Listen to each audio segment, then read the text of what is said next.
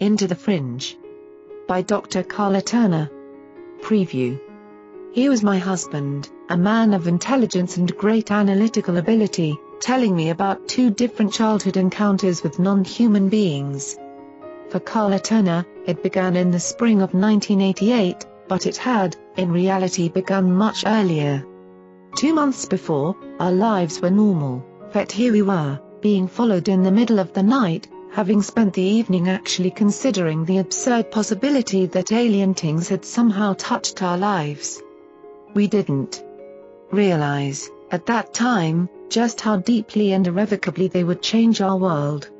For Dr. Turner, her husband, and her child, there would be sudden, shocking discoveries of long-buried memories as well as actual physical evidence of ongoing intrusion, the marks on their bodies, the sightings, the missing time. Episodes. Sometimes I still tried to pretend that it was all in our imaginations. It wasn't in their imaginations. It was real. And it's all here, in the most chilling, convincing account of alien contact since communion. A note to the reader, all of the people in this account are real. Because of the nature of the events they experienced, however, several people involved have chosen to be identified by pseudonym or by first name only whenever a pseudonym is used, it will be noted at that name's first appearance in the story. Introduction In December 1987, Casey, a pseudonym, Turner was a successful computer consultant in a large southwestern city. He had a happy second marriage, good health, professional respect, intelligence, and a kind, good-humored nature. At the same time, David Train, pseudonym, a bright science student at the local university, was living on 5 acres of a 35-acre area on the edge of the city. He had a roommate, James, pseudonym, a girlfriend, Megan, pseudonym, also a science student and three dogs. Today, almost three years later, it would seem that things are still much the same for Casey and David, but I know better. Casey is my husband, David my son, and Megan is now our daughter-in-law. Together, we have all struggled to understand an astonishing phenomenon that revealed itself in our lives. It has altered our whole reference of reality in ways we could never have imagined we discovered that we were victims of abductions by some alien force. We learned that this force, this alien presence, had in fact been a part of our lives for many years. And through sharing our experiences, and seeking answers and help from others who had also encountered these beings, we learned to survive with our sanity intact and our perspective on life measurably expanded. Stories of humans abducted, examined, and crossbred by alien beings of unknown origin are nothing new, not since Bud Hopkins's, Whitley Strieber's, and most recently, the media's interest in the subject. But that interest itself, a serious interest, is new. There hasn't been so much discussion on the air and in print about UFOs and ETs since the 1950s. And although UFO activity never ceased in the past 45 years, it certainly has changed, most noticeably since 1981. And dreamed of numbers of people have discovered that they, too, have encountered this alien presence. Abduction activity affects all types and ages of people, and for the victims there is no shelter and no one to offer any real help. They are victims of affronts which no official power, political, spiritual, or social, admits to be real. When we discovered this phenomenon in our lives, I began keeping a journal of events. At first it was only of Casey's experiences, but it soon expanded to cover mine and those of David, as well as of Megan and James. Awareness and involvement in the phenomenon, it seems, was spreading. What follows is an integrated account of our experiences, taken from the journal entries from May 1988 to the summer of 1989. Many of these events were consciously experienced and remembered. But other occurrences were blocked from memory and known only from the evidence of marks on our bodies, episodes of missing time, or strange phenomena in our homes. In several instances, hypnotic regression was used to uncover more about the blocked episodes. although many of our experiences have yet to be explored in this way.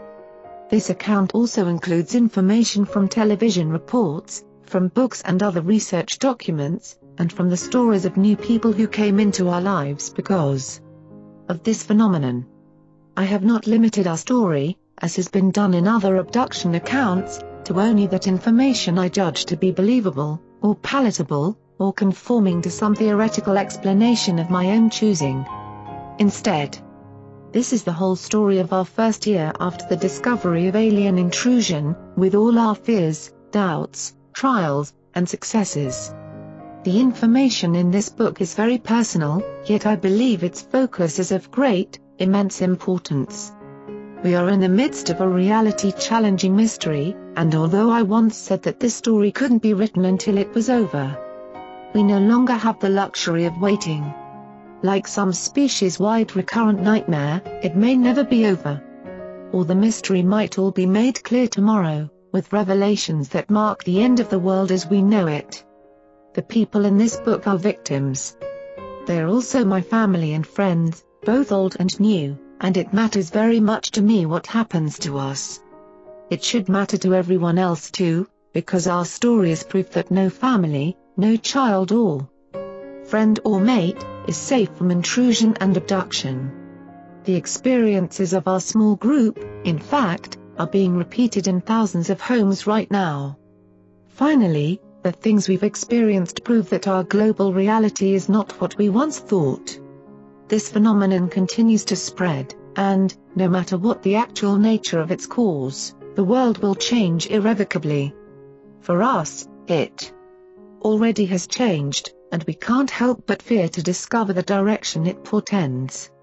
Karla Turner Chapter 1 In the spring of 1988, our world ended. Life went on, but everything we had always known about reality, our trusted perceptions of ourselves, of the present and the past, of the nature of time and space, were destroyed. The end of one's reality is truly the end of a world. Another world follows, of course, but exile from the first one is permanent. We were thrust into new territory, a place of missing time episodes, of UFOs and unhuman beings and all sorts of bizarre phenomena that wouldn't go away. Yet we hardly noticed its beginning, and later, when it became clear that something strange was occurring, we had no idea that the very fabric of reality was about to change for my husband, Casey, and myself, as well as for our family and friends. This is the story of how we came to this new reality. It is an account of the experiences that erupted in our lives, of our entrance into that other world of altered realities we sane people merrily deride or ignore. In the beginning, we kept these things to ourselves, out of fear and confusion. But now we realize the story should be told, for two very good reasons. First, what happened to us is not unique. It is occurring all over the world, yet until now such an account, involving a cluster of people, has never been presented in its entirety. What follows here is the complete truth, with nothing omitted or added to make the story more believable or more fantastic. Second, the implications of our experiences are global, in fact cosmic, and they point to a very disturbing future. If our world has truly changed, so has yours, for we occupy the same world. Please don't assume that my friends and I were unbalanced or fanatics of some sort, given to extreme beliefs, when this all began. Instead, we were generally open-minded about most things, which I'm sure would have included the existence of aliens if the subject had ever come up. But it didn't, at least for me, until quite inexplicably while teaching a freshman course in argument and logic I did something I'd never done before in my eight years as a university instructor, I brought up the subject of UFOs in class, as part of an assignment. UFOs were one of three topics, actually, including the Loch Ness Monster and Bigfoot, and my students were asked to make an objective evaluation of the evidence pertaining to one of these phenomena. I chose these three because I assumed the evidence would be weak and inconclusive when examined from a clear thinking, insightful, educated point of view. In truth, however, I had never really looked at the evidence with more than a passing curiosity. But in reading these research papers, I became familiar with titles of available books on these subjects. Perhaps that's why I suddenly decided to buy a paperback I'd seen for months at the mall bookstore, one which had never interested me before, Communion, by Whitley Strieber, A. 3. Bizarre account purporting to be factual, about his experiences with some sort of alien entities, from some undetermined source. I read the book skeptically, yet was intrigued by his emotive story of intrusion, terror, and the groping for understanding. In late April I was on my way to the West Coast for a few days, leaving Casey alone at home. Before I left, my son, David, borrowed Strieber's book and took it to his house. At the airport I looked for something to read on the flight. And, remembering that Strieber had mentioned Bud Hopkins as a researcher into UFO phenomena, I bought Missing Time, Hopkins's account of several abduction experiences. In California I read the book late at night, with very strong reactions. For one thing, I wondered how on earth Hopkins and Strieber could get away with claims that their books were factual, since the material, strange alien beings, small and grey and clone-like in their actions, was so obviously impossible. Hapless humans abducted, medically examined, then released with little or no memory of such events? Who are they trying to kid? I also remember thinking how glad I was that these stories were not true. How, I wondered, could you ever live in a world where such things could happen? It was hard enough, I thought, to cope with the real world, even for the sanest of us. Casey and I, for instance, were financially solid and very happy in our marriage. Yet for several months, we had been attending separate counseling sessions in an effort to find out why we developed physical symptoms of stress. For me, it was the onset of TMJ, with all its painful clenching of the teeth and jaws, and for Casey it was a variety of things. He was usually a calm, centered person, but since Christmas he had grown increasingly tense and short-tempered. His eyesight worsened, he had frequent, four headaches and stomach aches, and he suffered from tingling, numbness and pain that ran from his hip all the way down his left leg. Counseling helped us deal with the apparent problems in our lives, but the stress didn't disappear as promised. In my therapy, hypnosis had been used, so I became familiar with the relaxation technique involved in achieving a trance state.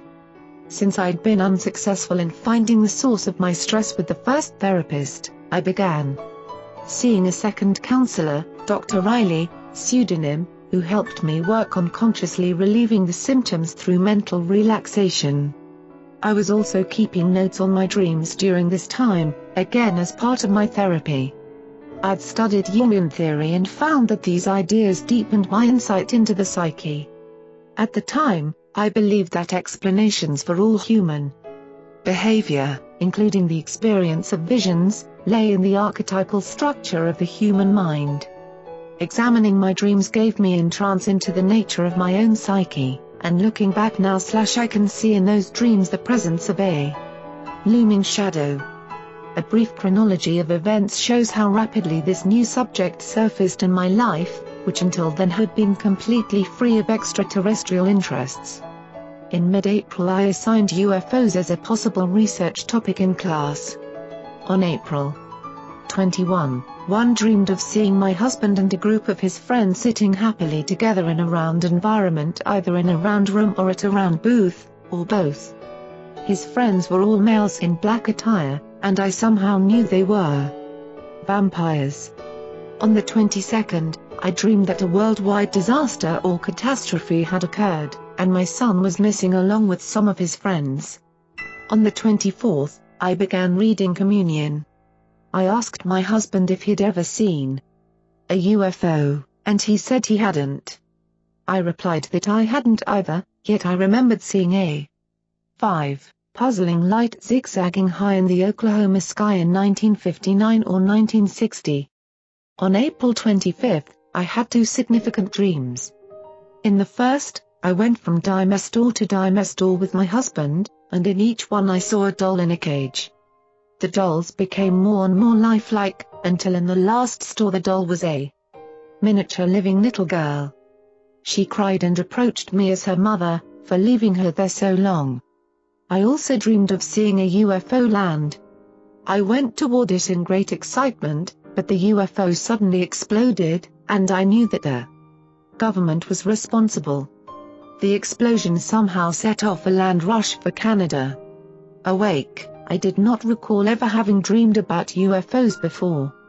On the 27th, I bought Missing Time and read it in California.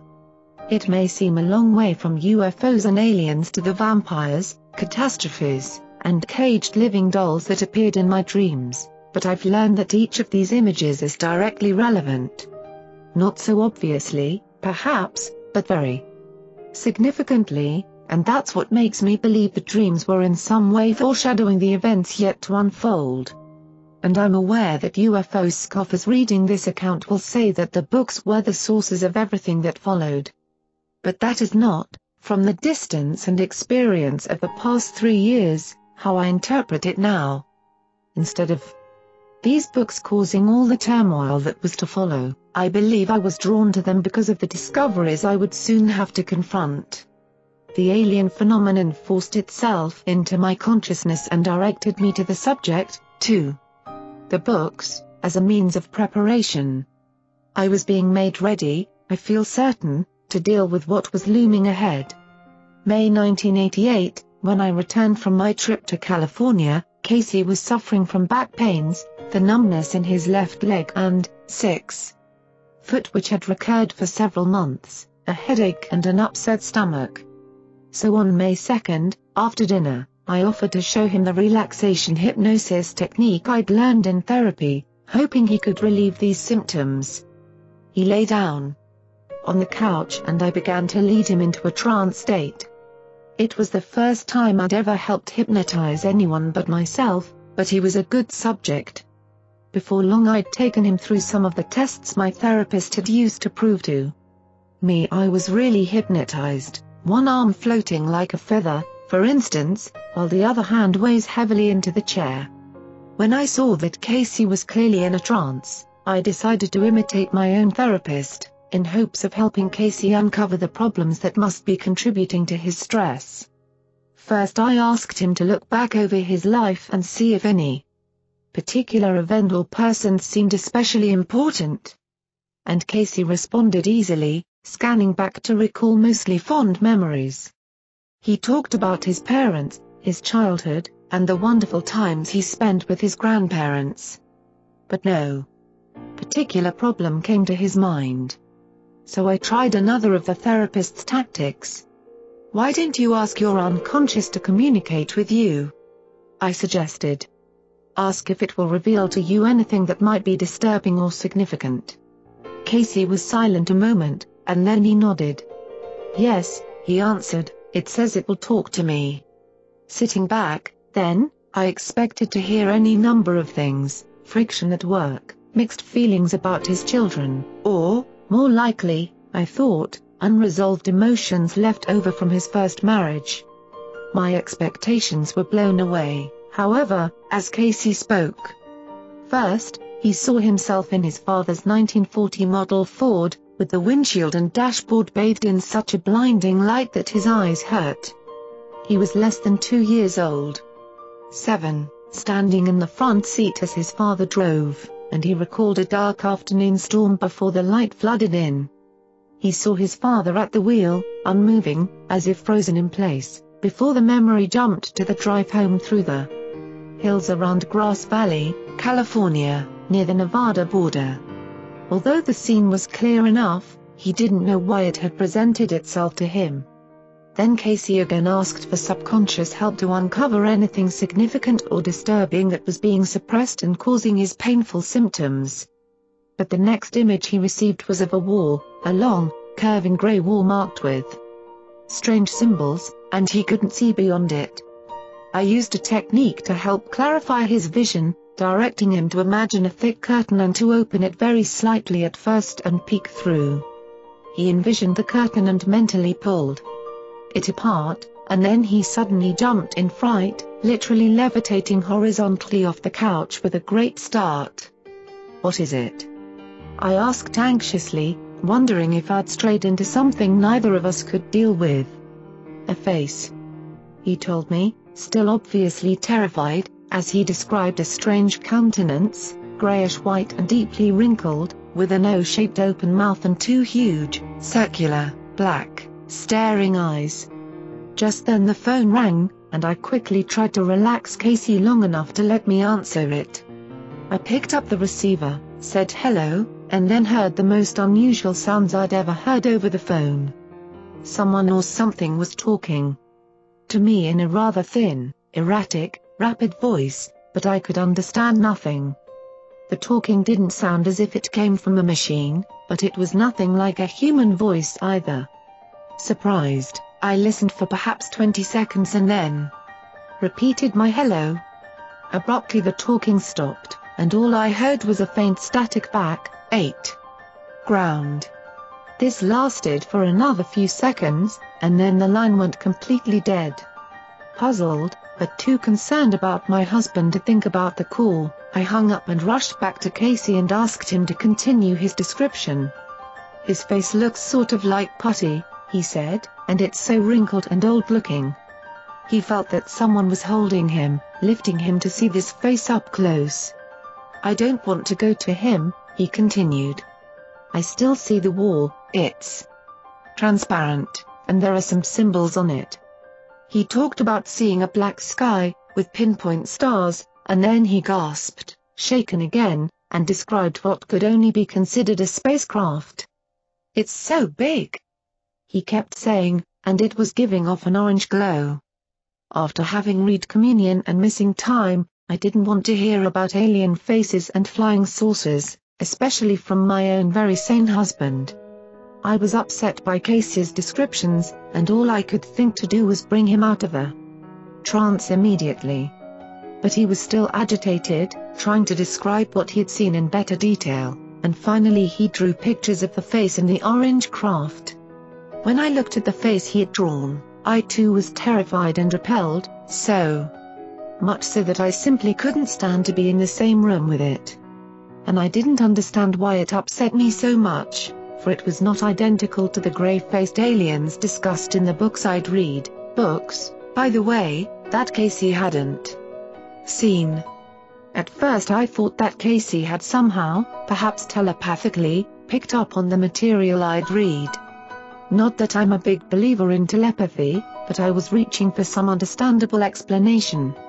When I thought back through the hypnosis, however, I saw that Casey had described events and scenes different from those in Hopkins's and Strieber's books. If he were really reading my thoughts, I 9. reasoned, his descriptions should have matched more of the details.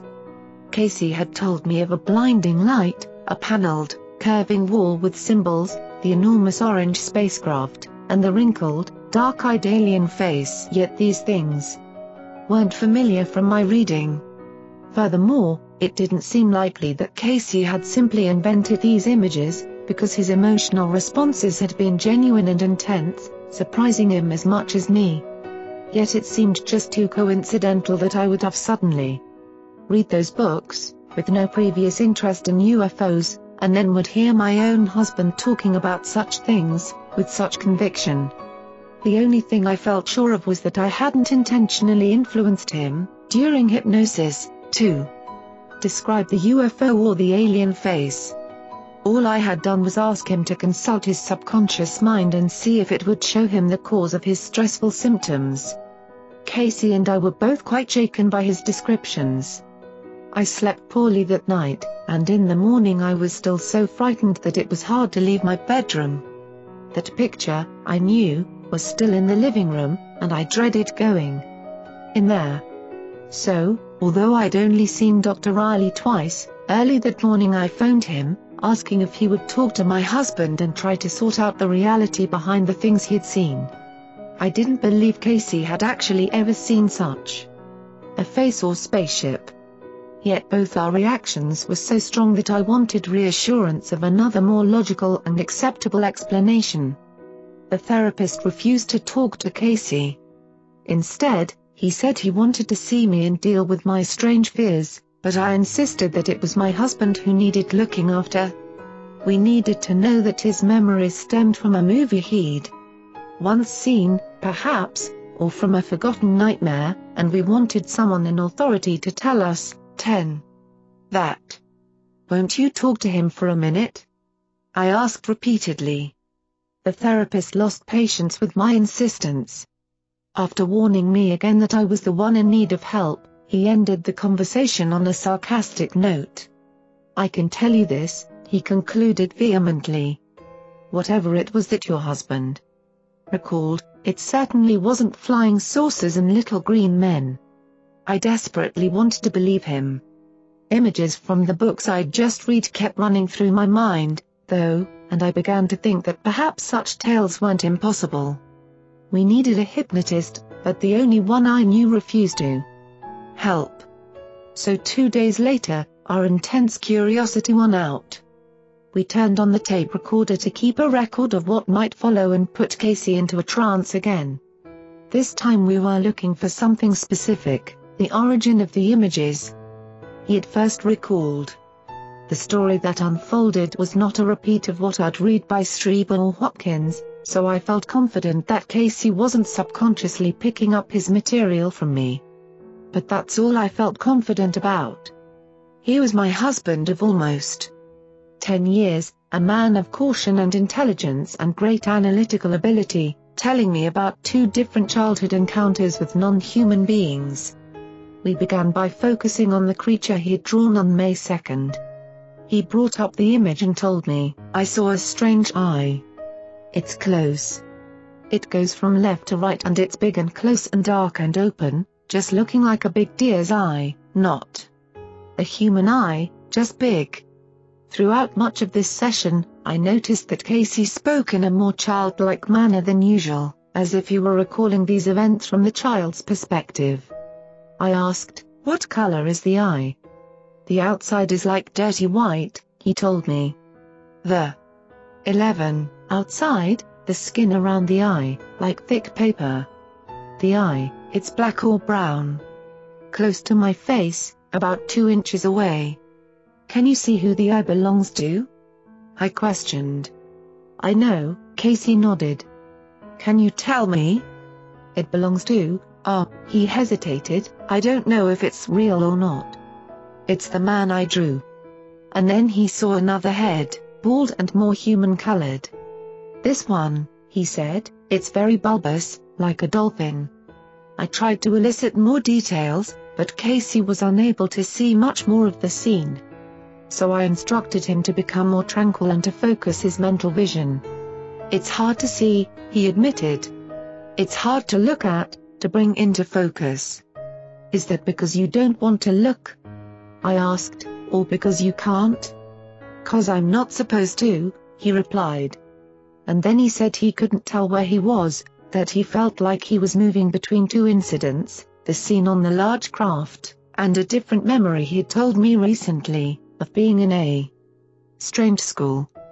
I feel almost like I'm going back and forth between the other time, he said, and looking through the wall, and the school is very, very real. I walk through the halls. The janitor just left. Are you able to see the janitor? I asked. No, but I know he left.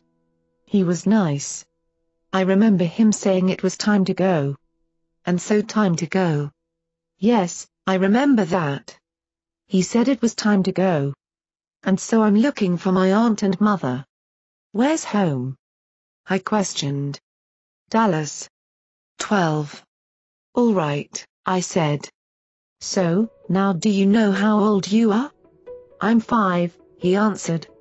Before I was in school, I asked Casey to move ahead with his recollection, and he told me that everyone was gone, the school was empty, and he wondered where his mother was.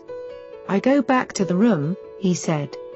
Do you know what you're doing in this room? I asked. I think I've been, I don't know if I was studying, he replied. I can't remember. It's real comfortable. So nice I don't want to leave. But I stayed too long. And outside the sky is green and orange. That sounds weird. It's green and orange and white. Like the sun's going down through thick clouds. But there's no clouds. It doesn't feel right, like normal clouds. It's not clouds. After a few minutes of trying without much success to learn more about this scene, we moved on to his memory of being in the 1940 Ford and seeing the bright light flood into the car. Once again, he saw himself and his father driving down the rural road, with storm clouds whirling in the sky. The light comes straight down, he said, recalling the event as if it were happening again. Oh. No. It came at us. The light hit the dash. Boy, it's extremely bright, it was almost so bright it went through the car. What does your father do? I want to know. Can you tell that? Oh, my God, yes. He replied. Is the car still moving? It seems like it's not. No, it's not moving at all. Is your father moving? He doesn't seem to be, Casey said. The car is stopped. Can you see anything out around you? I wondered. I don't believe that I see this, he murmured. Yeah. 13. There's somebody coming to get us. But they're okay, I'm not scared, they're not moving fast. What do they look like? I asked. How many are there? Four, he told me. Uh-oh. I see this, and I don't know if I'm really seeing it or not. They're just coming. It's like they beckon. Casey said they took him from the car, carried him away, and then he experienced a strange backward sort of movement. But I interrupted the flow of events and asked him for a better description of the beings who took him away. And this time, the description somewhat matched that of the typical grey alien. Their faces were cartoon-like, he said, and they're wearing cover-like things. But it was their eyes that most fascinated him. They're just big, real pretty circles. Very smooth and don't blink. The light's so bright it hurts their eyes, so they cover their eyes from the light. He described their skin as some sort of dirty white covering, which he felt as he was carried by one of the beings to a small saucer-shaped craft resting on the roadside and he told of going to the huge orange ship and encountering the old one, the being whose face he had seen two evenings earlier. Casey described deep fissures in the old one's putty-like skin, vertical wrinkles, and black eyes. He has the darkest eyes, he said, like he knows all, and sees so much, knows so much, and he doesn't care. Does that old one look like the other four beings? I puzzled. Or is it one of the four? No, this is the old one, he insisted. Those were young ones, they're not the same. This one does not have a covering on its face. It's the old one I saw last time. Casey remembered some kind of physical examination, 14. And as he relived the experience, he became very agitated. He'd just begun to feel hungry on the ship, a feeling of emptiness in the pit of my stomach, he explained, and then he was suddenly talking very rapidly. There's a, there's a light. And there's a, a, a, a thing that looks like a rear view mirror, but it's not, it's thick, and it's got a plate glass, shiny glass or cover, and it's, it's coming at me. And then there's that other thing. That looks like metal teardrop shaped. And over that teardrop there's two dots, two silver dots. They don't have heads, like screws, they're just dots. It touches here, he gestured, pointing to his stomach. Finally, he remembered a strange sense of backward movement as he was returned to the car, where his father was still waiting, frozen, clutching the steering wheel. Before ending the session, I asked one last question. Can you ask your unconscious if you're familiar with the old one? Is this the only time, can your unconscious tell you if this is the only time? It says no, Casey replied, no, it's not the only time. It says I know him. intrigued by his answer, yet reluctant to delve any further into the experiences without some expert guidance, I helped Casey return to a normal state of consciousness. For the next week, it was all we could think about, and I continued to feel afraid when I was alone at times. After Casey's revelations under hypnosis, I certainly didn't want to put him in a trance again myself, yet we both wanted to know how much reality his memories had. I was concerned about Casey, sometimes wondering if I should doubt his mental grip, yet knowing deep down that he wasn't the sort to fantasize such things, much less to fabricate them deliberately. Casey had always been in earnest, honest, intelligent. 15 practical person.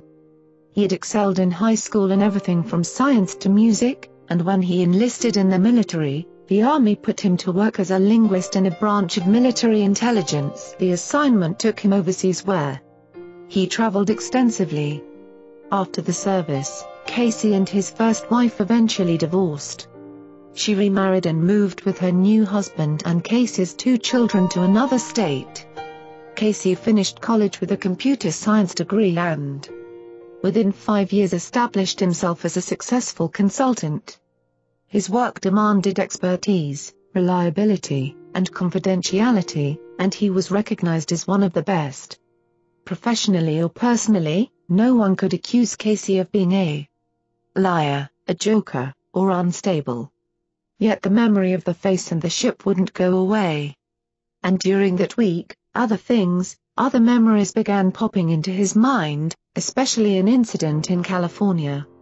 In 1971, when Casey's son was about two years old, there were poltergeist activities in their house and an earthquake that apparently only Casey experienced. It was at this time that his son began talking about a black man, who appeared through the wall in his bedroom. When Casey tried to find out more about this being, his son replied that the black man talked to him, but he refused to say what they discussed.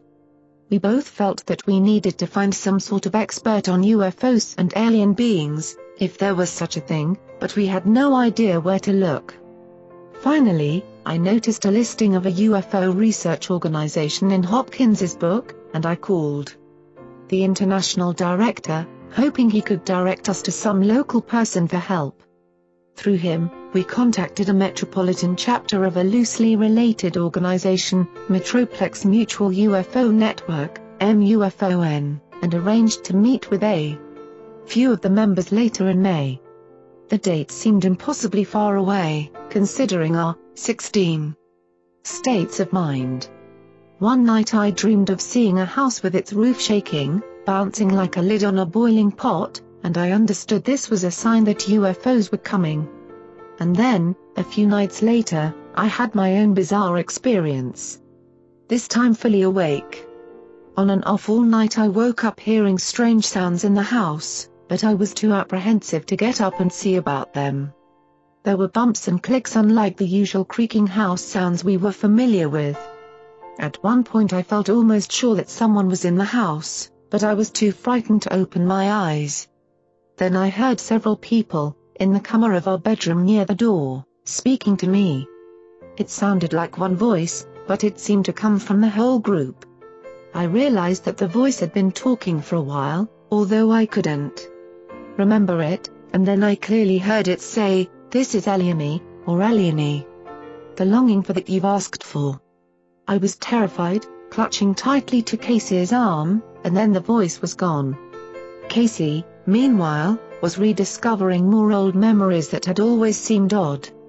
He remembered once when he was 13, waking up to see a strange woman, dark-eyed with white wispy hair, approach him in unfamiliar surroundings.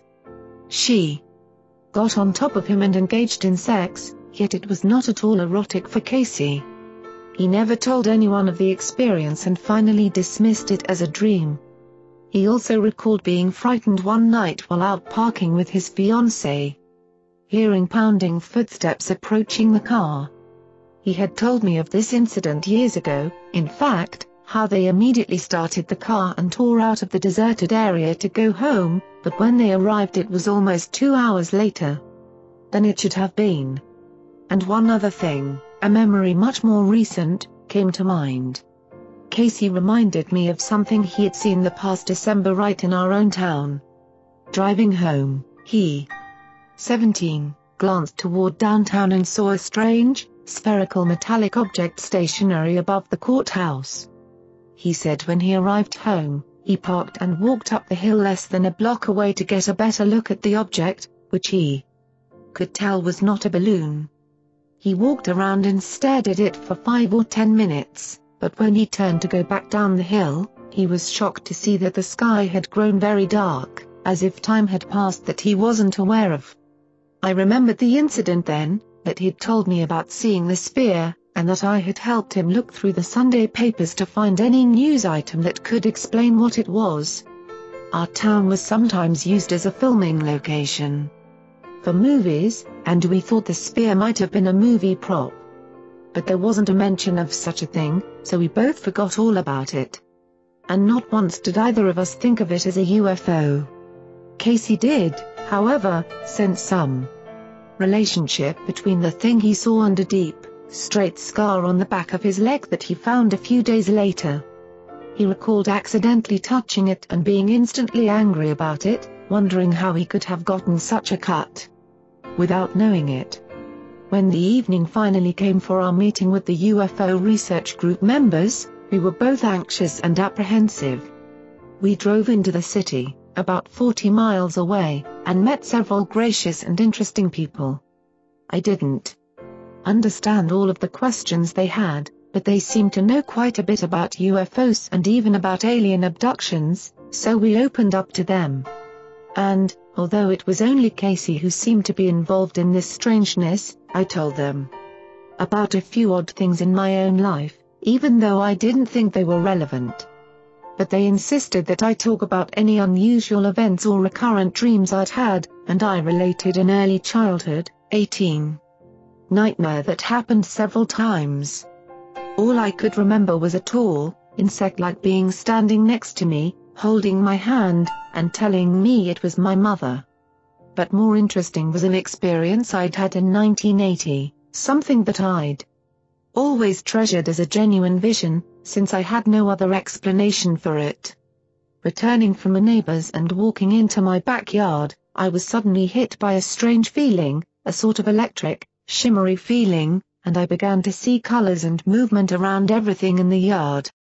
I walked on and then saw four people standing side by side beneath a large tree. I thought of them as people because they were about my size, five feet tall and had the usual appendages, but their appearance was actually like a shadow. They seemed grey and featureless, yet somehow I knew there were two males and two females. They greeted me warmly and told me they were my ancestors, that I carried all of their memories and wisdom in my body. I laughed at that, but they assured me that there were ways I could tap into that knowledge and use it. I was coming home to prepare dinner, and since I was a notoriously insecure cook, I asked them why I was such a disaster in the kitchen. After all, I said, surely one of my ancestors was a good cook, so why couldn't I use that knowledge? Myself? At that point they began to direct me in the preparation of the meal, at least the two males did. While I was cooking, the two females stood close behind me, talking quite rapidly to some part of my mind other than my consciousness, but I couldn't understand what they were telling me. When I asked, the males said that I shouldn't worry about it, they were only giving me certain instructions. The entire incident lasted about 40 minutes, and then I was aware that the ancestors were no longer with me. When 19, Casey and David came home that evening, I excitedly told them both about the vision I'd had, and Casey noticed that I seemed to recall very little detail about the 40 minutes. We told the UFO group about the various memories as well as what Casey had related during hypnosis, and then we asked to be put in touch with a knowledgeable hypnotist. To our surprise, however, no one in the group came up with a name. So our one hope for help came to nothing that night, and we drove back home feeling as lost as ever. And, although Casey didn't tell me about it until the second time it happened, he noticed that we were followed for over 20 miles by a white Chevy. It pulled out of the neighborhood when we left, about 12.30 a.m., and stayed with us until we reached the outskirts of our own suburbs several towns and almost 40 miles away. Our contact with the MUFON group paid off a week later, with the news that their June speaker was a hypnotist and UFO researcher whom we could meet. At this point our spirits lifted a bit, and when Casey's parents came to visit, we decided to question them about the time Casey remembered being taken from the car. To our surprise, his father did recall a trip when Casey was a year old, through the foothills of the Sierras. At the time, Casey's grandfather ran a restaurant where his mother and father helped out. It was a holiday weekend, and the great number of customers had depleted the steak supply, so his father took Casey and went to a couple of other towns to buy more meat. Was there anything unusual about the trip? Casey asked. Not really, his father replied. Well, you were gone an awfully long time, Casey's mother interjected. 20. Why? Casey asked. Did you have to stop anywhere other than the meat markets? Yes, his father answered, but only for a few minutes. There was a tree down across the road, I think. What happened there? Did you have to move it, or detour, or what? Casey probed. No, I didn't move it, his father said. Some men came out of the woods and took it away. Casey's father was a gregarious, helpful person who would have volunteered to help anyone in trouble, so it seemed odd that he wasn't involved in removing the blocking tree. What did you do, then? I just sat in the car, and they moved the tree he replied. It only took a few minutes. But we were pretty late getting back to the restaurant?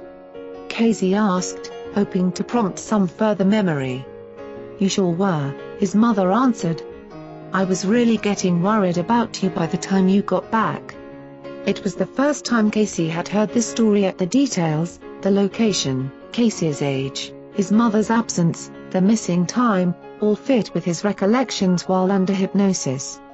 His father's confirmation that such a trip had really happened somehow made things even harder for Casey and me. All along we were still hoping that the strange memories had no basis in reality, for we just couldn't accept the existence of spaceships and little green, or, in this case, gray, men.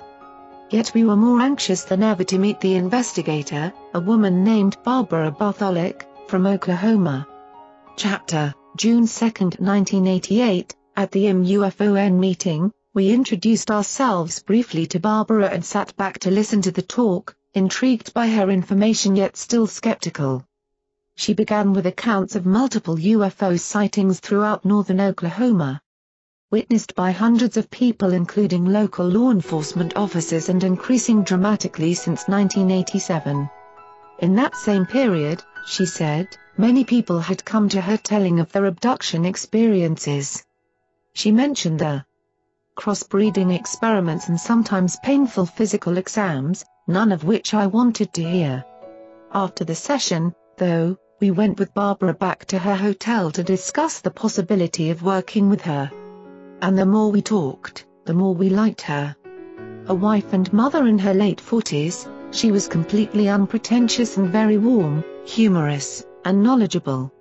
Her UFO research began almost a decade earlier when she assisted one of the most respected scientific names in the field, Dr. Jacques Vallée, in cattle mutilation research.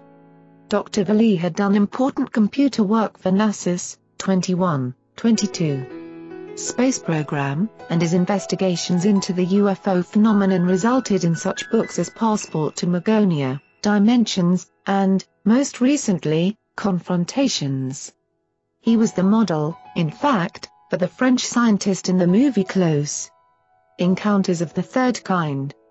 Barbara's work with abductees started first with the help of a qualified hypnotherapist, but when the number of cases exploded, the therapist taught her his technique and she continued on her own.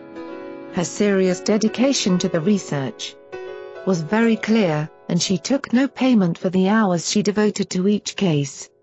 We talked late into the night, and finally when it was arranged that we'd visit her in a few weeks, we took our leave, at 2.15 am. About halfway home, while discussing the meeting with Barbara, Casey suddenly changed the subject. Do you see that white car behind us? He asked, peering into the rear view mirror. Yeah, I said, glancing back.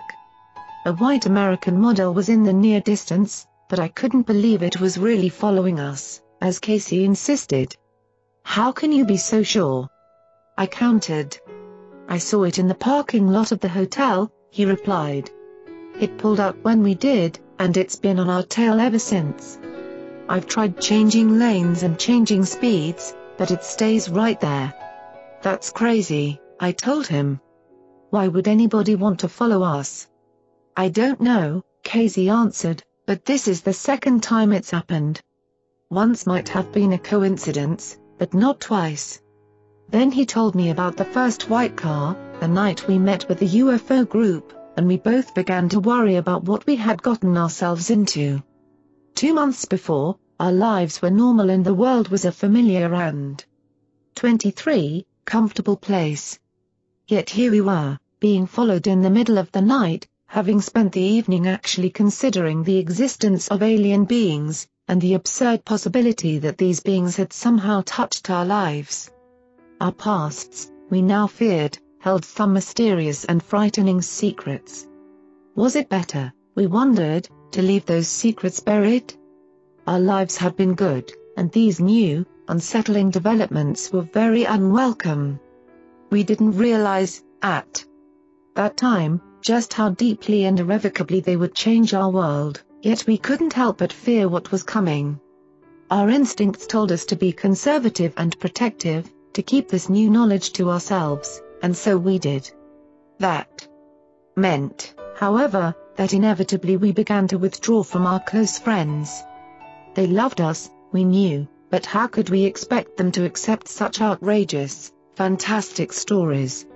At this point, we still weren't sure we believed them ourselves. So the prudent, sensible thing to do was to keep silent, at least until we knew much more about what had happened. But pulling on our emotions in the other direction was a strong need for answers. We felt angry, as if our lives had been broken into and robbed of some very precious innocence.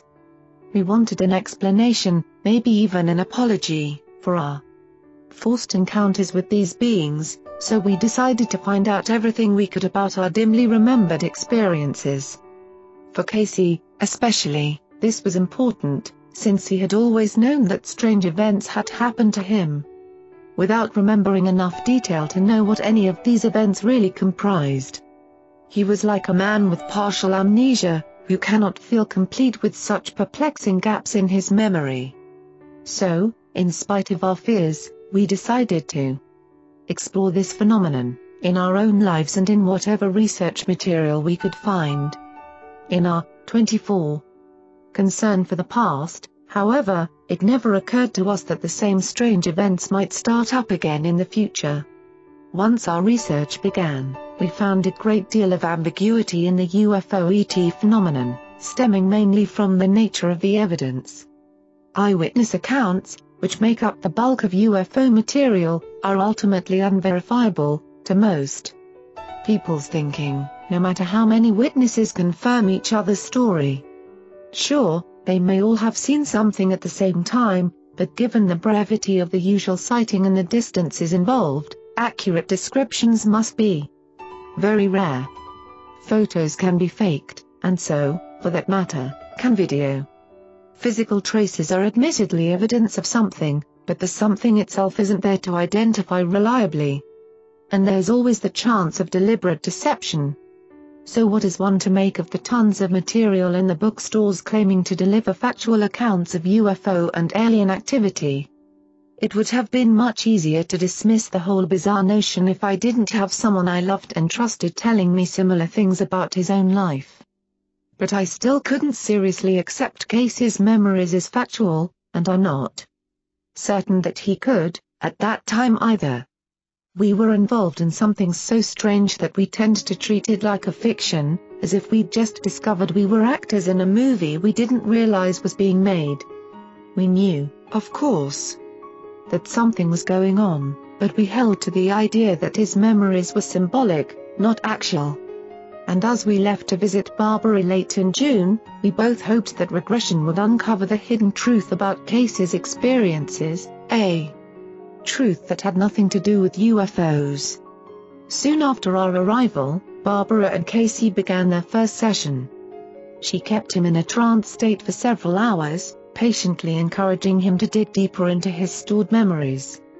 Before they started, Casey told Barbara about her, Into the Fringe, 25, few of the odd things he had been recalling, as well as the events he'd discovered in the earlier regression with me. So she directed his thoughts to these memory cues, and I listened in rather shocked attention to the incredible story he unfolded. The first strange memory they explored was of a waking dream Casey had as a preschool child. In the dream, he was taken to a sort of school, and he recalled at one point feeling very abandoned and afraid. Under hypnosis, he now recalled being in a school environment with the old one and another unidentified being, and of feeling that he was being tested in some way. It feels like I'm there to learn something, I know I learned something. I feel something in my heart, and yet at the same time I feel like I'm, and that's silly, he interrupted himself, because I'm so young, but I feel like I'm teaching. I don't know how I could. Something is being learned from me, he said, and at the same time I'm being given feelings that are much bigger than I am, that go well beyond, go far beyond me. Barbara asked Casey if he'd ever seen the old one before, so Casey once again went through the abduction experience when he was a year old which he had first related to me. He described the small craft again. It's quite solid, he said. And it's just a dull, not very spectacular piece of work. It's sitting there and I can see it, and it's standing on about three legs, or four. Please be more specific, Barbara requested. Is it on three legs or four legs? I can't, I'm sorry, Casey replied. I just remember that as a kid. My mind's just so interested in what I'm seeing. It's the people that are coming to get me. They're little, and yes, they do have. I don't know if you've ever seen them, they are quite diminutive. The people aren't, 26. Very big. I mean, I'm just a little kid and they're picking me up, and they feel small. Like maybe an eight-year-old child. And they pick me up, and I feel through the fabric they're thin. I feel like I'm being held by somebody that doesn't really know how to hold people. I noticed that this time, telling Barbara about it, he showed much less emotion than before, as if he'd come to terms with the incident in some way. He was able to view the whole thing with clearer vision, also, so Barbara elicited much more information than I had. And then she asked him, once again, if he'd ever seen the old one or any of the shorter cartoon-like beings before this abduction experience. Yes, he replied, and then in a bewildered voice he began telling of seeing himself as a ball of golden light and of watching a group of beings make him. They got me ready to be bomb. They're excited. I'm watching what they make. I feel like I'm watching them make me. I feel like they wanted me to be bomb, like I was their thing there with them before I was, with somebody. They're workers, they're not makers. And I'm watching them work. And after I was Bora, they watched, and they came, and they took me back there again. Can you describe the process that was taking place? Barbara wanted to know. What I see when you ask me that, he explained, is a series of very intricate red and white patterns. They are interlocked, and they are being fixed. One of the people is pushing these patterns around with their fingers. It's like a box or panel, like a computer terminal with totally different keys. And it feels like they are moving things around, chemicals, I'm having to say, speculation, because what I see is red and white patterns, lines interconnecting. They're adjusting these lines, they're moving them around, pushing 27, them to different levels. And I don't know what that means. It feels like it's very important. What happens after that? Barbara asked. It's like instead of watching, he replied, I'm inside. Inside of what? Can you give me a description? I'm inside of Mother, Casey said. You can see the light in the daytime, it's pink and yellow, it's living. After this surprising revelation, Barbara questioned him about why he was made by these beings and then bomb. Are you receiving directions or instructions? She asked. Feels like I'm making the decision myself, Casey responded. I make the decisions. It's time. My feeling is that it's a difficult decision to make, but that, knowing I really change, knowing I will not be myself, that I elected to do it. I wish to be solid. To feel more than just inside, to feel outside too, to feel the outside world, to have it affect me. And so I made the decision to be bomb. Were there any instructors, Barbara probed, any others above you who gave you a choice to be bomb? Who gauged this movement for you? An agreement, he told her, just an agreement. And who did you make the agreement with? I'm getting into an area that's almost incomprehensible, without sounding strange, he admitted. But it's like, there is reason, there is purpose, and I have to do it and want to do it, and it's time to do it, and I can, and I go. When pressed about the worker beings he'd watched, Casey said that they were in effect carrying out instructions from a higher authority. There was another source, he explained, and we all know that the source is the instrument of this. They are under the control of the Old One. The Old One makes the thought, and they do. The Old One sees, and they see. Barbara asked, then, if Casey considered the Old One to, 28, be synonymous with the ultimate creator, and he said no. The Old One is an instrument, a vessel that contains the wisdom and the art and the mind and the knowledge and the experience. And knows its future and knows its past, and it's sad and not sad, and happy and not happy. By the time they finished with Casey's pre-birth recollections, I was truly disturbed. Casey normally shied away from metaphysical ideas, yet what he'd just described was far beyond the merely metaphysical. It was crazy. My mind was almost numb, but there was still more to hear. The last incident that Barbara focused on was the sighting of the metallic sphere in December 1987. Once again, Casey told of seeing the object from his car, parking at home and walking up the hill, and then watching the sphere above the courthouse. But this time he recalled much, much more. Tell me what is happening now, Barbara directed. I don't understand, he said. I feel like I'm seeing myself being brave and going into a beam of light. I'm watching it. It's just like everything narrows into a very tight beam and I disappear into that. And that doesn't make sense. I wish I could see. What are you experiencing around you? Barbara asked, what are you aware of? Oh. He said, startled. There's a big eye. I just saw it again. What is the source of the big eye? It's like a lamp, like a big lamp, he replied. It just goes through everything, you know? It just washes you with something washes everything. Can you give me a description? How does this lamp wash you? No, well, it's very trying. This whole feeling at this time is real trying. What do you mean, trying? Barbara questioned. 29, I don't want to be here, Casey answered. Wherever this is. Feel like I'm in a small, cramped place. Not like a coffin or anything like that but just in a small. It feels claustrophobic, the room. Can you look around and describe it to me? Oh, I'll try, Barbara, he said, becoming agitated. I'm so upset about being here that I don't want to look. These don't feel, it doesn't feel like the other feelings that I've had. It feels grubbier and dirtier and mechanistic more than spiritual, or loving. Tell me your feelings. What are you experiencing?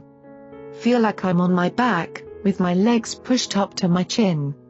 feels like I'm just balled up in a grey cloud on my back. It feels small and dank. Like a cellar but not a cellar. It's not wet, but it smells yucky. Closed quarters, like an old gym, old locker room. It feels cluttered, it feels real cluttered, busier. It doesn't feel smooth and expansive, like a big ship does. And I don't even know if I'm in a ship. I can't tell, it just feels like I'm in a room and there's all these small scatterings. I mean, it's got walls.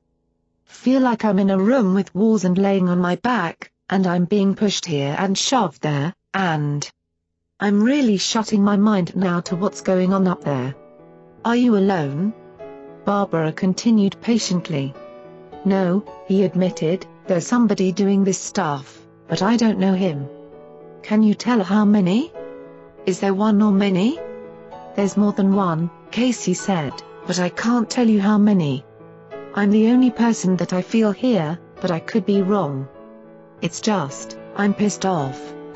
Are these the same beings that you have known before? Barbara asked. No, doesn't feel like the same. 30. Do they have you with your permission? Barbara pressed him. No. What could be done to prevent this from happening? Is there any recourse? I refuse to go this time, Casey said. I don't know what more I could do next time. You refused, and yet they'd take you, right? Yes, and they cut me, he told her.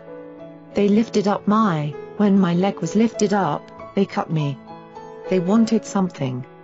They might have made me do something, and they wanted to see something happen, or they wanted something. They didn't. Tell me, they won't tell me. I don't know, I don't like that. Can you tell me why they're doing this to you? Barbara asked. Do you know? Yes, I think so, he answered. It sounds too unbelievable, but it seems that they must have pieces of us. So that we can stay alive. They need pieces of me so that there is a way to continue. They need something so they can repair so they can make, so that they correct and fix. And I shouldn't be angry, but it makes me angry when they take me away and don't let me know. I'm old enough now. I know I'm old enough and I care enough. And I don't understand. Why? And that makes me mad. When Casey was brought back to full consciousness and questioned, he said the memories seemed very real, and I could hear the amazement in his voice as he went back over the experiences. I was anything but calm, understandably, and equally amazed, but I still couldn't let myself believe that these things had actually, factually, occurred. Not to my husband, not in my reality. I was frantically searching for psychological explanations and coming up empty as we went to bed, and Casey was very quiet. On the 31, trip to Oklahoma we had discussed the possibility that actual contact with UFOs and aliens, whatever they really were, might have happened to him in the past, telling ourselves we could surely learn to live with that knowledge, now that it was all over. But December 1987 was far too recent for comfort, edging much too close to our present lives. A second regression took place the following evening, Saturday, after we spent the day visiting with two of Barbara's friends and Jack Lee, pseudonym, a guest of hers who was a counselor from another state. Barbara and her husband lived in one house, but they owned a house immediately to their left, where Jack, the other guest, was staying. Casey and I were staying in a third house they owned, directly across the street from Jack. Casey went into trance easily this time and proved to be much more clear-sighted and responsive than he'd been the night before. The first incident to which Barbara directed him was a day in Kansas, 1960, when he had remembered having a bad pain in his nose, for no apparent reason. Barbara asked him to describe the setting and the situation. It was when I was about, in the sixth grade, he began, so I was 13 and some boys have just told us, told me and my friend that they saw a UFO land at the top of the field that's across the street from my house. And I think that they're silly, that couldn't happen, but I want to go see it. We used to play there, it's a big field. It was summertime. And I was scared, because I didn't know what it meant. I thought they knew what they were talking about. I can see it. It really was there, Barbara, he continued. I remember that I was terrified to go over there, across the street from my house. The field was like a city block. It was a real long block, must have covered 10 acres or more. I remember, 32. I'm trying to see why that hurt my nose. I remember telling my mother that I thought I broke my nose. But I didn't have a fight, but it sure hurts. Hurts inside. It shouldn't hurt. Feels big. I remember Bill and I went to explore, then that's all I remember, except that my nose hurts. It felt real, real swollen around the bridge of my nose, at the top. Near the eyes. It feels like I've been hit. Except we didn't have a fight.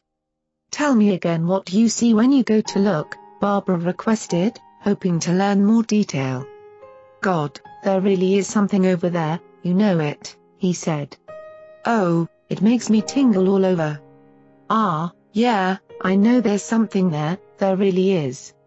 I can't, I'm not supposed to see that, Barbara, I'm not supposed to see that. I'm really not supposed to see anything there. What are you experiencing? Tugging, Casey said uneasily. Bill's going to, and I, it feels like I've got to go too. I feel like I'm stumbling, I'm falling, and then I'm real tired, and my nose hurts. When Barbara led him back over these memories and helped him clarify his vision, Casey told of encountering three beings whom at first he thought of as strange children. They took him and his friend Bill into a landed craft where he was placed on a table. Quite clearly reliving the pain, he told of some sort of instrument being pushed up his nostril and feeling a sharp popping sensation as the instrument penetrated a membrane into his brain. I listened, utterly shaken, and felt terrified for the first time that Casey was telling the literal truth. The pain in his face was real. Your next memory explored also dealt with Kansas, and once again Bill was involved. While spending the night at Bill's house, Casey recalled looking out a bedroom window. 33, for some reason. Then he found himself back aboard the same ship where he'd had the nasal examination. This time, as he lay on the table, after having been made to drink a cinnamon-smelling liquid, he saw a white-haired woman walking over to him. He said she seemed gentle and perhaps caring. She got on top of him, initiating sex, and when it was over she left. Casey saw that the old one was in the room, watching. Did he watch while she was on top of you? Barbara interrupted. Yeah. Did he seem to enjoy watching you? No. Why was he watching? Barbara pressed. Because the old one is like my teacher, my master, Casey tried to explain. I see that you like your old one, but you have great depth of feeling for your old one, Barbara mused. Is he a part of you? I don't feel like a relation, Casey disagreed. I feel like a pupil. Do you have any idea why they selected you? L. No, but they're excited, he said, referring to his experience with the woman, they like it. They seem to be damn certain that I'm the one they want. Certainly don't leave me alone. What do you mean by that? FT just seems like they've bothered me, bothered, busied themselves by keeping track of me for such a long time, he told her. Quite a long time, apparently, for the next exploration was of a memory from 1966. Visiting his fiancée that December, Casey took her parking on a remote, newly widened road outside the city. Their night was quickly, 34. Interrupted, however, by ominous loud footsteps coming toward their car, so they sped away. But when they arrived home, almost two hours had inexplicably disappeared, and they were in trouble with his fiancee's parents for being so late. With Barbara's help, Casey was able to discover much more that happened that night. Well, the lights aren't right, he began. With the radio on there's a little light on the radio, and all the other lights are off. and then it seems like, I have not been able to see any of this experience since it happened, ever. Once. It was terribly frightening. Was your fiancée scared too? Barbara asked. Yeah, she was real scared too. Because what happened, what I can remember happening, was we're touching each other. Then the car is flooded with a feeling of immobility, and it seems like confusion. And something comes out, watching. Are you still embracing her? No, not, not at all, he replied, visibly frightened. I feel like I've got to run, I want to get out of the car and run. I get out of the car. We both get out of the car. I have to get out. Feels like I was told, compelled to get out of the car and walk to the front of the car. And I do. I can feel the dirt beneath my feet. I can feel the warmth of the engine, and I can see the front of my car.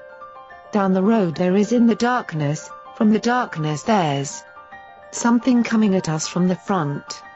Are you able to move while you're standing there? Barbara inquired. No.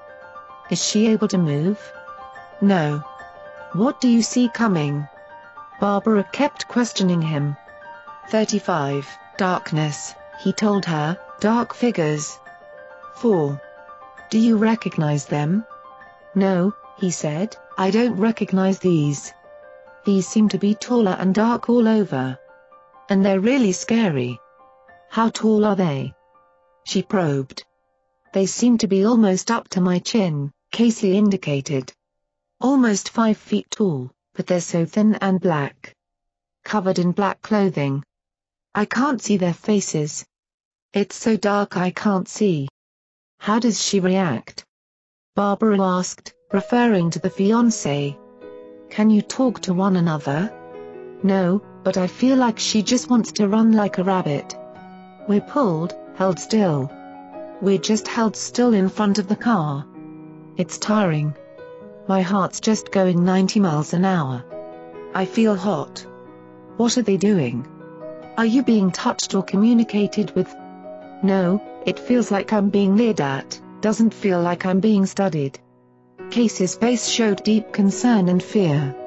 It doesn't feel like the same kind of feeling I have when the little ones are around, or the old one. It seems like a different group.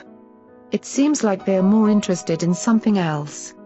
What are they interested in? They're interested in my fiancé, Casey replied. They're not interested in me. Not these people. And they take her. She goes with them. And I'm just stuck. Just frozen. Can you tell where they take her? I don't know, he said, but I don't like it. Casey showed strong, frightened emotions as he recalled that night, standing paralyzed by his car. When his fiancée returned, much later, he said, they got back into the car, heard the loud footsteps, and drove away in a panic. Yet, 36. Neither of them was aware that almost two hours had passed, and they recalled nothing of the thin black beings or the woman's abduction. The regression was running late into the evening, but Barbara asked Casey once again to look at the December 1987 abduction. His recall had been so vivid, she hoped that he might offer more information. In the previous session, Casey seemed to think he had been taken into an unfamiliar room, by a different group of beings. But this time as he looked at the experience, it was more recognizable. It's the same one that, when I was a child, but it's now smaller, I'm bigger, he said. And it's just busier, these people are so busy. They're in a hurry. Then they were the same people that were with you when you were young? Barbara clarified. Yeah. It feels, it has the same light, the same feel about it. It's the same area, it feels like I'm in the same place again. But this time, they're just there to say, Casey, you are. You've got to remember, you got to know. Yourself. Remember. He became very agitated, and Barbara brought him out of the trance, calming him. But the emotions were overwhelming, and Casey couldn't help crying in relief. So much had been kept hidden for so long, and now he felt he'd recovered great. Pieces of his past. He sat up a long time after the session, describing details of the incidents, the cinnamon-scented liquid, for instance, and the pale yellow, slitted cat eyes of the thin, black ones in 1966, but he was no longer agitated. There was a real sense of relief and certainty about him that gave away his state of mind, I could see that Casey now believed these things had truly happened to him, just as he'd recalled them. I was shaking, unable to hold a cup or even a cigarette, the shaking was so intense. I had an irrational desire for 37, Casey to suddenly burst out laughing, to deny that he'd been telling the truth, but it wasn't going to happen that way, and I knew it. Barbara was exhausted and went home shortly before 2 a.m., but Casey and I were still far too agitated to sleep. That night I experienced real terror for the first time. Casey's memories were utterly terrifying if they were true, and I felt they were now, and I wasn't about to let Jack, the counselor who was visiting Barbara that weekend, go to his guest house and leave us alone. He had been resting in another part of the house during Casey's session with Barbara, and when he finally insisted on going back to his own quarters, I asked if we could accompany him, and he agreed. We went upstairs to his bedroom in the house across the street and talked, telling Jack about the regression, which he hadn't heard. Going back over the story, I was still frightened, but at least the shakes had stopped. And Jack was a good listener. He was a large, friendly man 10 years our senior, and, like Casey, a former member of military intelligence. Since his retirement, two things had developed for Jack, a career in private counseling and a terminal heart condition, which he faced with calm acceptance and an assurance of a rewarding hereafter. I found his presence comforting, and even though I was much calmer myself, I was still too afraid to leave the room alone, even to go to the bathroom. And then, about 3 a.m., something happened. A moment before, I would rather have died than been left alone, yet now I was suddenly compelled to go outside. I can't stay in here anymore, I told them, getting up from my seat and pacing. I've got to get out. Right now. Casey looked at me as if I'd lost my mind. It's the middle of the night, Karla, he objected. What on earth would you do out there? 38. I don't know, I admitted, I just need to be outside, really bad. Come on back and relax, Jack said, but I was already hurrying down the stairs. Both of them jumped up and followed after I burst through the front door, out into the darkness. Jack and Casey caught up with me in the middle of the street, and I just stood there, feeling silly. They both asked me why I had rushed out, but I had no explanation, only that I couldn't resist the urge. We were looking around, up, through the trees at the nighttime sky, and within a few minutes, maybe two or three, I noticed they were both staring up toward the east. Then Jack pointed, in silence. I looked up and saw a bright white light flash once, and my heart sank. It's got to be a firefly, I whispered to myself, but then it flashed a second brilliant time, larger than a tower beacon, in a different location, and I felt as if my heart stopped beating. This is what it feels like to die, I remember thinking, but I kept watching the light. It flashed on and off in a leisurely zigzagging fashion, moving around to the north, and then it stopped moving. I think we've got something here, Jack said fearfully, staring up at the stationary light. We watched in silence for a few moments, and then the light began to change. Instead of a single bright white light, we now saw changing colors of white, red, and green. The light grew perceptibly larger, until the colored lights appeared to make up, or be attached to, a horizontal row. It finally dawned on me that the light was growing larger because it was coming closer and closer to us, and I panicked. I turned to run back inside, but in my last glimpse I saw a dark pie pan shape beneath the row of lights. It was a craft of some sort, coming straight down towards us, and 39, all I could think of was to run indoors and hide. Jack was right behind me, but Casey stayed outside a few moments longer and then hurried inside, Tom between wanting to comfort me and wanting to stay and watch. He, too, had made out the pie pan shape beneath the row of lights and the dull reflection they cast on the dark body of the craft.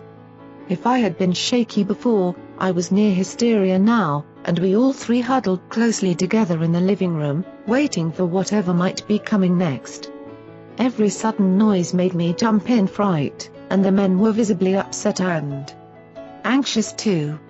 My pulse was racing, as was Jack's, and we hoped the strain wouldn't cause him any harm, given his serious heart condition. His own thoughts, however, were of a very different nature. For a while he said nothing, and then when he spoke there was a different sound in his voice, a quaver of uncertainty. I thought I had it all figured out, he said, slowly shaking his head. I mean, I thought I knew what life was all about and all those things I've studied, I even thought I knew what to expect after death. But now, he paused, now I think that I don't know anything. It was an utterly humbling realization, and we shared it with Jack.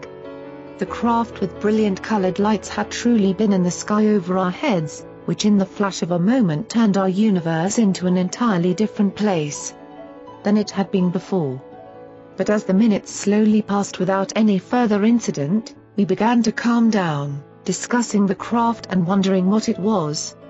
Comparing notes to make sure we'd all seen the same thing, we realized the craft had certainly not been a conventional airplane.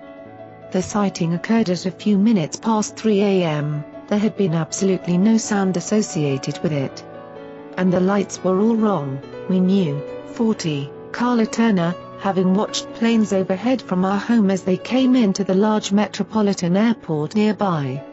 Besides, what sort of plane can zigzag at 45 degree angles as the initial large white light had done? When we finally went to bed, each of us knew we'd seen a UFO which, coming just after Casey's second, pain-filled regression, seemed a clear confirmation of the reality of his recollections. Neither Jack nor I slept that night, although Casey drifted off eventually, exhausted by the emotions he had been through, and it was a long time after that before I again enjoyed a peaceful night's sleep. Chapter, July 3, 1988, After returning from Oklahoma, Casey and I both felt compelled to spend a lot of time outside at night. We'd walk up the hill near our house, where Casey had been abducted in December, and watch the skies in vague expectancy. It may sound foolish, but we wanted another contact. We were angry enough and determined enough to want answers, and the aliens were the logical place to find them. We referred to them as aliens because they certainly weren't human, but we didn't know if they were interplanetary beings, entities from a different dimension, or something even stranger than we could imagine. Is there any way you might be able to contact them? I once asked Casey as we stood staring up at the stars. They've apparently been in your life for years. Don't you think they know your thoughts, then? Maybe, Casey conceded, but I don't think it works like that. They just do what they want to do. I never called out for them to come get me before, anyway, I know that. I wonder what I'd do if one of them actually appeared 41, 42. In the house, I said, visualizing such a scene. I think it would scare me to death. I've been practicing every time I open a door, pretending there's some alien creature standing there staring back at me. And every time I do it, I get weak. Casey squeezed my hand. Don't worry about it, he told me. Whatever happened, it's over. They don't show up by invitation. Still, it was a time of great fear for me, wondering if the alien beings were going to come back. I continued to call out to them mentally, asking them either to leave us alone or to appear to us consciously and give us some explanation of what they're doing to us. Or, if that wasn't possible, I asked that they give us warning of their return so that we wouldn't be so frightened if anything else happened. And then, less than two weeks after our sighting of the UFO, another strange experience took place.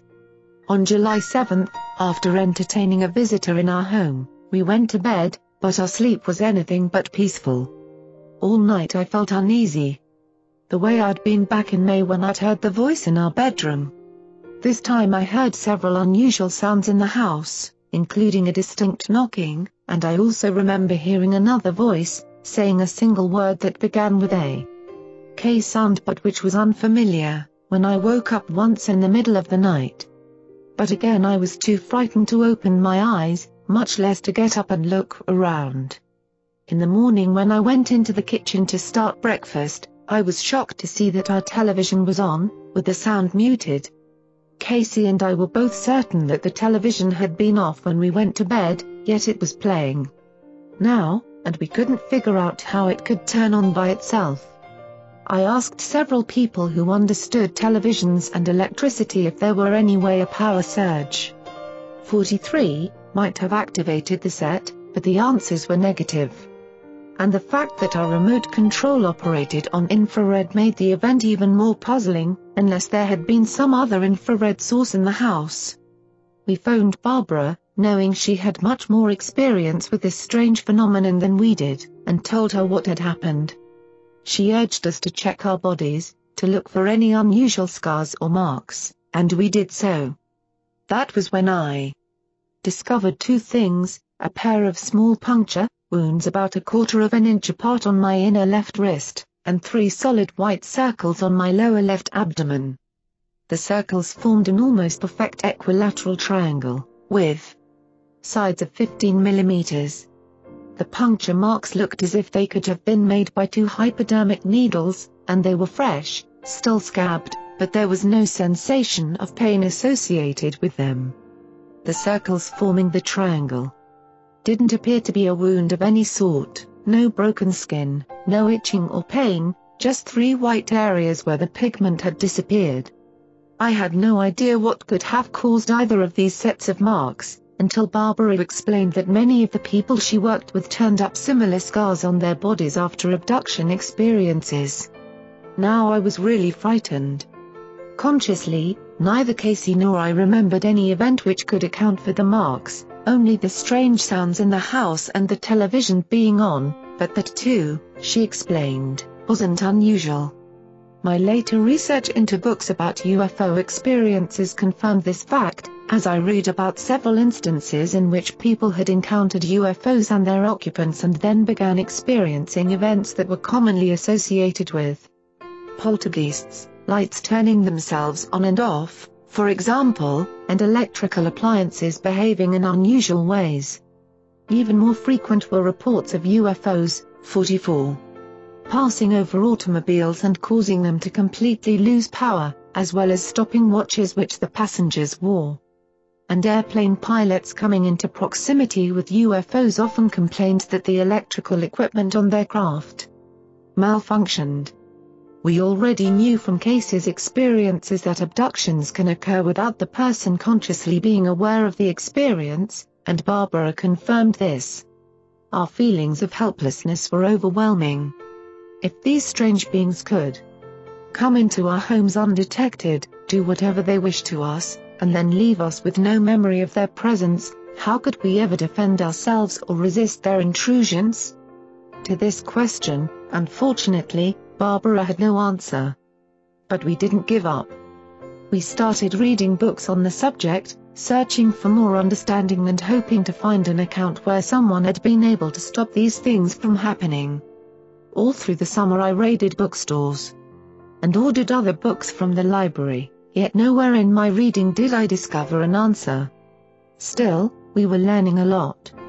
We found out that this phenomenon had been going on for years, at least since the late 1940s, and that in itself was some sort of relief, knowing that we weren't the only ones who'd been through such things. And we kept in touch with the MUFON group in the city, just in case they could help us in some way. August 1988, in August we received a flyer announcing an upcoming MUFON meeting with a guest speaker we'd never heard of, a man named John Lear, and we decided to go. By this time we had told our son, David, about our experiences, and he, 45, simply didn't believe such events could be real. Still, he decided to go with us to the Lear lecture. The only other person I had confided in was Bonnie, my best friend. I couldn't just blurt out that Casey had been contacted by aliens, so I started by describing Casey's first hypnosis for relaxation. When he was under, I said, he began exploring his subconscious, looking for causes of stress. And he had some pretty strange memories come to the surface. What sort of memories? Bonnie asked. Really strange, I hesitated. Bonnie was my closest, oldest friend, yet I was afraid of her reaction to Casey's story. Who could blame her if she thought we were crazy? But I had to take the chance because I needed her support. Gripping. The paper with Casey's drawings, I went on. What he remembered was so strange that we don't know what to make of it. Bonnie glanced at the paper in my hand and then back up at me. Why? Is it something horrible? She asked. I shrugged. We have no idea, I said. But he drew some pictures of what he remembered. Do you want to see them? She nodded, and I handed her the paper. Her response was immediate. When I showed her the face, she literally jumped in her chair and tears came into her eyes. What's wrong? I asked. Why did you respond so emotionally? I don't know, I don't know, she insisted, shaking her head. But I knew there had to be a reason, so I pressed her. Why did that drawing make you cry? Finally she replied, I didn't think anyone else knew, but then immediately denied again that there was any reason for her tears. 46. It occurred to me that Bonnie might have had experiences of her own, for why else would that drawing have brought tears to her eyes? But she assured me that nothing unusual had ever happened involving UFOs or alien beings. Still, she was very supportive. She'd known me for 20 years and had every faith in my honesty and sanity, and she too wanted to go with us to the meeting. At the last minute, David announced that his best friend, James, in whom he had confided, was also interested in going, so the five of us drove into the city in two cars, ours and James's. Fortunately, we arrived early and managed to get seats near the front, for by the time Mr. Lear began to speak, a crowd of over 300 had packed the room, spilling out into the hallway. The room was hot, yet we didn't notice once. The lecture began, because the information we were hearing was riveting. Lear told about his research, his countless interviews with people who'd had similar experiences, but the most shocking and unbelievable part concerned an alleged government involvement with these alien beings. Lear, an expert pilot, had flown missions for the CIA and thus had contacts in the intelligence community, and he insisted his information was true. There were bases, he told us, hidden throughout the country where the aliens carried on a variety of bizarre activities, including crossbreeding experiments with humans. And he said that the invasion of these beings was already a fact, that the government had made a secret deal with them, giving permission for the abductions to take place in exchange for promises of advanced technology. But the government had been duped, he said, and in fact had received very little in the way of useful technology, while the aliens had carried on their abductions and experiments far beyond what was allowed by the agreement with 47, our government. And now, he concluded, the government was in a real quandary. For years they had officially denied the existence of UFOs and aliens, but now with the escalation of ET activities, they didn't know how to go about warning the population, much less how to prevent these things from continuing. Our little group sat listening in apprehension and disbelief. One part of my mind realized how wild and frightening and unsubstantiated Lear's words were. These things could not be true, I insisted, not in the world that we know. That's just the point, though, another part of my mind interrupted. The world you knew didn't accommodate UFOs and aliens, but you have them now anyway, don't you? This split in my feelings confused me as I watched Lear very calmly, very seriously, deliver his message of doom. I'm not here to warn you about an alien invasion, he concluded. the invasion is over, it's already happened. I glanced around occasionally, wondering if everyone else in the room was as astounded as I, and I noticed that James seemed rather strange. He appeared almost to be in a trance, staring down at the floor, unblinking, and when the lecture ended he hurried out of the room with only a few words of goodbye. Assuming he must have been in a hurry to get back home, perhaps for a late date, or that he had thought Lear's lecture was a waste of his time, we didn't pay much attention to his odd behavior. So the rest of us rode home together, discussing the things we'd heard.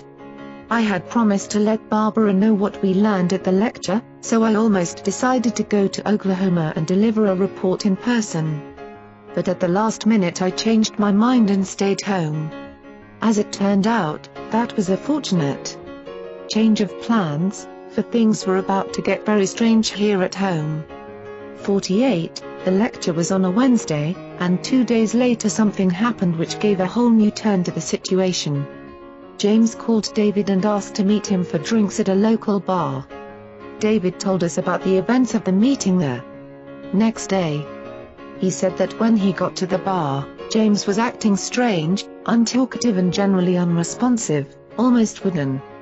After a couple of drinks, however, James began to loosen up, suddenly telling David some very disturbing things. James said that all his life he had been visited by strange beings in his bedroom. When he was young he also sometimes heard noises in the house, and when he got up to check them out, he'd seen a skinny, unknown man dressed entirely in black, who was picking up various things around the house as if examining them. But whenever James would rush into his parents' bedroom to tell them a prowler was in the house, they would reply that he shouldn't worry about it and to go back to bed. Having known James's parents for years, I couldn't believe they would be so unconcerned, yet James insisted they never once bothered to get up and see if he was telling the truth. But the visitors to his bedroom were different. At first, as a very young child, he was visited by a small creature he called Mr. Green Jeans, because of the greenish glow the creature emitted. The first time this being appeared, James woke up to see all the toys in his room moving about by themselves, and then Mr. Green Jeans approached his bed and told him not to be afraid. James was always paralyzed when the being appeared, and, petrified with fear, he could never remember what Mr. Green Jeans talked about to him. In later years, another being began showing up, a taller, featureless creature who periodically came into the room and also spoke with him, and during these times too, James, 49, would be unable to move or speak aloud, communicating only telepathically. But more recently, in the past several months while James and David were living in a farmhouse, yet another type of being had been showing up, and this time the visitor was a woman. He said that she always entered his bedroom from an adjacent interior room rather than through the door that led outside, and he found himself paralyzed until she left through the same door. As soon as the woman disappeared, the paralysis left him, and James had often followed after her. Searching through the house and out into the yard, yet he'd never been able to locate her anywhere else. In her last few visits, he told David, which had been almost weekly, he had been able to remember consciously some of what the woman told him. One time she was in my room, but it was just her head and her hands, he said. She was holding two big, round black orbs, and she told me they want to remove my eyes and replace them with those things. Terrified, James objected, saying he didn't want to be blind, but the woman replied, you'll still be able to see, but you'll see differently. She had also spoken of replacing various other parts of James's body, leaving him in great fright and in her last visit, the day before the Lear lecture, she had urged James to go somewhere with her. Why don't you just come with us? She had asked. I can't, he said, I'm too afraid. What are you afraid of? She wanted to know. Are you afraid of the dark, or of something you think is out there in the dark? I don't know, he admitted. I'm just too scared and the woman departed, leaving him once again to question his own sanity, as he'd secretly done for years, ever since he was old enough to know that other people, 50, simply didn't encounter bizarre visitors in the night as he'd been doing all his life. The only reason that James had decided to tell David about these experiences was that he had actually seen the same woman who'd been coming to his room, or someone who looked identical to her, at the Lear lecture, and this convinced him that he wasn't crazy after all. She was standing in one of the crowded doorways when James spotted her, and she kept staring over the audience to where our group was sitting. After the lecture, James saw her leave and hurried away to follow her, determined to confront her and demand to know what she had been doing to him. He said he trailed after her into the parking lot, and when she turned at the comer of the building he was only a few steps behind. But, turning the same corner, he was stunned to see that she was nowhere in sight. That was the story David heard as he sat drinking with James. Its impact was strong, following on the heels of our own revelations to him, and David urged James to come talk to us. But James said he couldn't do that yet, he had kept this explosive material to himself for so long, and he was afraid we might tell his parents, something he desperately didn't want. He did give David permission to discuss it with us, however, providing we promised to keep his secret, and David came to us the next day with the entire account. Our son had not been able to believe the things we'd told him, but now, trusting the story of his best friend with whom he had grown up, his disbelief was shaken. In fact, he remembered, as we also did, that James had long ago told us about Mr. Green jeans, but of course at the time none of us thought it was anything more than the active imagination of a very intelligent child, which James was. He and David, a year apart at the same private school, had both been valedictorians, and we'd never known either of them to make up such preposterous tales before. 51. We listened that Saturday, however, with serious concern and asked David to urge James to talk to us in person. A few days later, James did come over, and we went through the material with him in greater detail. He had difficulty in talking about it, though, struggling to get out the words, and at times a heart's ached for him as tears ran down his face. But when he had finished, he said that for the first time in years he felt a sense of relief, that sharing his experiences with us somehow helped him feel more whole, and certainly more sane. He talked about some information that had just recently emerged in his mind, apparently from the conversations he had been having with the woman in his bedroom. For one thing, he now remembered being told that the woman and her group were interdimensional, rather than physical extraterrestrials from some other planet, and were benevolent toward humans. But, she had said, there were other beings here who weren't interdimensional and who cared nothing about our human feelings and rights. These are the ones, she told him, who do great harm to humans, who think of us as we think of insects. He also said that the crystals which so many New Age devotees carry can help the interdimensional ones monitor us more easily, although he had no idea how that worked. And, finally, he said that he now felt compelled to make a trip to St. Louis, where his parents grew up and where many of his relatives still lived.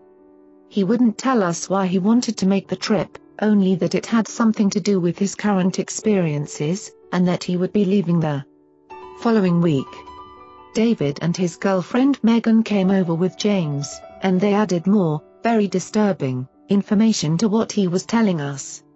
Megan worked 15 miles away in the afternoons, and when she got off work at 10 p.m., she met 52. David and James at the bar the night James had revealed his story. We were surprised to hear Megan's account of that evening, for she told us not only about what James had said, but also about David's responses and actions. When James began talking about the woman he'd seen at the Lear lecture, Megan said, David suddenly interrupted and gave a complete description of the woman, including her clothing. But when they left and went back to their house, David claimed he'd never said any of it. I don't remember that, David commented, shaking his head. You did it twice. Megan exclaimed. James told you that you really had just described the woman, and you repeated the description word for word, how the woman looked and what she was wearing. And then a couple of minutes later you denied ever having seen her, much less described her. James confirmed what Megan told us, that at three different times that night, both at the bar and back at the house, David described the woman and then acted as if he'd never said anything. We questioned David about it then, and he still insisted he hadn't seen the woman at all. And that wasn't the only strange thing he had done, apparently. When they all left the bar, James drove his own car and Megan drove David home in her car, since David had had too many drinks to drive safely. When they reached the house, an old farmhouse, Megan said that David had acted very strangely, frightening her with his bizarre behavior. David just suddenly changed, she told us, his voice and his eyes changed. And he was scaring me. What was he doing? Casey asked. How was he scaring you? At the farm, when we got out of the car, David grabbed 53, me by the arm and tried to drag me out into the backyard, Megan replied in bewilderment. He kept saying, something out there wants to see you, but I was fighting him and refusing to go, she told us. He was really scaring me. Pulling on my arm, trying to get me out into the dark part of the yard. Then when James finally drove up, David changed back to normal, she concluded, and he didn't remember doing any of that. He didn't even remember when we got to the farm. David grinned in embarrassment and insisted again that he didn't remember what happened that night, not his description of the woman or his attempts to drag Megan into the yard and that really worried us. He tried to blame his behavior on the fact that he'd had a lot to drink at the bar, but that wouldn't account for the complete change he exhibited when James drove up the driveway. In my next phone call to Barbara, I told her about that night, and she too seemed worried, even more about David's odd behavior than about James's revelations. But she kept her reasons to herself saying only that she would like to work with David if the opportunity ever arose, and of course with James. A few days later, James left for St. Louis, after making us all promise not to tell his parents the real reason for the trip. If he'd been any younger, Casey and I wouldn't have hesitated to talk to his parents, but he was 22 years old, and we felt we had to respect his wishes, at least for the present and we were still very much preoccupied with our own situation. On August 25, as I was taking my shower, I was thinking hard about these recent events and also about a book I'd just finished reading, Transformation, Strieber's second book about his relationship with alien beings. I felt that I had to do something, find some way to communicate with the beings myself, and I remember thinking, if you, 54, are around me right now, invisible, won't you please just give me some sort of sign? And when I stepped out of the shower to dry off, I found a solid red triangle had suddenly appeared on my upper left forearm. At first I thought it must be an insect bite, although I hadn't felt anything bite me, or perhaps it was a hive, but the triangle wasn't itching or swollen. Remembering Barbara's instruction to take photos of any unusual marks, I got out the camera and awkwardly managed to shoot a couple of photos. When I took the roll of film to be developed, the mark was still very visible, and the man at the photo shop looked at it. But by noon, three hours after it first appeared, the triangle was completely gone. Whether it was mere coincidence or a deliberate signal, I don't know, but it has never happened again. Meanwhile, we all waited anxiously for James to return from St. Louis, hoping he'd finally tell us why he'd felt compelled to make the trip. He came back on the 28th, but we didn't have a chance to talk to him until the 31st, and he had an astounding story to tell. But on the night of his return, I got a phone call from Nancy, pseudonym, a woman James had dated on and off, and Nancy was upset and worried. She said James had just made a very strange call to her, asking her about what she'd been doing while he was gone. I didn't learn any other details except that Nancy felt worried about James's state of mind. His voice sounded really strange, she told me. He wasn't making very much sense. So we waited impatiently to hear from him, and when we did, the things he told us added greatly to the mystery. On the way up from Texas, where we all lived, the route took him through Oklahoma, the same route he had traveled for years with his family and with which he was very 55 familiar. At McAlester he filled the car with gas and reset the trip odometer to zero, at his father's request since he was using the family car. By the time he reached Highway 44 near Tulsa, however, he was aware that something strange was going on. For one thing, that part of the journey had been incredibly short, taking only about 45 minutes, and for another his odometer registered only 37 miles. In actuality, the trip should have taken much longer, since the distance between the two places was at least 100 miles. And, conversely, on another stretch between two small towns only 8 miles apart, James insisted that he drove for an hour. Later on that day, he said, I suddenly felt something in my mind telling me to pull over to the side of the road and look to the left. So I did, and there was a very bright light in the sky, making a circular motion in the sky. I watched it come to a dead stop, and then it just sort of hovered, but there were a lot of colors flashing all around it. When it did that, it shot off really fast, out of view. He told us that the reason for the trip was a command that had been given him by the woman in his bedroom, that he was supposed to go to a certain hill on Saturday night but the closer it came to the time for him to go, the less he wanted to do it. The weather was sort of misty, real spooky, he said, and I thought it would be crazy to go out on a hill somewhere like that. So I tried to turn the car around and go back to my grandparents' house, but I couldn't make myself do it.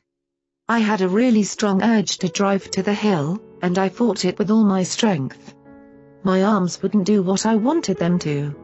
I kept saying no, no. Over and over, but finally I just gave up. Once he reached a hill, he parked and opened the trunk of his car to get out a camera and tape recorder, but again, as if not in control of his will, he couldn't take the 56 equipment with him. I saw them lying in the trunk, James said, but I must have lost my mind because I just figured, why bother? Night came on as he sat on the hilltop, feeling quite alone and rather silly, he said. For a while, nothing unusual happened, and then three bright lights appeared in the sky. He watched as they went through an intricate series of motions, making a circle in unison and then stopping, as the single light he'd seen earlier had done, emitting colored sparks before departing. After they vanished, he heard a voice in his head saying, See how easily we made you come to this place? you don't have any control over it. In the future, when you're supposed to go to a certain place, you'll be made to go there. Don't worry about it, there's nothing you can do to stop it. At that point, thoroughly upset, James left the hilltop and drove to his relative's home. There he undressed and went to bed, only to suddenly find himself back on the hilltop, completely dressed, in the company of the woman who'd been coming to his bedroom whereas before, at home, the woman had appeared in a variety of ways, sometimes in full form and at other times showing only her head and hands, this time the woman seemed very corporeal. She was dressed like a real person, James explained, in jeans and a t-shirt. And she was nice that time, nicer than she'd ever been before. In fact, James said he actually felt comfortable with her, talking and listening to the many things she told him. She wasn't scaring me, talking about replacing parts of my body, he told us. What was she saying, then? I asked. James shrugged. I think she was trying to make me feel better about all this stuff. She told me that very long ago I'd 57, made a decision, and that had really decided every other decision since then.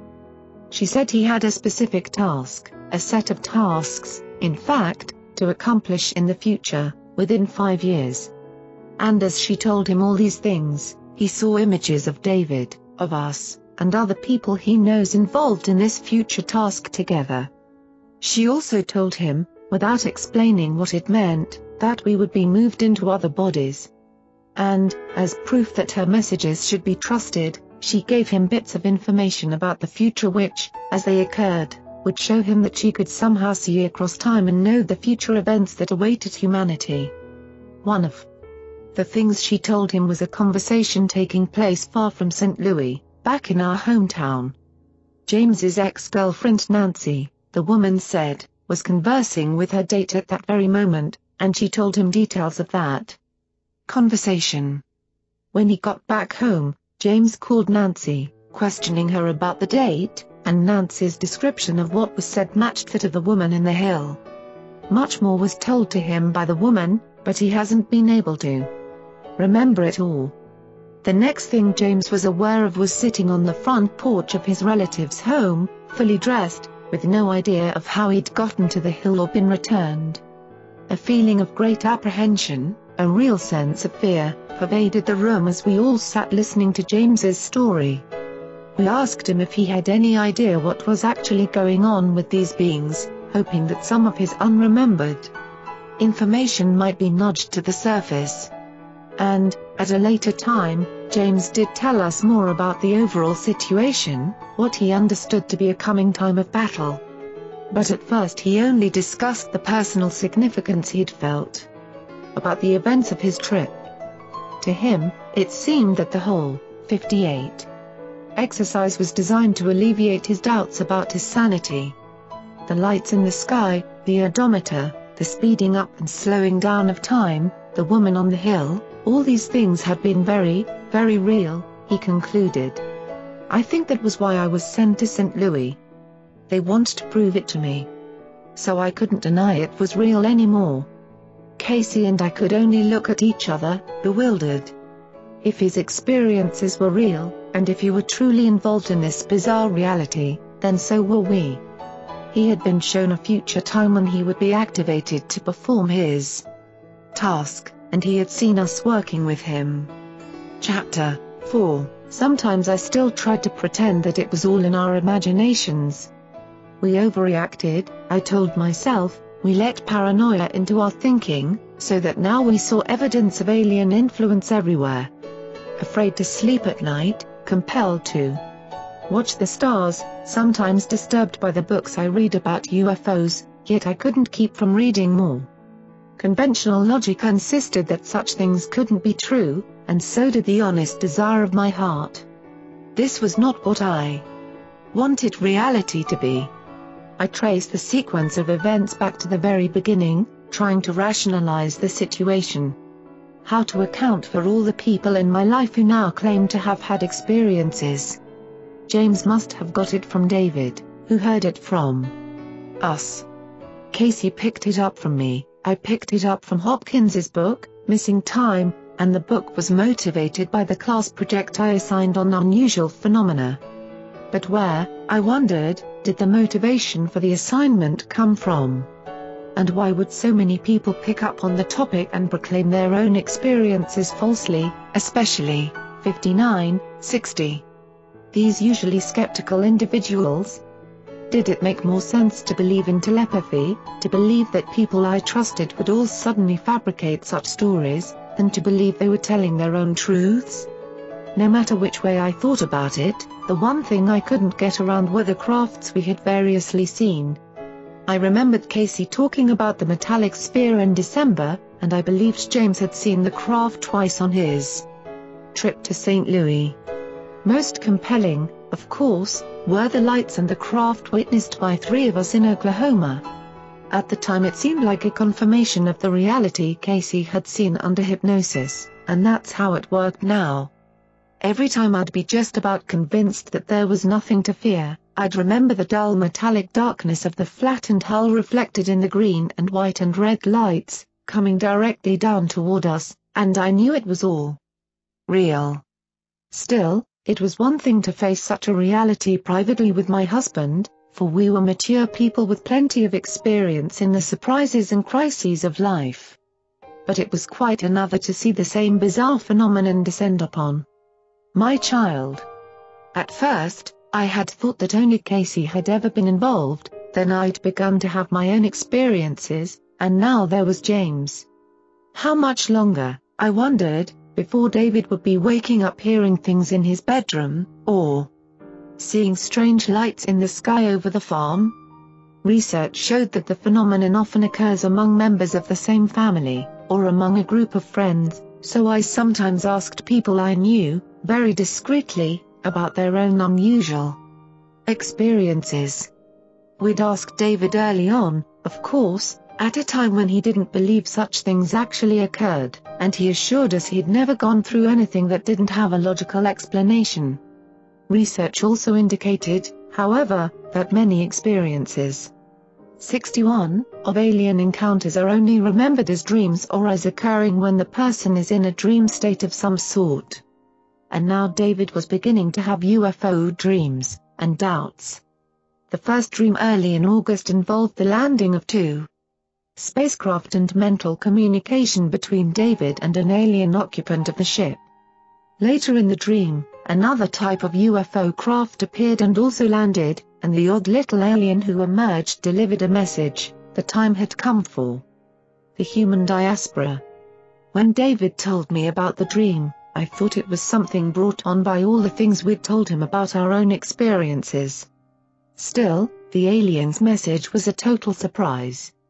Nowhere in our conversations had such an idea ever arisen, and David didn't even know what diaspora meant. Then, on August 11, he went through a very real experience that couldn't be dismissed so easily. He went to bed late, about 1.30 a.m., expecting to fall asleep quickly. Instead, he began to feel a strange sensation, building up suddenly and rapidly, in his head. It was something I felt, he said, not saw or heard. My immediate thought was that my persona was about to leave my body through my head, up and out. He was frightened at first, but then he tried to concentrate on the feeling and form some objective description of it. That's when he became aware of a sound, like a loud electric buzz, yet he knew it wasn't an overtly audible sound. It felt more as if he were hearing it internally, as if, he said, something was getting on the auditory nerve between my ears and my brain. The second thing he became aware of then was a great pressure inside his skull, a feeling of inflation that gave him, oddly enough, no sense of pain. When I thought about it some more, David said, I could sense that it wasn't just a general pressure, but seemed focused at a certain point, 62. Behind my forehead, as if there were an incredibly, enormously powerful light there, although, he added, I could see nothing, as my eyes were closed. This point source of pressure was hard for him to describe. It seemed like a cylinder of energy force light slash buzz pressure coming in through the top of his skull and reaching about halfway down into his head. After concentrating on this feeling for a couple of minutes, David said, he stopped focusing and just relaxed, and that's when it stopped. For David, the whole experience had been curious but brief, apparently nothing to really worry about. But I had learned enough from Barbara, as well as from Casey's past experiences, to know that such memorable brief events were often all that was consciously recalled from much more significant, complex situations. I was afraid, with good reason, that my son was no longer exempt, if he ever had been, from alien intrusion. And I wondered about his girlfriend Megan. Taking Barbara's advice to question our acquaintances, I asked Megan if there'd ever been any strange occurrences in her life. Oh, no, she answered, there's never been anything unusual. I was relieved to hear it and was about to change the subject when she unexpectedly continued.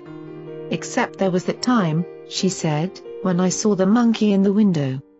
Megan had lived all her life in a large city, and I couldn't imagine how a monkey might have turned up in the neighborhood, so I asked her to explain. I was 10 or 11, she replied, and I was taking a nap in the den one afternoon.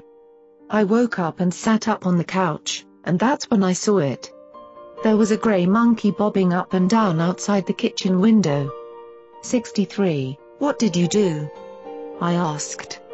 Did you get up to have a closer look? No, she said, I just sat there watching the monkey. Well, I pressed, didn't you say anything? did you yell for anyone else to come see it? But she shook her head negatively. And that's all, she continued, unless you count the time I woke up in my sister's bedroom, I was maybe 12 at the time, and there was a slideshow or something going on, up on the wall. Slides of what? I asked. Oh, a lot of different things, Megan said. I can't remember everything, but I do remember seeing the moon. At least I thought it was the moon, and there were two spaceships of some sort flying around. Then they crashed into each other. And exploded, and the whole moon blew up. A lot of white stuff started falling onto the earth, and I saw all the people running out to pick it up and eat it. It was a pretty strange thing to see on the bedroom wall in the middle of the night, we agreed, and I asked if she remembered anything else. Well, not really, Megan said, although there was this thing in the sky. I saw it when I was real young.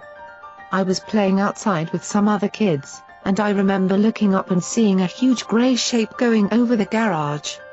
I thought it was a giant fish. Of course, I didn't want to frighten Megan by telling her how much these things sounded like screen memories, protective disguises of events too frightening to face. I wondered what she might discover if she ever went through regressive hypnosis. And I also wondered how many other people had strange recollections, strange events in their past, that had been dismissed because they couldn't be understood.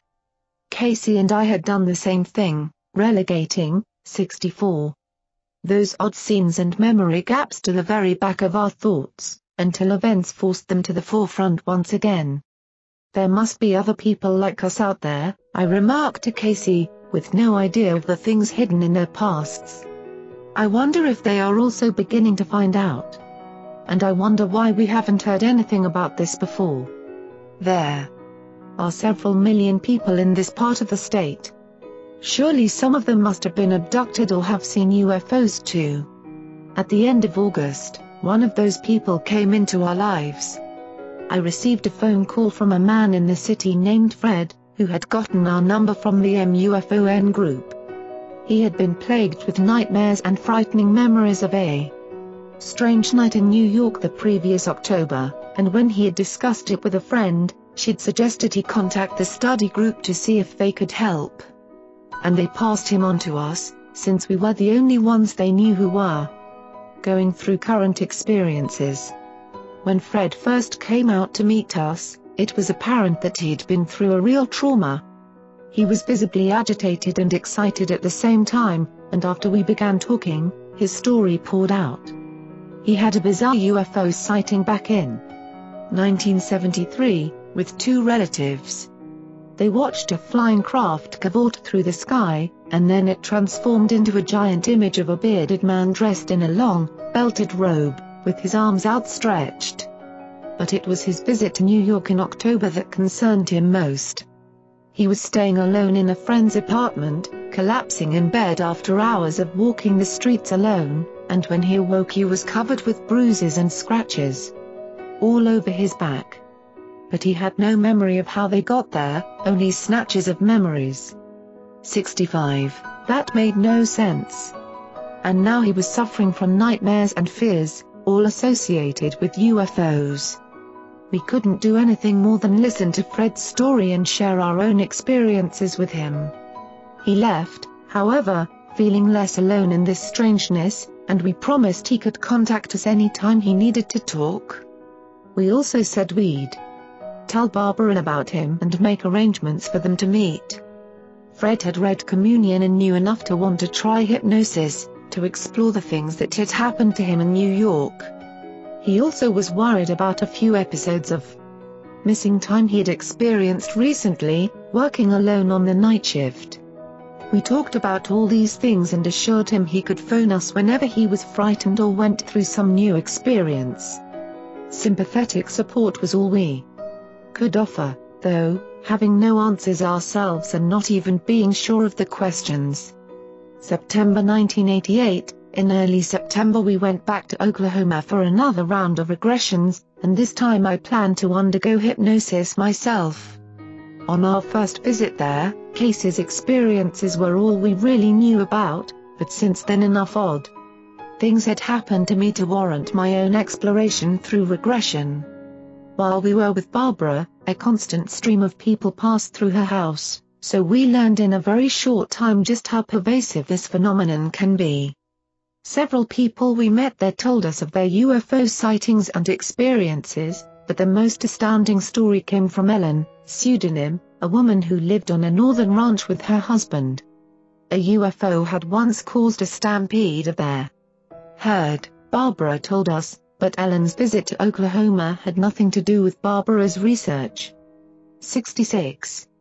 Having tried repeatedly and unsuccessfully to have a baby, Ellen was in town visiting a woman who'd agreed to be a surrogate mother for her and her husband. She told us of the many pregnancies she'd been through, only to have them terminate in miscarriage, and her dream of finally having a child now seemed to be within reach. As we talked, Barbara asked if Ellen had had any unusual dreams lately, a common question to all her visitors. Ellen replied that, yes, she'd had a frightening dream a few nights earlier, in which a woman had threatened to take the baby from the surrogate mother. In the dream, Ellen had to fight very hard to stop the woman from taking the unborn child and had awakened in great fear. Barbara asked if she'd dreamed of this same woman in the past, and Ellen said no. But I've seen her when I wasn't sleeping, she added. Prompted by Barbara to tell us her story, we sat listening as Ellen described her first encounter with the woman. She was in a doctor's examining room, lying on the table alone, when a strange woman suddenly appeared. Ellen didn't tell us all the details of their conversation, which had been several years before, but her impression was that the woman was somehow an ancestor who had previously lost her own children. Ellen thought the woman was resentful of her pregnancies and therefore had been responsible for the miscarriages. There had been two other such encounters, she said, and that was why she fought so hard in her recent dream to protect the surrogate mother's fetus. Then Barbara asked Ellen to describe the woman, and we listened in astonishment to an almost identical description of the woman who was coming to James's bedroom. This wasn't the only surprise for us. I had decided to attempt a hypnotic exploration of one of my own unusual 67 memories, but I didn't expect to find anything alien such as turned up in Casey's regressions. Odd things had happened to me during the summer, to be sure, but I still felt that it was Casey, not I, who had been touched by the alien phenomenon earlier in life. I held on to the belief that all the unusual memories from my past would turn out to have mundane explanations if I explored them. Barbara, however, had questioned me about anything strange I remembered, and one puzzling but apparently inconsequential memory caught her attention. So, on the last day of our visit, she put me into a trance and led me through an event which had occurred years before. I had been driving back alone from my parents' home, a trip of 240 miles, when I saw ahead of me on the interstate a large black cloud descending rapidly. It covered both lanes and the shoulders, so there was no way around it, and it appeared so suddenly that I couldn't apply my brakes in time to avoid it. It was daytime, and the darkness of the cloud stood out in stark contrast, with curling edges and a density that made it almost appear to be solid. I remember driving up to it, and I also remember driving down the interstate past the cloud, seeing it behind me in my rear-view mirror, but I never remembered actually driving through it. That, and the cloud's sudden appearance, were all that had made it stand out in my memory. Barbara began the regression by setting up the scene, having me describe the car, the countryside, and the weather. This is such a boring drive, mostly, I told her, but this is the pretty part, so I can look around and enjoy it, the trees and hills. There must not be much traffic now, I'd just be looking around. And I look back to the road. It's like the sun's not so bright anymore. I'm just wondering if it's gonna rain because the sun's overcast now. 68. And then there's this crawling, sort of curling black stuff. It's like smoke, coming from the right and just going across the road. And it's making me feel bad, Barbara, I stopped, beginning to feel afraid. Barbara expertly reassured me that I was safe and able to look at the experience, so I started up again. It's coming, crawling black stuff, I said. Something dark is coming across the road beside me. At first, I just seem to see these finger tendrils, and then it's all a huge black cloud. It sweeps in front of me, and it's so fast I think it's a storm, but it hasn't been like a storm before now. So I'm wondering what this sudden weather thing is. And I'm going to just drive through it, because I can't slow down in time to stop. Are you aware of any other cars passing you or in back of you? Barbara asked. I was looking off to the left before I looked back to the road, I explained, and when I looked back there weren't any cars between me and that cloud, I don't remember looking behind me. And I think I'm driving into it. Suddenly I can't see anything, it's dark all around the windows. I'm looking up trying to see if I can see the sky through it. I don't see anything. Can you still see inside the car? Yeah, I replied, I can still see inside the car, I just can't see outside. There's nothing on the windshield. I'm holding the steering wheel real tight, and I'm leaning up close to it, looking up to see why it's all over me. It's like being in a black room, only there's light where I am. When I seemed unable to get beyond this scene, Barbara deepened my level of concentration and then moved me ahead to the next thing I could recall happening. Oh, Barbara, I told her, I don't know if this is it, really. Even in the trance, I wanted to reject the images. 69, flooding into my mind. But I'm lying down, and I see that I don't have any shoes on. I'm covered up with something white, but it's not over my feet, about to the middle of my calves. That's what I see. It's like I'm waking up or trying to wake up. I can move my head just this much. I don't know what I'm lying on. Can you move your body at all? She asked. I can't even feel it, I replied. I can move my head. I'm not thinking anything. Look around you, she instructed. What can you see? It's like real soft lighting, sort of peachy or pink.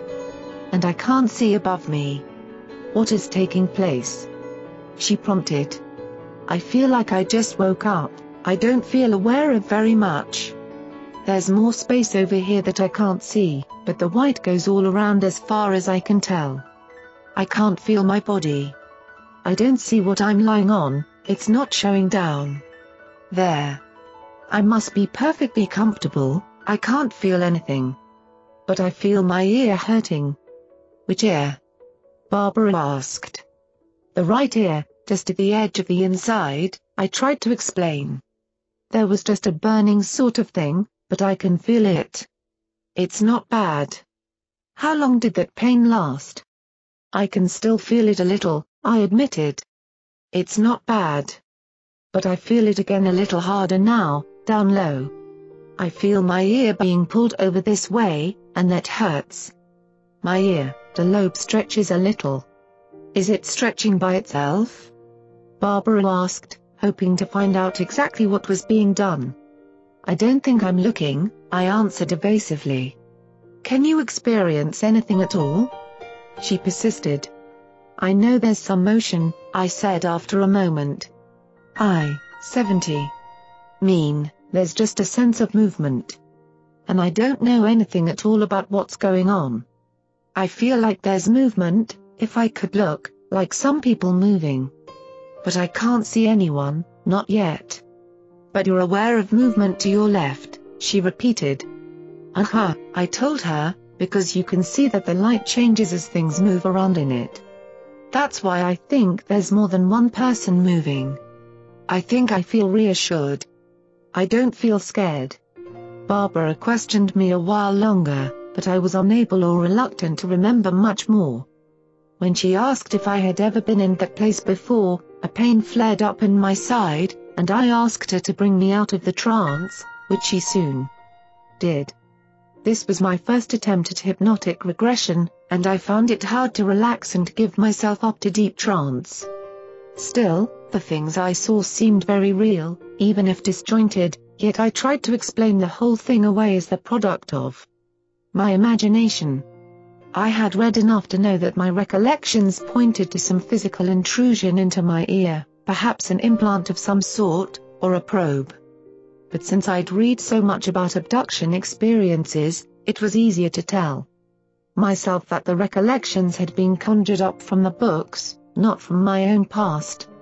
Several months passed before I tried regression again, and looking back now I can see that it was my fear which made me wary and resistant to the experiences I had recalled the first time.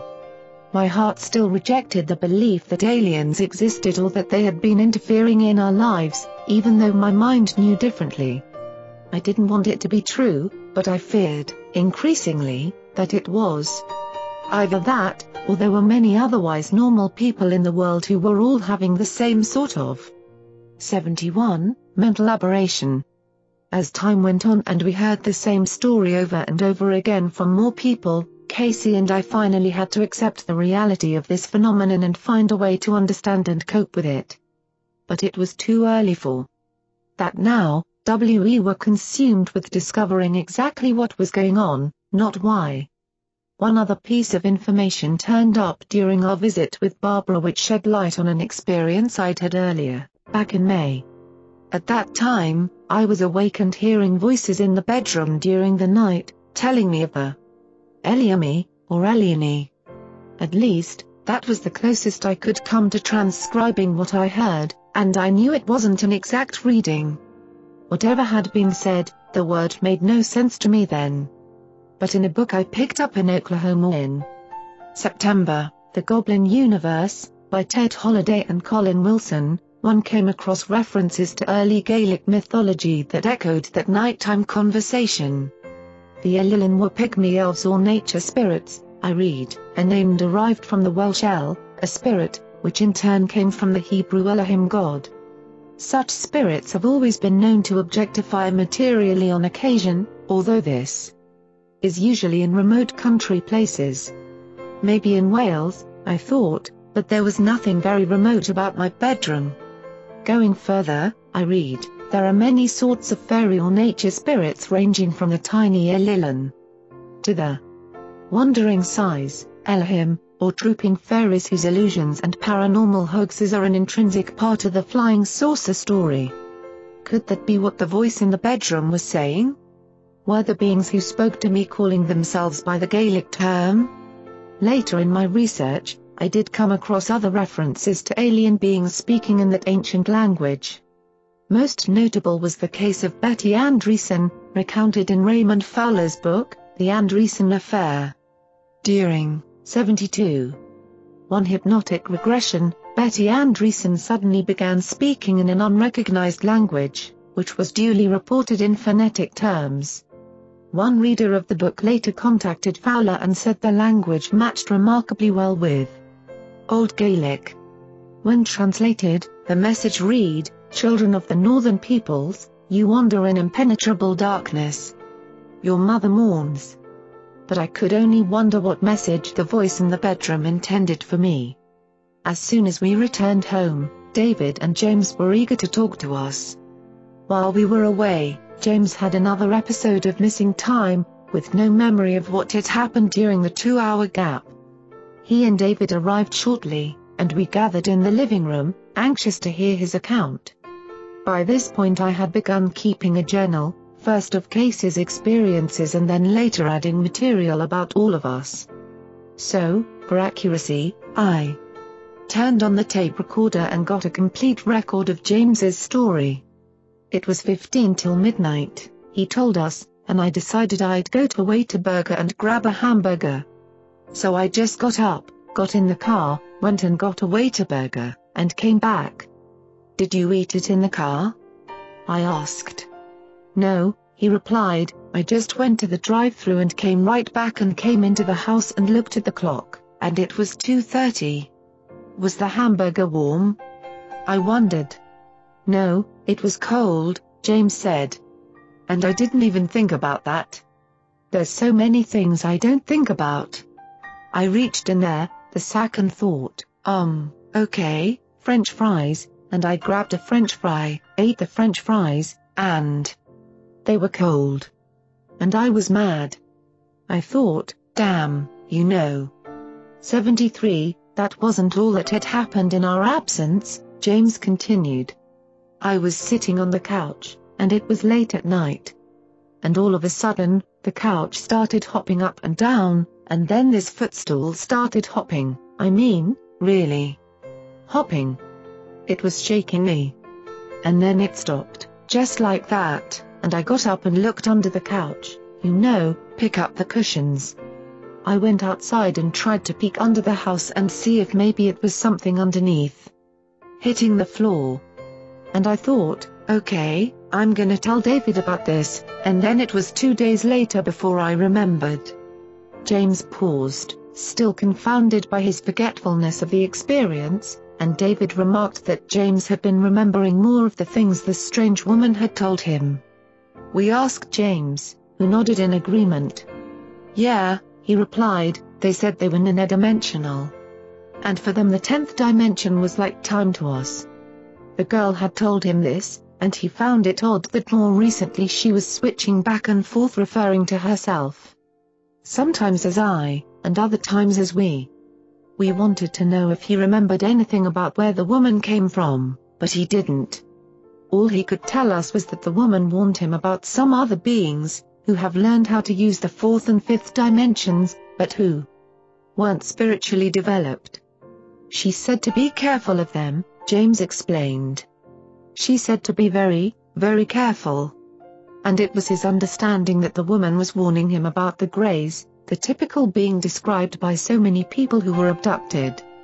The same beings whom Casey had seen during regression, taking him as a young child, later abducting him to perform a nasal implant and to have sex with one of their females, and most recently taking him half a block from our 74 home, cutting his leg and telling him it was time to remember.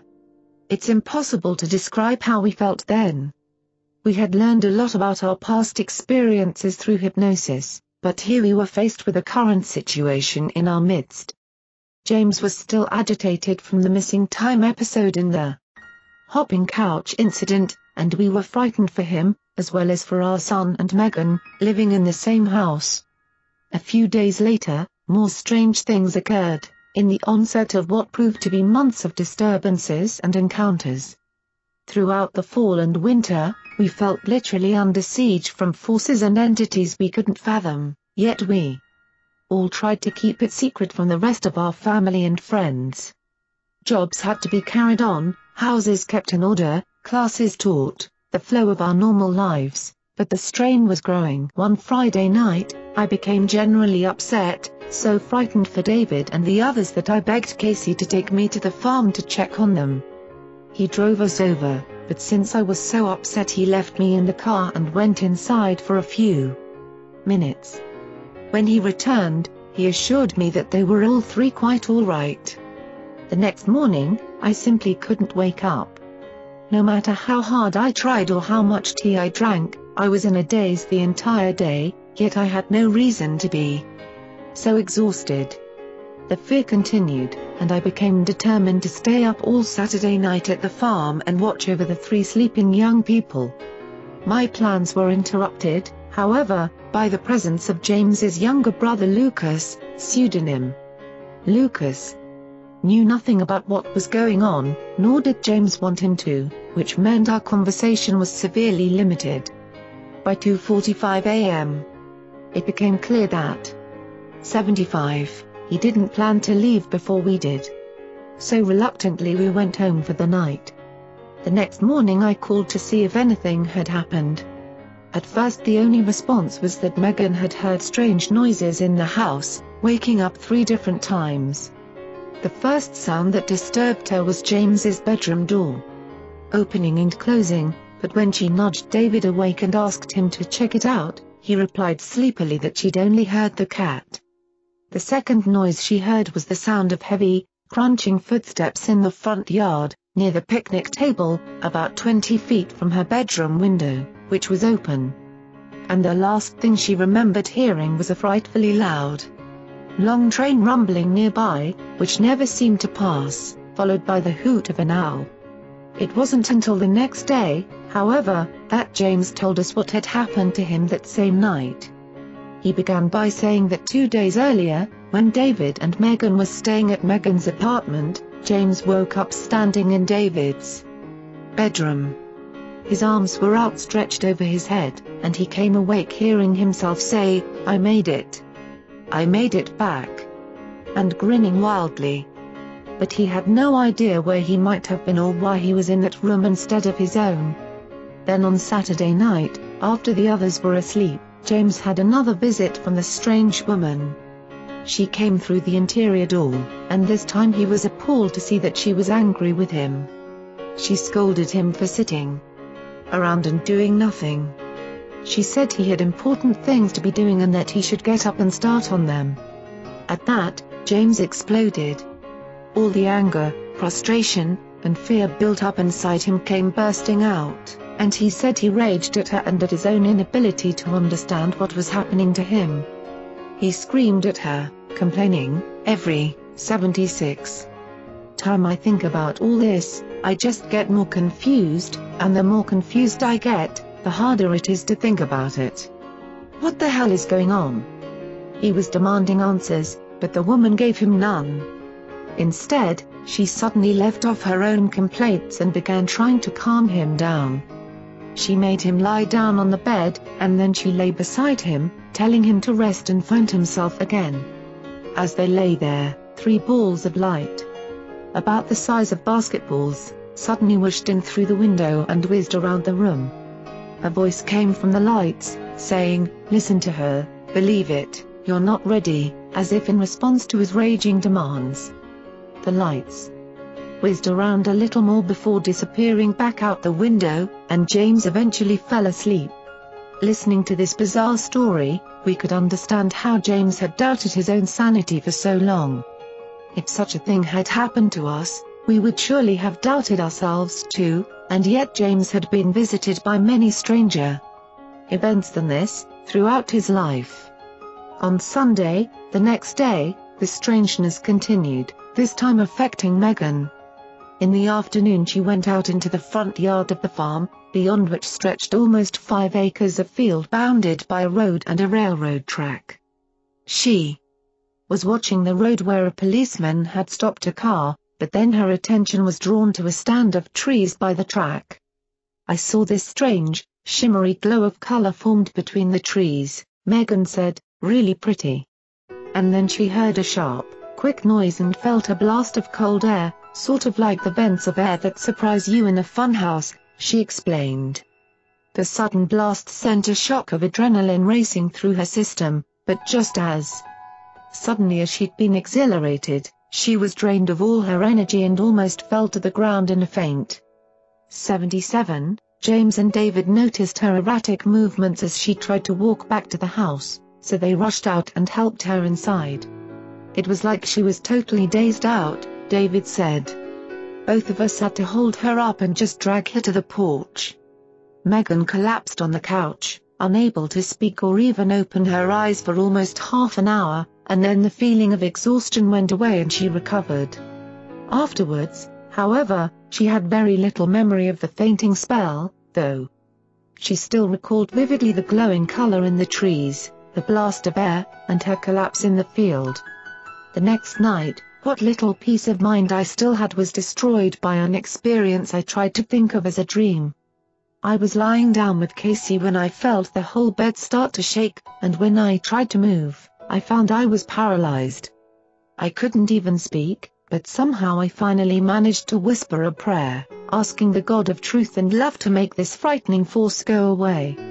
I repeated the prayer again and again, until the paralysis broke, but the bed shook even more violently as my strength increased. At last I was able to sit up and pound my fists on the bed, demanding out loud that the force must leave me alone, and then the shaking stopped. I tried to rouse Casey and tell him what had happened, but he rolled over sleepily without responding. At that point, three women came in and approached me. They held me comfortingly and told me, you did the right thing. You pass the test. The next thing I recall was actually sitting up in the bed, with Casey asleep beside me. Once again I tried to wake him up, as once again he refused to be roused. I described the dream experience into my tape recorder, feeling the need to remember it in every detail, and then I turned out the light and fell back asleep. But when I woke up the next morning, 78, I was drained and weak. I spent the day completely exhausted, giving in, on and off, to the urge to cry before finally calling my friend Bonnie to come for a visit. While we were together, I got a phone call from George Andrews, a researcher with whom Barbara was working on a book. He told me about a car wreck his daughter had just been involved in, which had left her seriously injured, a wreck for which there was no logical cause. This news really frightened me, because only three days earlier Barbara's daughter-in-law had been badly hurt in a similar wreck, the cause of which had baffled the investigating police officers. The two young women had received serious injuries to their mouths. I was frightened because Barbara had recently been warned by two different men, one a self-proclaimed psychic to whom she paid little attention, and the other a man whose occasional predictions had proven more reliable, to discontinue her research and not to reveal what she was finding out from the people whose experiences she had explored. That meant, of course, that she shouldn't contribute material to George's book. They had been warned, and now their children were suffering. What's next, I wondered, scared by the thought that these beings might deliberately be hurting people and afraid of what I might have brought onto my own family by exploring this phenomenon myself. I was filled with the idea that the best thing I could do was to get absolutely out of the entire UFO situation, no more books or journals or notes or tapes or contacts with anyone involved in this thing. At no time, before nor since, have I felt such fear, blinding my logic and leaving me to react instinctively and protectively. We were in a nightmare world, helpless. And then James phoned. He wanted to tell me about a dream he'd had the night before, the same night I'd felt the bed shaking. 79, in James's dream, he was a little child, perhaps three years old, sitting with a group of other children who were being told a story by an older person. The storyteller looked like James also, but a James 23 years old, as he was now, not three. When I heard his dream, I asked him to come over and record it in the journal I was keeping of his experiences. What follows is that account of the dream. Once upon a time there was a young prince, James began. This prince looked around at his world and saw that evil things were happening, and he wanted to stop the evil. So he told his friends, there must be someone causing all this evil, so I'm going to go out and search through the world until I find the evil person then I'll make him stop.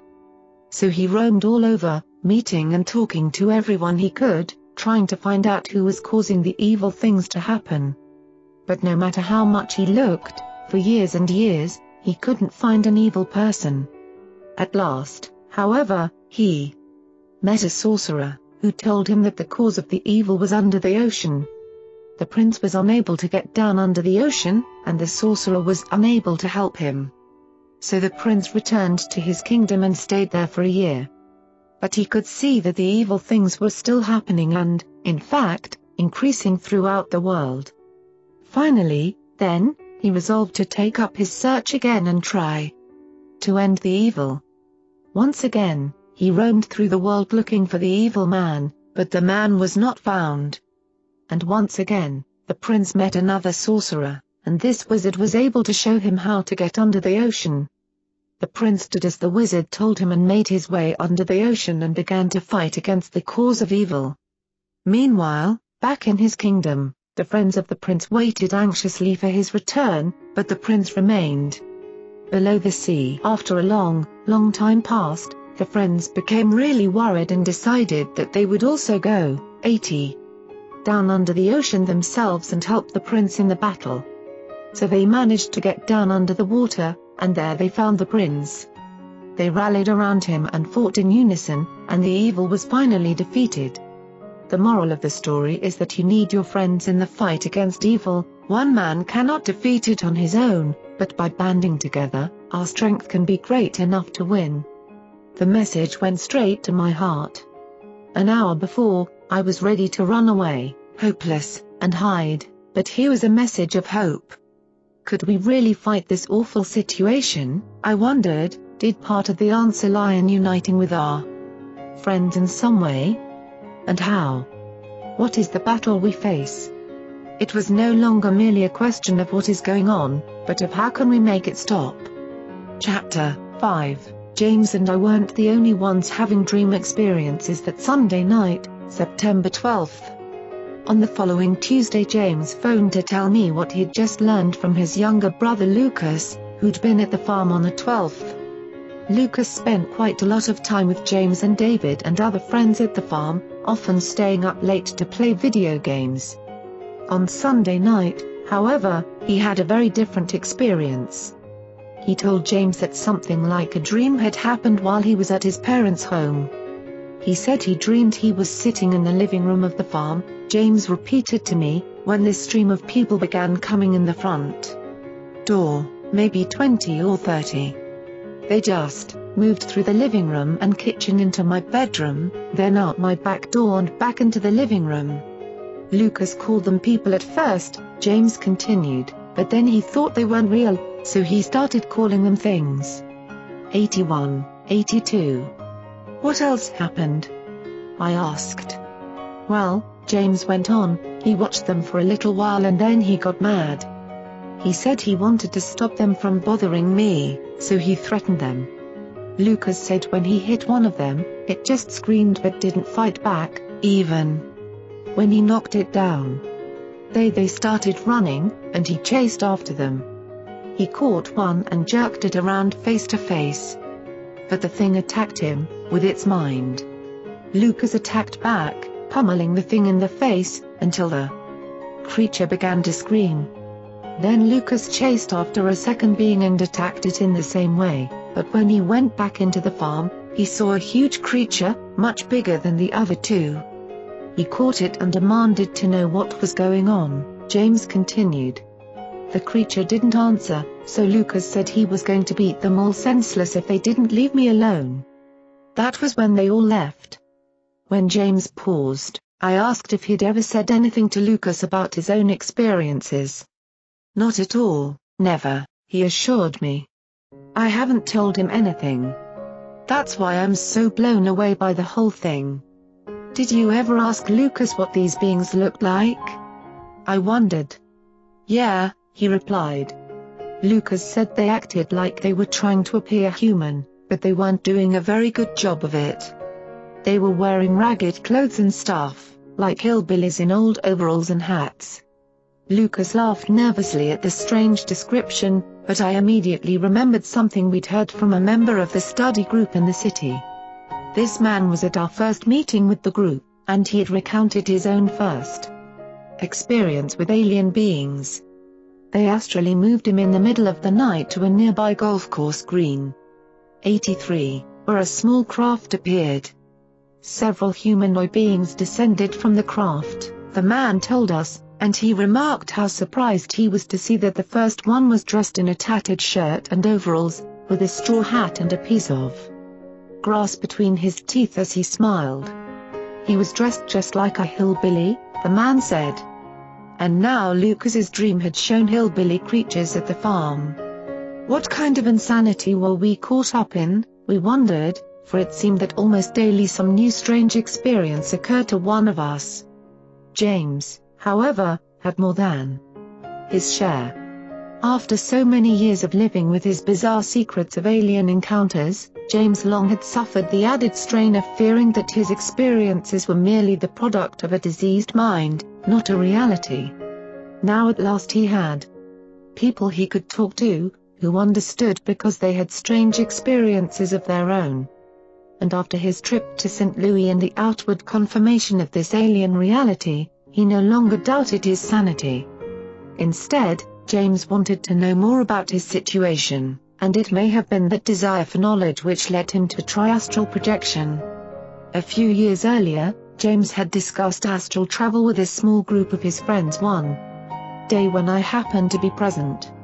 He said he had been able to get out of his body in that manner for several years, since he was a young teenager, without going into any detail, but I dismissed the whole subject in disbelief.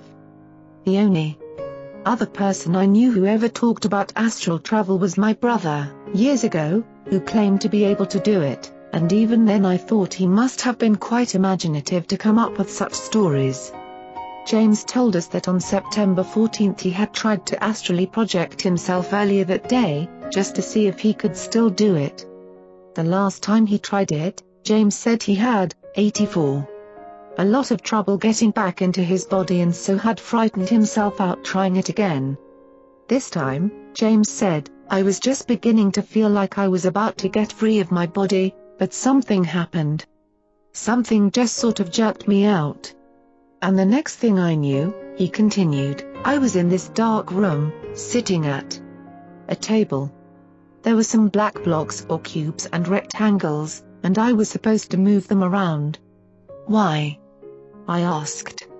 Who was making you manipulate the cubes? I don't know, James said. There were some others there with me, but I didn't really see them. The room was dark, and the only light was coming down on the table from behind me. All I ever saw was their arms, when they'd reach over my shoulder to adjust a block or something. The arms looked pretty dark, but I couldn't really tell. How long did all this go on? I wanted to know, but James just shook his head. I don't know, he admitted, it was real strange. The phone kept ringing. You mean the phone in the house? I asked. Yeah. I'd be trying to concentrate on the blocks, on doing it correctly, and then the phone would ring. It kept distracting me, like I was in both places at once. After a short while his concentration in the task was completely broken, and he was put back into his body. He told us that the experience was very unsettling and he didn't think he would try astral projection again, since the beings were able to manipulate him in that state. The next day, Thursday, James once again went through a strange and frightening occurrence. David and Megan had both already left the farm for the night and James was sitting in the living room, finishing a cigarette before going to his parents' home to sleep. Outside, the two cats suddenly, 85, started acting strange, and then the dogs went wild barking in their front yard pen. Immediately, James felt the entire farmhouse start to shake, so he raced out the back door and into his car. As he was driving away, he said he could see the house still shaking. The whole week had been so full of bizarre incidents like this that we were all perhaps a little apprehensive about the coming weekend. Fred was planning to come out on Friday, to watch a television program on UFO abductions and also to meet James. From hearing their stories, Casey and I knew that they had both seen human-looking beings during some of their experiences, and both of them had been told that new bodies were somehow being made or prepared for us. We wondered what else they might discover they had in common. That Friday afternoon, I was alone at home, reading A Haunted Planet, a book by John A. Keel, that described Joseph Smith's initial contacts with the angels who led him to the Golden Plates, the Book of Mormon. It reminded me very much of something James had experienced. In St. Louis, out on the hill with a woman, he had been told he would have to locate something, a box of some sort, at a future date. Joseph Smith was also told of a box he'd have to find within six years, whereas James had been told that his tasks, including finding the box, would come within five years. As I was thinking of these similarities, there was a sudden bright flash of light in my living room, a blinding white light, as if lightning had struck indoors.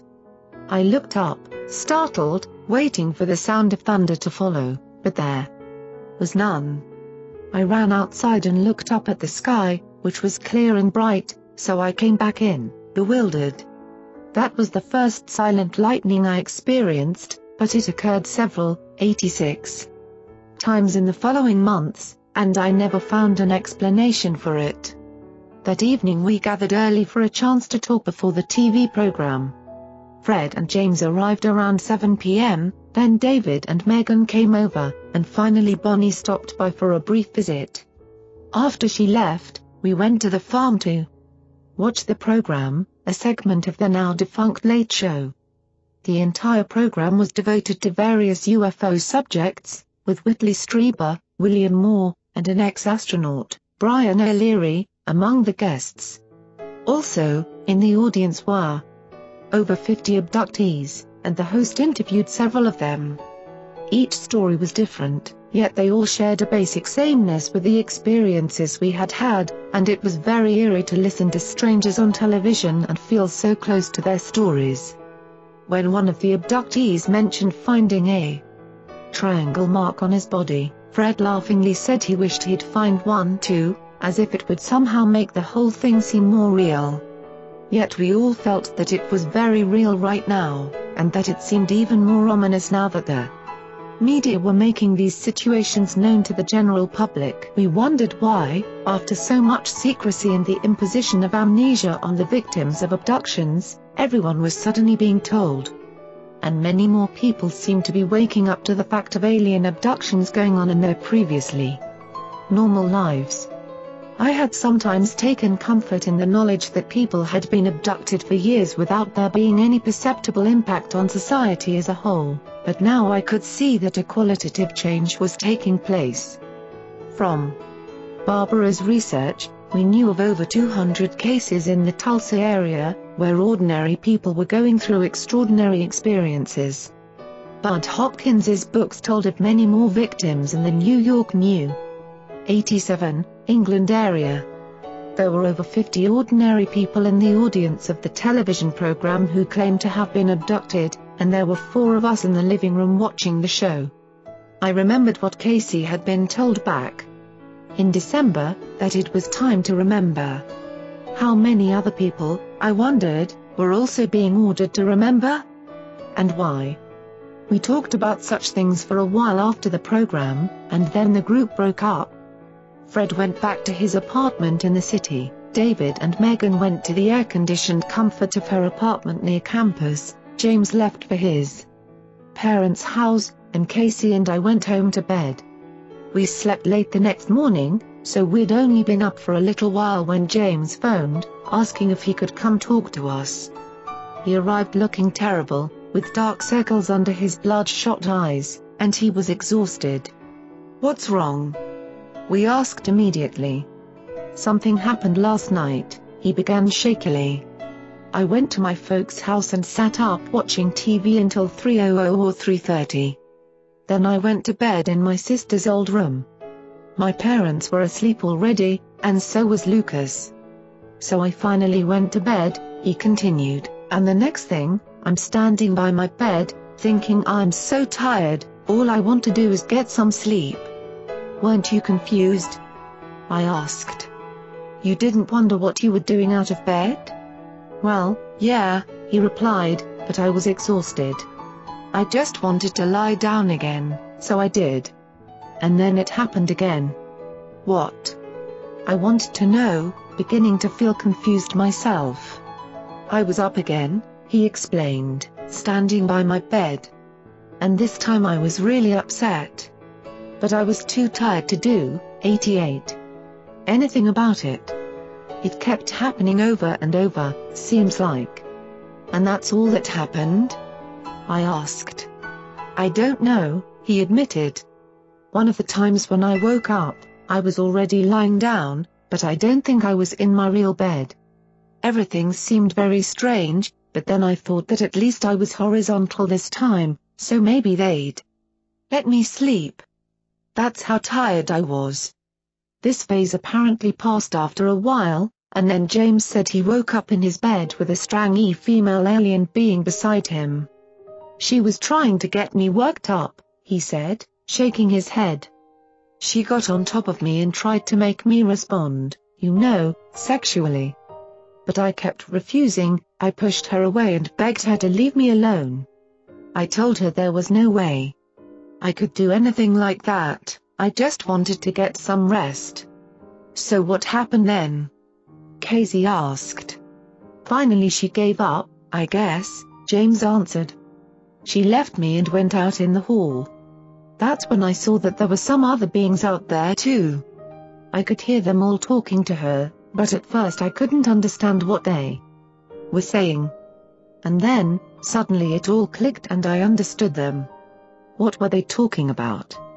I asked. They were asking her, the female, what had happened, and she told them I wouldn't cooperate, he replied. How long did that go on? Casey questioned. I don't know, James told us. I was just completely exhausted, and I guess I fell asleep, because that's all I remember. What did the female look like? I asked. Was she like any of the other beings you've seen? No, he shook his head. She was different, taller. But.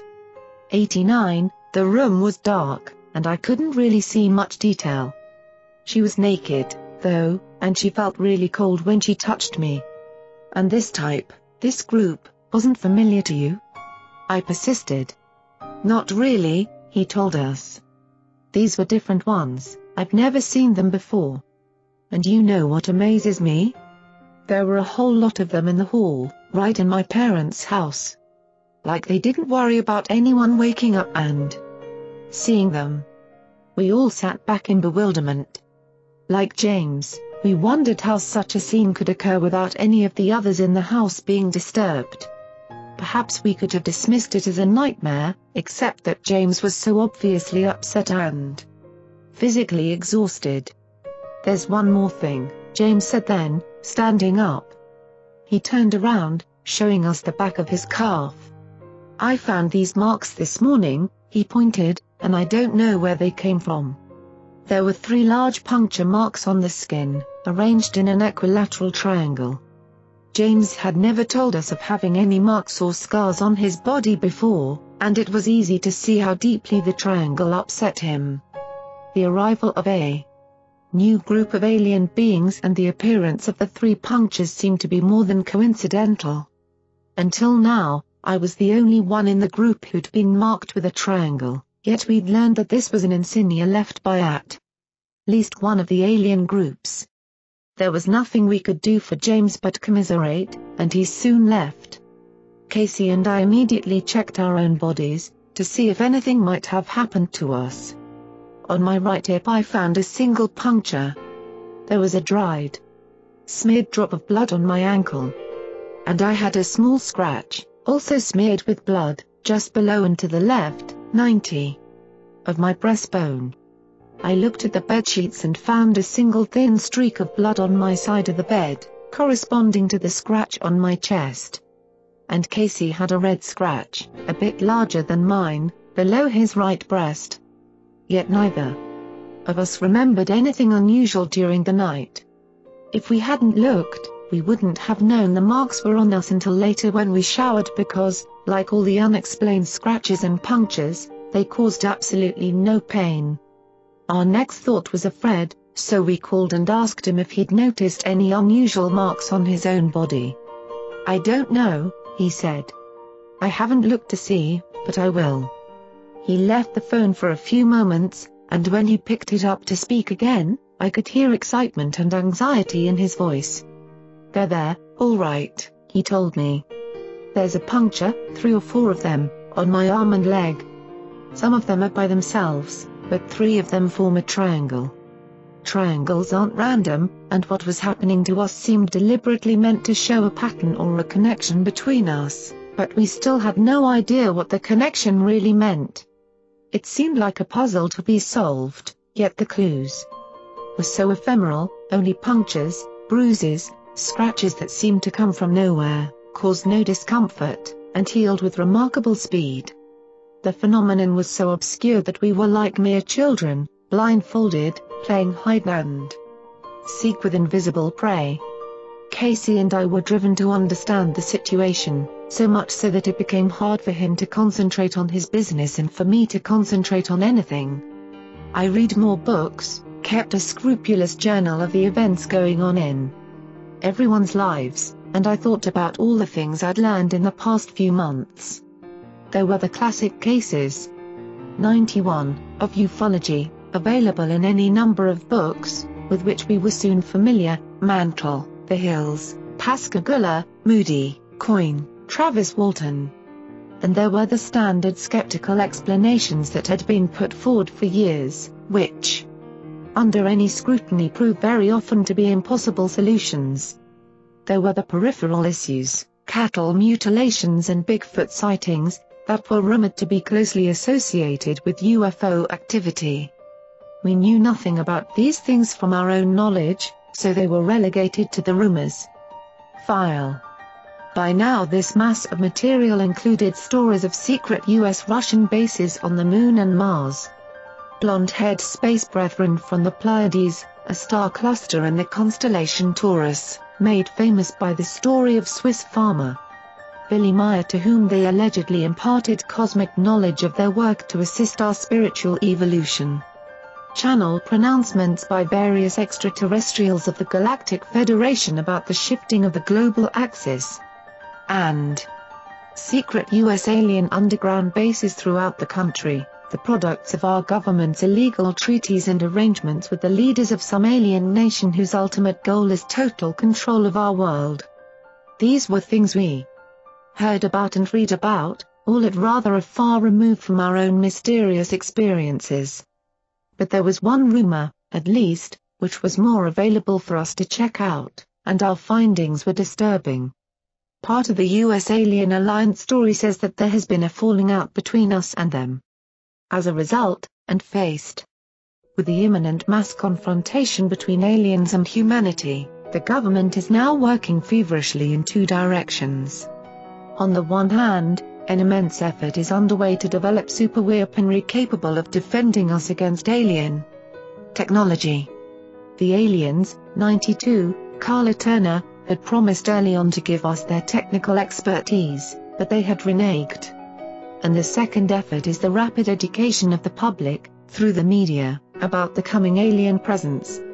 Apparently, the rumor says, the aliens who are here now are just the forerunners for a much larger group and that group's arrival is expected within the next four years.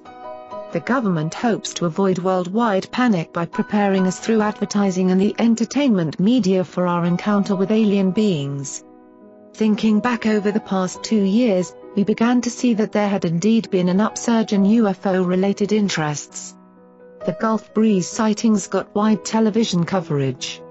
Strieber's book was a bestseller, as were Hopkins's two accounts of abduction experiences. Abduction researchers and victims had been interviewed on all the talk shows and on a few primetime programs, Oprah Winfrey, Phil Donahue, Gary Collins, even Morton Downey, Jr. presented Bud Hopkins. Whitley Strieber, Bruce Maccabee, Stanton Friedman, and many other researchers to the public.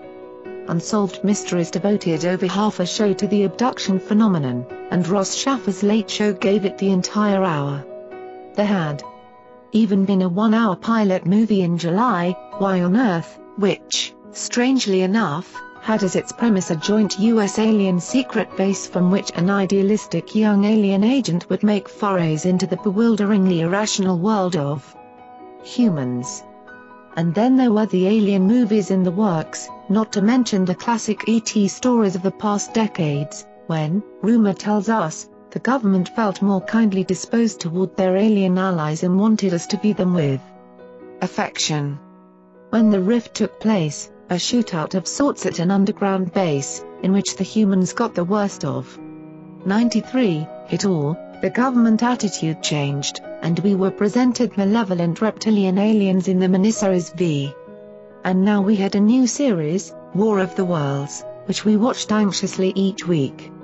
In every episode, we saw some fact or detail which we recognized from actual cases, mixed in with the more creative aspects of the show, and as we watched we did feel as if a deliberate effort were being made to acquaint the public with at least part of the truth. We read about current movie projects with alien subjects, such as Alien Nation and They Live, and more immediate was talk of an upcoming TV special, UFO Cover-Up Live, about which little detail was known. I couldn't remember a similar time frame in which so much UFO interest had been evident, and like the rest of the group, I began to wonder if there truly was an effort going on, real preparations for a coming invasion. It seemed unthinkable, yet we had another reason to wonder about this rumor. James, we remembered, had been told by the interdimensional woman that his big task would come within five years and that we would all be involved in it. And he had been told that we had every reason to fear the grey aliens, who had no concern for our welfare or wishes. Strange marks continued to appear on our bodies, and we wondered who or what was causing them. Neither Casey nor I was aware of anything going on in the night, yet we checked our bodies upon going to bed and upon getting up, and knew. Marks were frequently found. Stress and anxiety ran high quite a lot of the time, and I thought it would be good to have a trained therapist on hand. If things really were happening to us which we had no memory of, then hypnotic regression could help us discover it. Yet none of us was in need of traditional therapy, we were adequately coping with the demands of our lives so far, and we did not want or need the feeling of being a patient. So I contacted 94. Several counselors listed in the phone book and at last found one who agreed to see me. We met in his office, and I was impressed with the man, an interning counselor just finishing up his work at the local university. As calmly as I could, I explained to him about the abduction phenomenon and about the need for a volunteer hypnotist who could work in complete confidentiality with abductees. His response seemed to show an open mind, and although he admitted his lack of familiarity with UFOs, he did say he would be happy and intrigued to work with abductees. But, at the time, no one in our group was having any overt situations to deal with. In fact, Aside from a bruise or puncture mark every few days, the only unusual event had been a conversation between Megan and the ROTC sergeant on campus. As a freshman, Megan had joined the Air Force Officers Program and reported to a local detachment. Although she was planning to resign from the program, as she has since done, on medical grounds, the sergeant insisted that Megan make plans for the duties she wanted after graduation since Megan's major was physics. The sergeant assumed that she would want to work in research and development. But instead, Megan signed up for meteorology, hoping that such an assignment would, should she have to stay in the service, keep her near to home. When the sergeant saw the meteorology listing, she tried to change Megan's mind. You don't want to work in meteorology, she told Megan. Don't you want to get into R&D? That way, you'll get to find out the truth about UFOs and aliens. You might even get to do tests and research on them. Stunned by the remarks, Megan unable to answer. She had told no one, outside our small group, about any of the UFO activity we'd been experiencing, and it frightened 95 her to be confronted with it by a military official, in such an open way. It could have been a pure coincidence, we tried to assure her, but we didn't think so. The official Air Force reply to UFO inquiries is that they aren't in the business of dealing with the subject. Why, then, would the sergeant talk about Air Force research into UFOs and aliens? Was it a test of Megan, we wondered, or was it a warning that they knew all about us? Our phones had acted very funny. On several occasions, and after having been followed twice during the summer, we wondered just exactly who was interested in us, and why. Toward the end of September a few other strange things happened. I had two different spells of sudden exhaustion, which seemed to have nothing to do with my health, and one morning I woke up with a very painful left wrist, arm, and shoulder, as if I'd been wrestling all night, but the soreness was gone by the evening. On the 29th, Casey woke up with a long, bloody scraped gash down his right shin. It was obvious that getting such an injury would be noticeable and painful, but Casey hadn't injured himself the previous day, nor did the gash hurt when he found it. We checked the bedsheets for blood and didn't find any there, so we were left with one more unexplained injury. And none of these things were severe enough to require a doctor's attention. Besides, what could we say if we had gone to the doctor? Look at this scratch, doc, or this scabbed puncture, can you tell me where it came from? Without pain or infection, without serious trauma to our bodies, what could we expect a doctor to do for us? October 1988, two mornings later, on the 1st of October, Casey woke up with a small triangular scar above the scraped shin area. It, 96, looked as if a triangle patch of skin had neatly been cut away, and already the wound was healing over. Checking our bodies became a daily ritual, but so far, except for Fred's and James's triangular wounds, Casey and I were the only ones with marks. That changed, however, on October 3, when David came over to show me a puncture he'd just found. It was a single mark, in the vein of his right arm, and it looked just like he'd given blood. All the fears and paranoia I'd felt changed at that moment, and I became outraged. I wanted to protect my son, I wanted to protect us all from whatever was invading our lives, using our bodies without our permission or knowledge, and I felt helpless and angry. There was no one to go to and demand relief, or even answers. I knew from the few people I'd talked with that the subject of UFOs and aliens was not well received. Even my own parents didn't want us to talk about it, and they certainly didn't believe anything was actually happening to us. And what could we tell people? That we'd seen a UFO, that we wake up with strange marks on our bodies, that impossible things go on in our homes? It was still easier, as it had been in the beginning, to avoid our friends than to tell them about our situation. The only people we could trust to believe us were the others who were being abducted too. Our emotional stability depended upon mutual support, but all we could give each other was sympathy. Chapter 6 Scratches and bruises and needle-like puncture marks are infuriating. As evidence of alien contact, they are useless if there is no memory of an event to go with them. We were the only ones who could truly know that a bruise or scratch had not been on our body the night before, that it wasn't the result of accidental, self-inflicted clumsiness during the day. We checked our bodies regularly and made mental note of any bump or scratch from known sources. Still, marks appeared on random mornings, after nights of apparently undisturbed sleep. More than once we wondered if there were any way we could be doing these things to ourselves, in our sleep, but the evidence didn't fit. At times we'd find injuries on our bodies but no blood on the bed, and at other times there was plenty of blood on the sheets, although we could find no new cut or scratch. And once, after falling asleep only a couple of hours while staying up late studying, David awoke with blood drying in his ear. When he cleaned it out, fresh blood was also found. Yet there was no sign of a scratch or, 97, other lesion, and he remembered nothing out of the ordinary. For James, things got even stranger at the farm. He was often alone there at night, and throughout the autumn the house was alive with bizarre activity. The couch had shaken, the entire house once shook violently, the lights didn't always behave.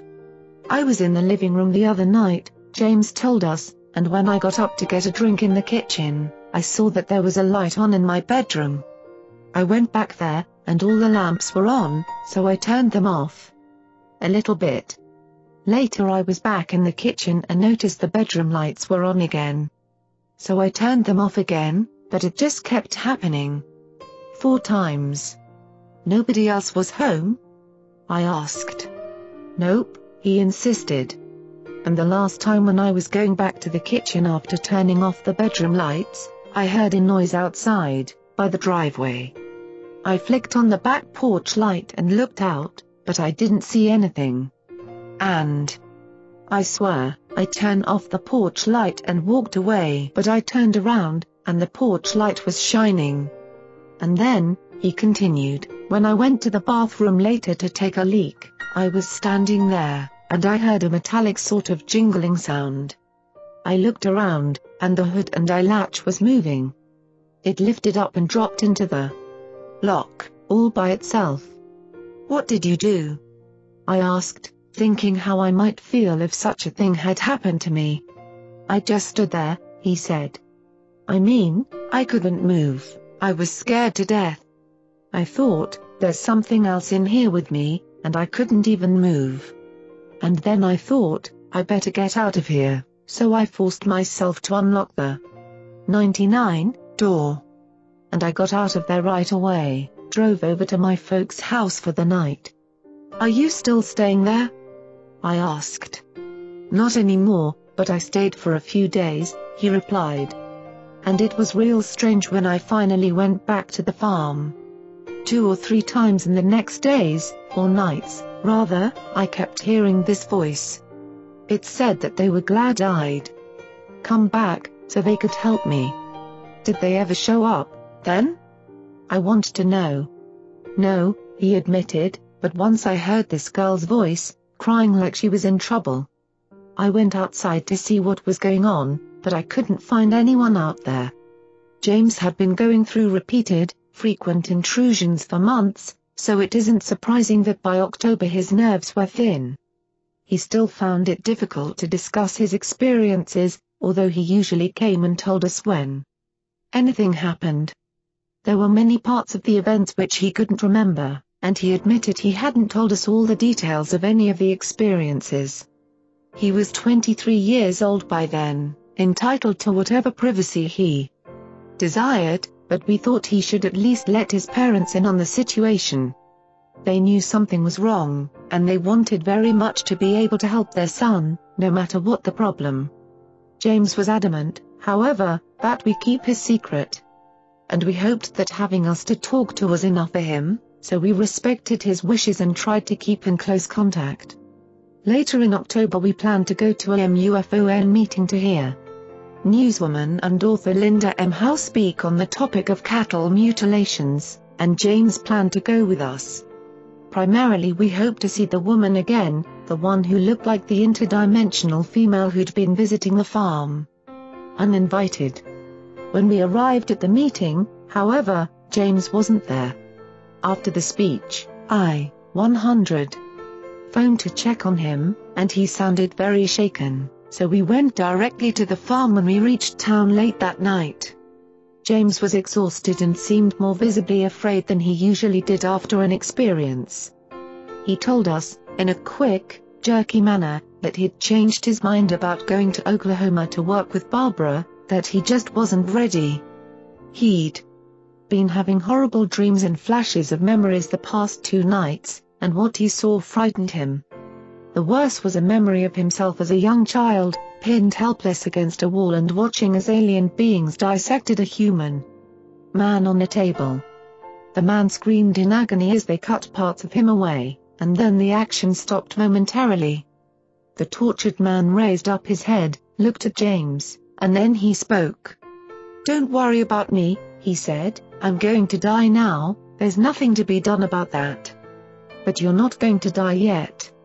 Instead, he said, James would someday have to battle against these beings, but that was all James would tell us. And he was shown images of the two farmhouse cats, mutilated in the yard, and a warning, reminding him of what the woman in St. Louis had told him, the Greys are coming down to Earth, trying to hold back our evolution and keep us down. They regard us as little more than insects. Their home planet had been destroyed at a past crisis point, and they don't want us to survive the current crisis in our own world. He remembered the woman's claim that her group hoped to precipitate the crisis in such a way as to help us survive. Whatever the case, a crisis seemed unavoidable, and James clearly felt frightened and depressed. We worried about his mental health and finally persuaded him to let us tell his parents a little about the situation by restricting our discussion to our own experiences. With a 101, ground broken, we hoped James would have enough courage to go to them with his story. So we invited his parents to visit and little by little revealed what we'd been going through. To our relief and surprise, they seemed open-minded and inclined to believe rather than doubt our honesty.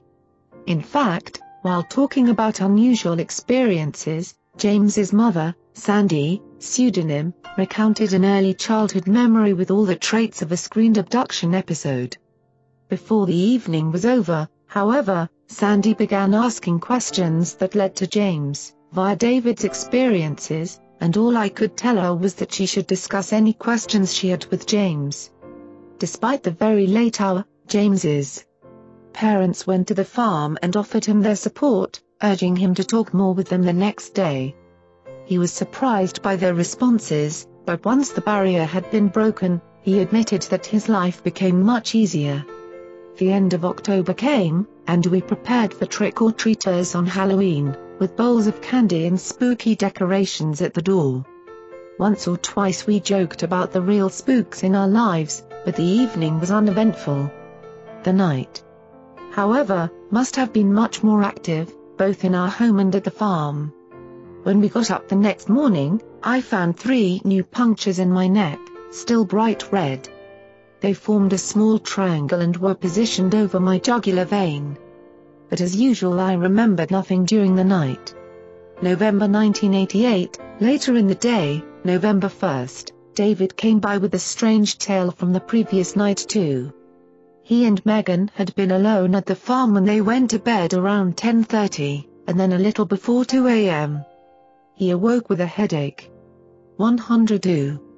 So I got up, he said, and went through the house. I got a glass of water in the kitchen, then I went to the bathroom for aspirin.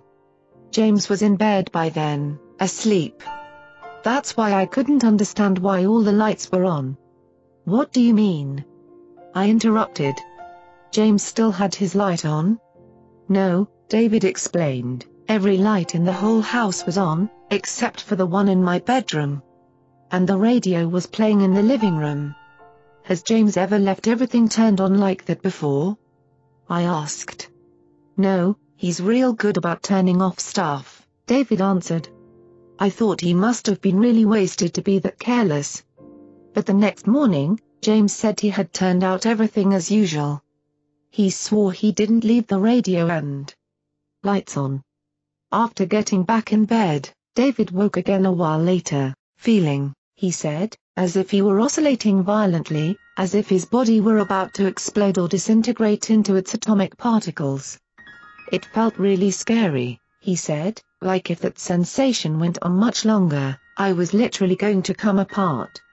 I was just getting ready to scream, I was so scared, and then the sensation suddenly stopped. I think I turned over and said something to Megan, he continued.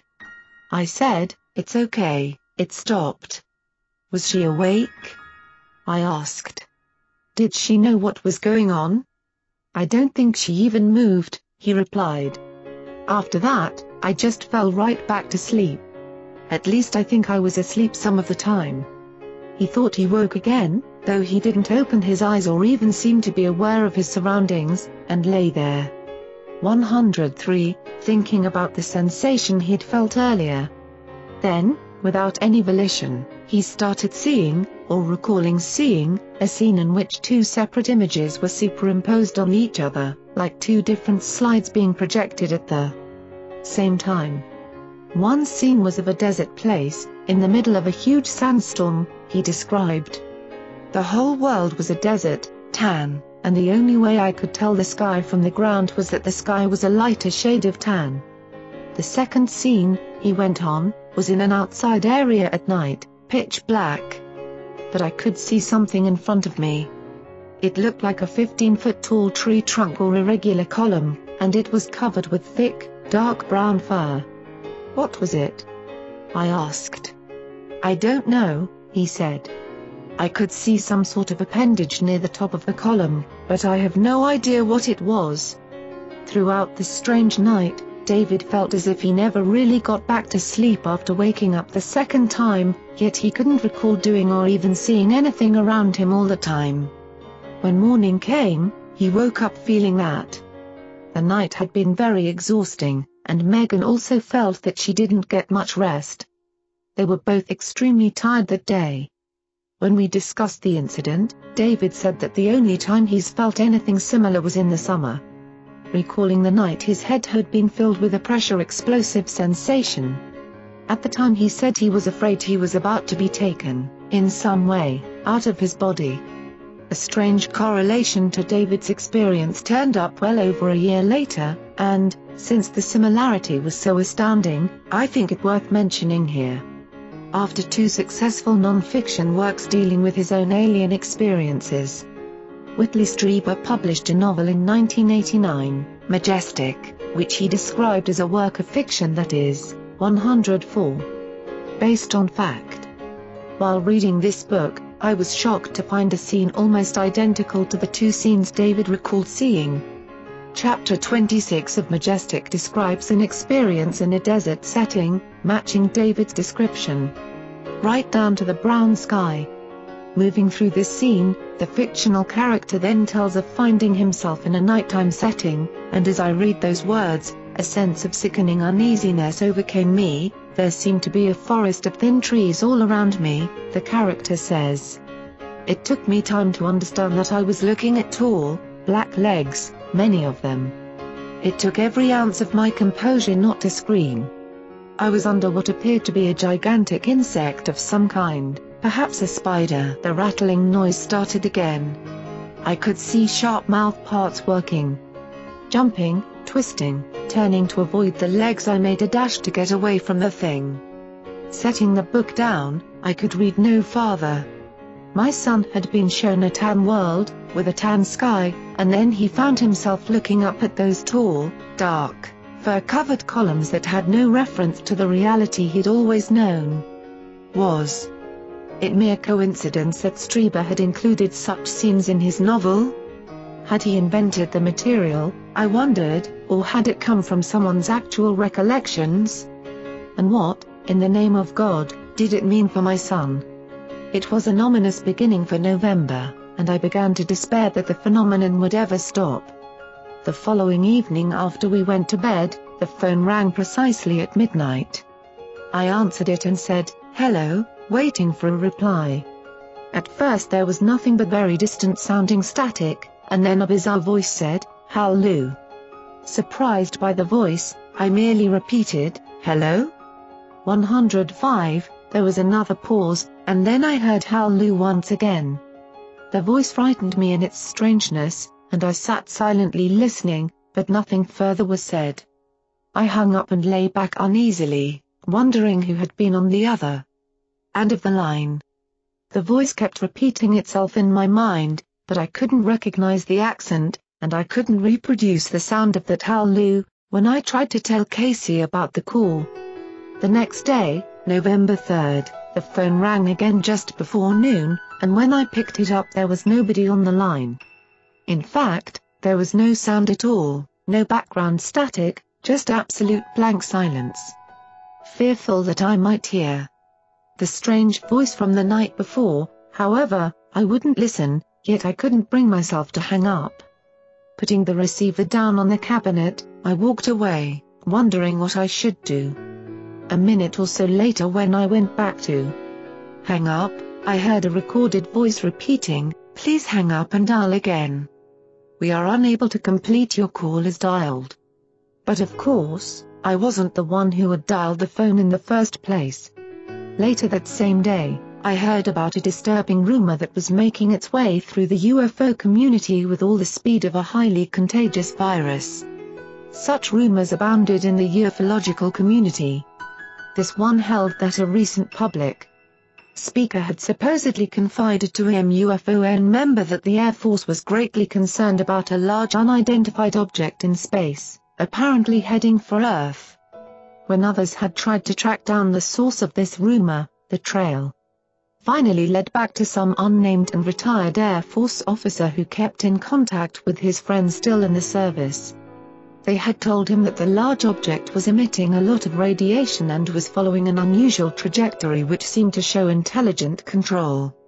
The military, so the 106 rumor went, was concerned that the object was an artificial base of some sort and that it might be connected with the current upsurge in ET activity, the same kind of activity which was intruding into my family.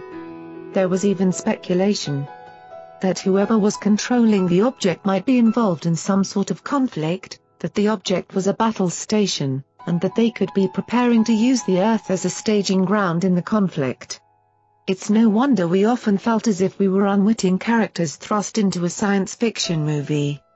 Casey's revelations of his past experiences had been shocking enough, and then there were the horrific stories of John Lear, the government's deal with aliens, the underground installations with vats of human body parts and prenatal nurseries for stolen fetuses.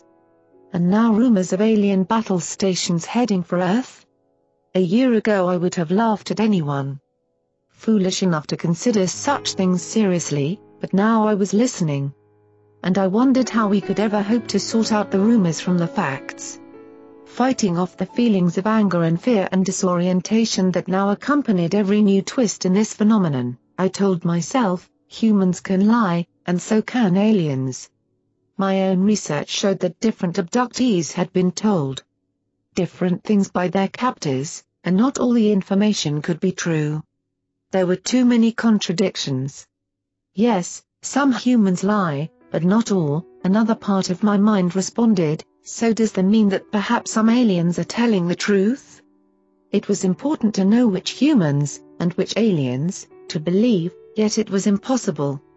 I relegated the battle station report to the rumor file somewhere in the back of my mind, but it must have disturbed me more deeply than I realized. That night, or 107, rather in the early hours of the morning, I awoke from a frightening dream that the night of lights had finally come. That was what we called the rumored event of the aliens' mass arrival on Earth, taking the title from another abductee's account of what she was told by a golden-colored, humanoid alien. I saw thousands of small spacecraft descending to Earth in my dream, and all I could remember upon waking was the mass confusion as my family and I tried to prepare a way to survive. The dream left me shaken and fearful, and for the next two days I was preoccupied with the need to communicate with the aliens. No matter how frightening a conscious confrontation with them might be, I was desperate for more information, and so mentally I kept calling out for them to come. On the night of November 5th, Casey and I went to bed rather late, sometime after midnight, and quickly fell asleep. There was a noise in the room, three series of loud metallic clicks, that startled me awake, and I turned on the bedside lamp, looking around anxiously and feeling the adrenaline rush through my body. Did you hear that? I asked Casey as he sat up in the bed, eyes wide open, and he nodded. I glanced at the clock and saw that it was 3.03 a.m. It sounded like clicking, he said.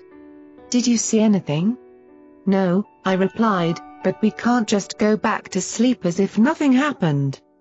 Something made that noise, and I want to know what it was. Casey got up and searched the room thoroughly, but he found nothing out of the ordinary.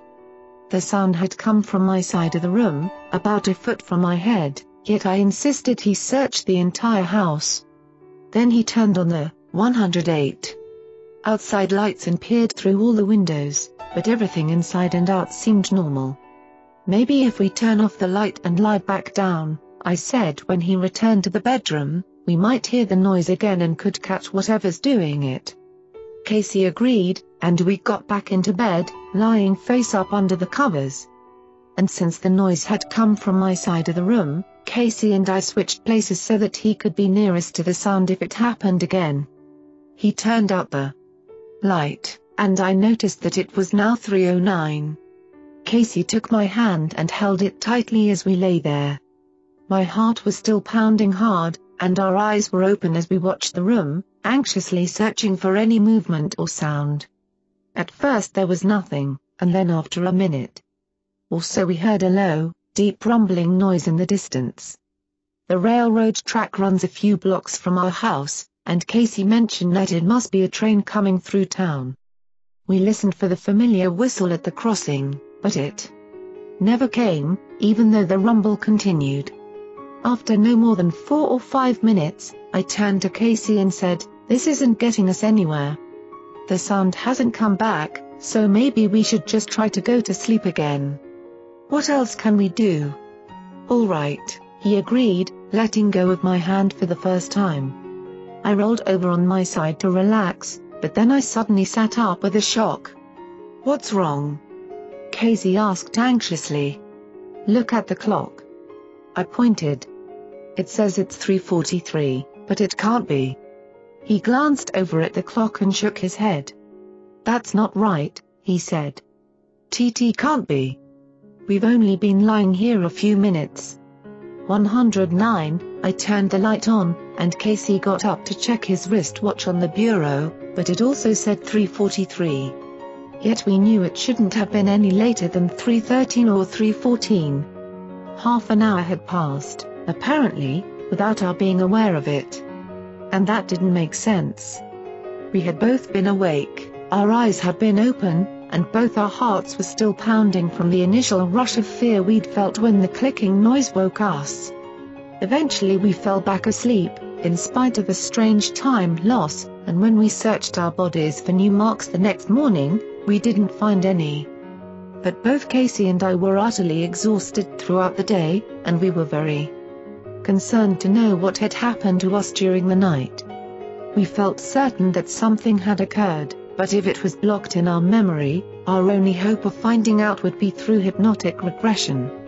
I wish that Barbara didn't live so far away, and we began planning a visit to her as soon as possible. The loss of time was the most consciously jarring, most immediate episode we'd been through, wrecking our sense of reality, and leaving us in greater need than ever of answers.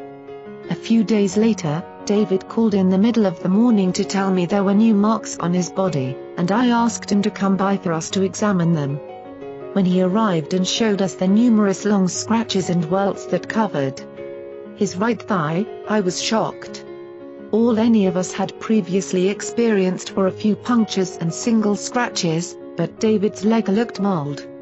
Several of the scratches formed inverted V-shaped patterns on the front of his thigh, and along the outside there were almost a dozen red welts running from the top of the thigh down to just above his knee. A bloody, curving scratch stretched along the hip, with a deep puncture between it and the welts below.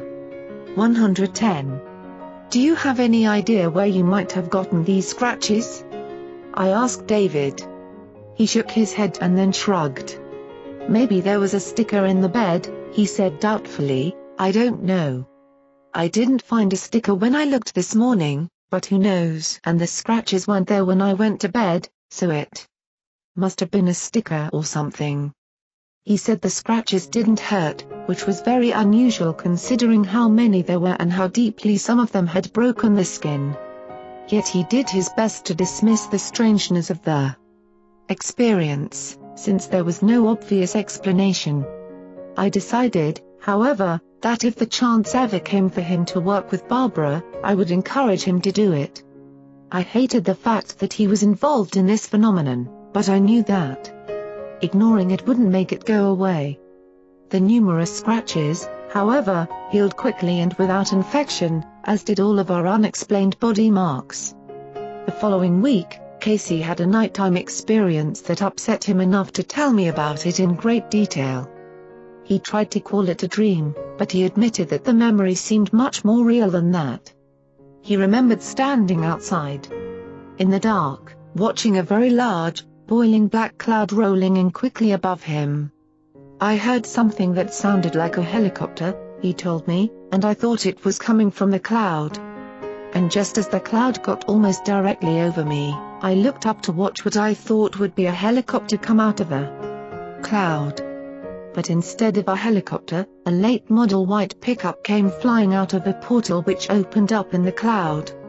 The truck flew downward steadily, still sounding like a copter. I don't remember it landing. The next thing I remember was seeing copies of myself trailing off into the distance, like I was seeing myself move.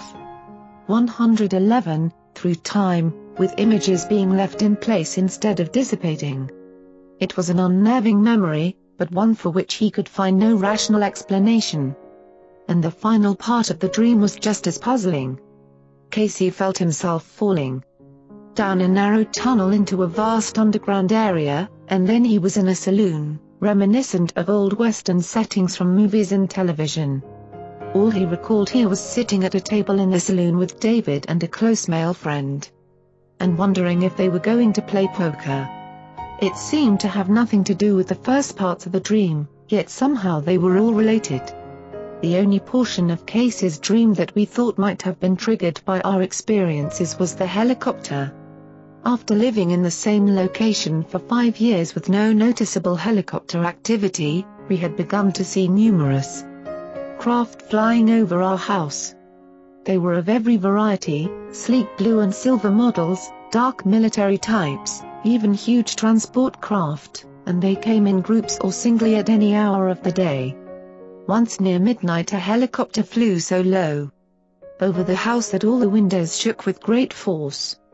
During 1988, the number of helicopters at any one time was never more than three, but later that number increased. Once I counted nine flying over, in three groups of three. Different models, about an hour to two hours apart. Sandy, James's mother, also began to have helicopters over their house frequently, and when I watched one fly directly above us and then circle around for a second sweep, I tried to find out where they were coming from. Contacting the local airport, I was told that there was no record of these craft in the area, and that the only military helicopter flights were twice a year when the National Guard carried out exercises far to the north of us. It would have been wonderful to have some intelligent, 112, insightful, open-minded and uninvolved person with whom to discuss our situation, but there was no one. On impulse, however, and also from a sense of desperation, I phoned Dr. Riley, my former therapist, again and asked if he would meet me informally, over a cup of coffee. He was the one I'd called back in May, when Casey first remembered the face of the old one and the huge spacecraft, and his response had been immediately negative. Whatever it is, he had told me, it isn't flying saucers and little green men, and I was in too much shock to question his declaration.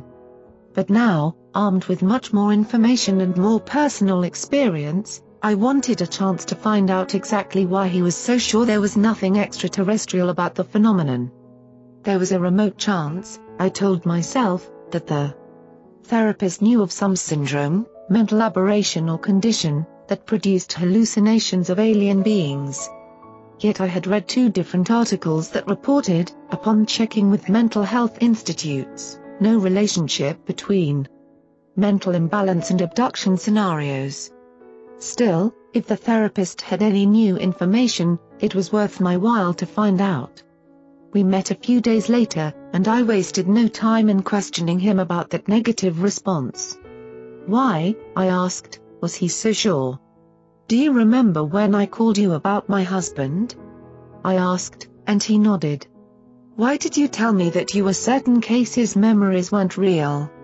How could you be so sure? You didn't even talk to him. Have you read studies on this subject, or anything? What do you know that makes you certain? Oh, I don't have any evidence, he admitted, smiling. It's just my own personal bias. I don't believe in flying saucers. I was shocked that he would have offered me a 113 opinion and then try to pass it off as fact without any logical basis. I mentioned the strange marks that we had found on our bodies, and Dr. Riley reached across the table to take my hand momentarily. A piece of advice, he said, shaking his head. Don't go around telling people that you have marks on your body. Why? I asked. The marks are there, and we don't know where they come from. I wouldn't mention them, though, he replied.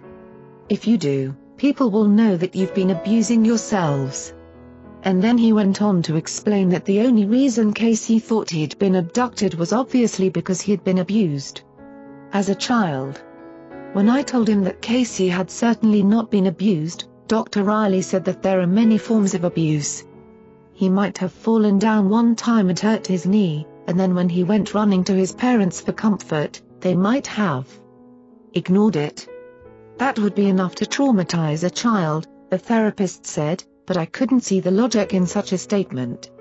If all children experience such abuse, as the therapist implied, then why didn't everyone feel as if they'd been abducted? So you think these memories stem from some mental problem? I asked, remembering what I'd read about the lack of such symptoms among the mentally ill. Do people in institutions also have these experiences? The therapist admitted that there was no clinical evidence to connect the two things, but he still thought the real answer could be explained in purely psychological terms. So I challenged him to investigate the reports of abductions, as a mental health professional, but he refused. 114. No serious professional would touch this subject, he said. They'd be afraid of the ridicule. So I was left with a psychologist, and, apparently, the entire field of psychology, WHO would have nothing to do with what was declared to be a psychological situation. It seemed they began with the assumption that reported abduction experiences were simply not real. It didn't matter that they couldn't find anything psychologically wrong with us. Once again I realized that all we really had were each other. An interesting note, when I was preparing this story for publication, I contacted the therapist again and asked for permission to use his real name in my account. Reviewing what he had told me in both of our conversations, the therapist refused to let me name him. It's awfully embarrassing, professionally embarrassing, for anyone to know I said those things, he told me. I wouldn't have responded to you that way now, believe me. So please don't use my real name. Just refer to me as the stupid therapist or give me a pseudonym. Chapter, December 7, 1988, the approaching Christmas holidays and the end of 1988 kept us all busy, and, as if respecting our need for diversion, the strange episodes temporarily left us alone. We still found punctures and other unexplained marks on our bodies. Though but without any remembered event connected to them, we were able to put the phenomenon out of our minds and enjoy visits with our family and friends. In mid-December I received a phone call from my sister-in-law, Tanya, pseudonym, which brought us right back to dealing with ET intrusions. My brother, Paul, pseudonym, and his family had been in California for over 10 years, and during that time we had little contact with them at all. In fact, it had been over two years since I'd spoken with any of them, so when I picked up the phone and heard Tanya on the other end, I was extremely surprised. And what she had to say was even more surprising. She had overheard a phone conversation between Paul and my father in which Dad had mentioned our claims of UFO sightings and alien abductions. Tanya wanted to tell me that she and Paul were involved in the very same situation, that they had been abducted more than once in the past years, and that the ETs were active in their lives again now. It was because of the strange events they had experienced that they had decided to stay away from the rest of the family, since they feared their stories wouldn't be believed. I could hear the relief in her voice as we talked, and for once I felt that something positive was coming from these events. My family is important to me, and I was grateful that we were once again in touch with each other, no matter what the motivation. January 1989, after the holidays passed without any overt activity, Casey and I hoped that the phenomenon was diminishing, at least in our lives, although we knew from other friends that there was still quite a lot of strangeness continuing with many of them. We also still wanted to meet with Barbara again and go through more hypnotic regression, hopeful of discovering what had happened to us in the past few months and the source of the many scratches and punctures we'd received. But, as there was no immediate opportunity for us to visit with her, we decided once again to attempt a regression ourselves, for the first time since last May. We were both much more familiar with the process now and trusted ourselves to carry it through competently.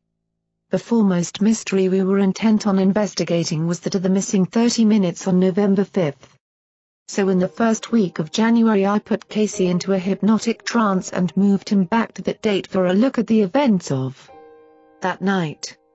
The session was not so successful as before, however, and Casey had a very hard time relaxing and going deeply into trance. What he did recall was unsettling. 117 enough to let us know that an intrusion had indeed occurred, but not enough to give us any thorough explanation. The first thing he remembered was seeing a bright light shining through a diagonal vent or slashing the dark room, as if a rip had been made through the air itself. He also saw that he was lying face up on the bed, because he could see his feet pushing up the covers.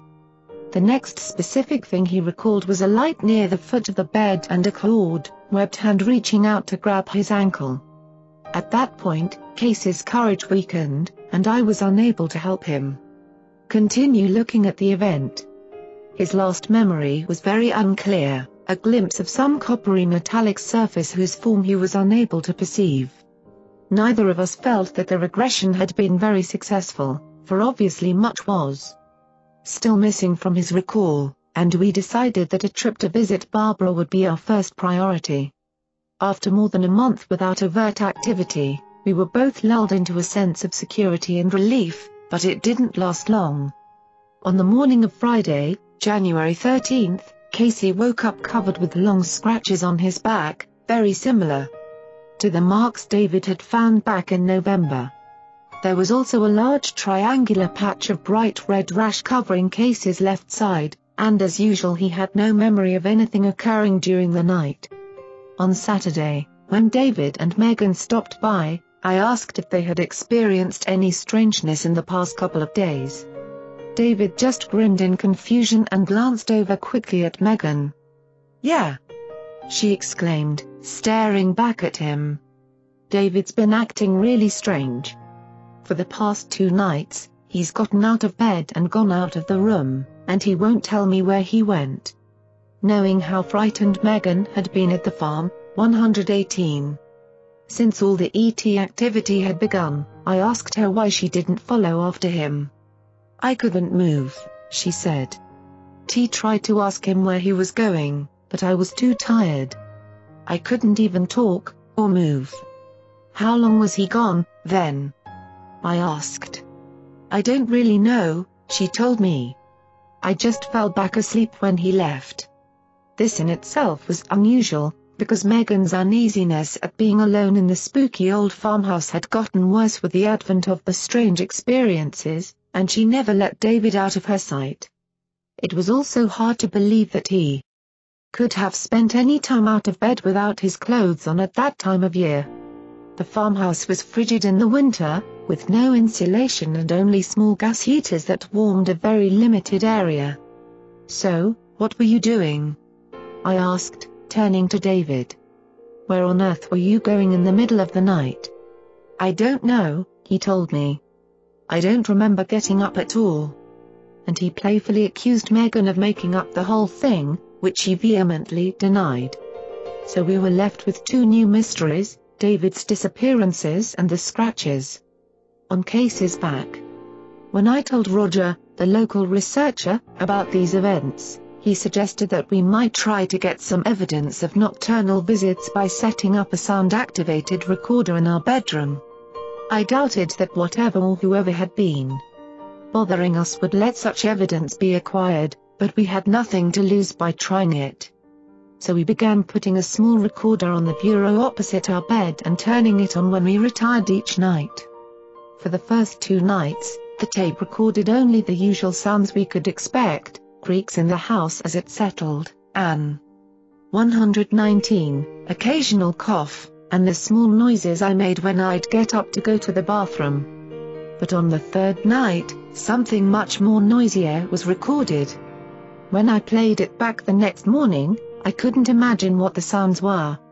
After the noises of our coughing, turning out the lights, and saying good night, there was a series of 85 almost identical sounds, the likes of which I had never heard before. The best description I can give is the noise a six-foot tall can of hairspray might make, short, breathy aspirations that were more mechanical sounding than organic. For the next week, we recorded every conceivable sound in our house, trying to duplicate the 85 noises, but to no avail. We recorded the central heating unit turning on, our own coughs, even Casey's occasional snores, but nothing reproduced the original sounds. Finally, we hired a sound studio technician to analyze the tape and see if he could identify the noises, but after more than an hour of working with the tape, he was as mystified as we were.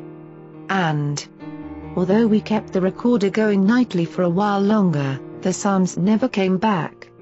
The rest of January was uneventful, but in the first week of February we found yet more scratches and punctures.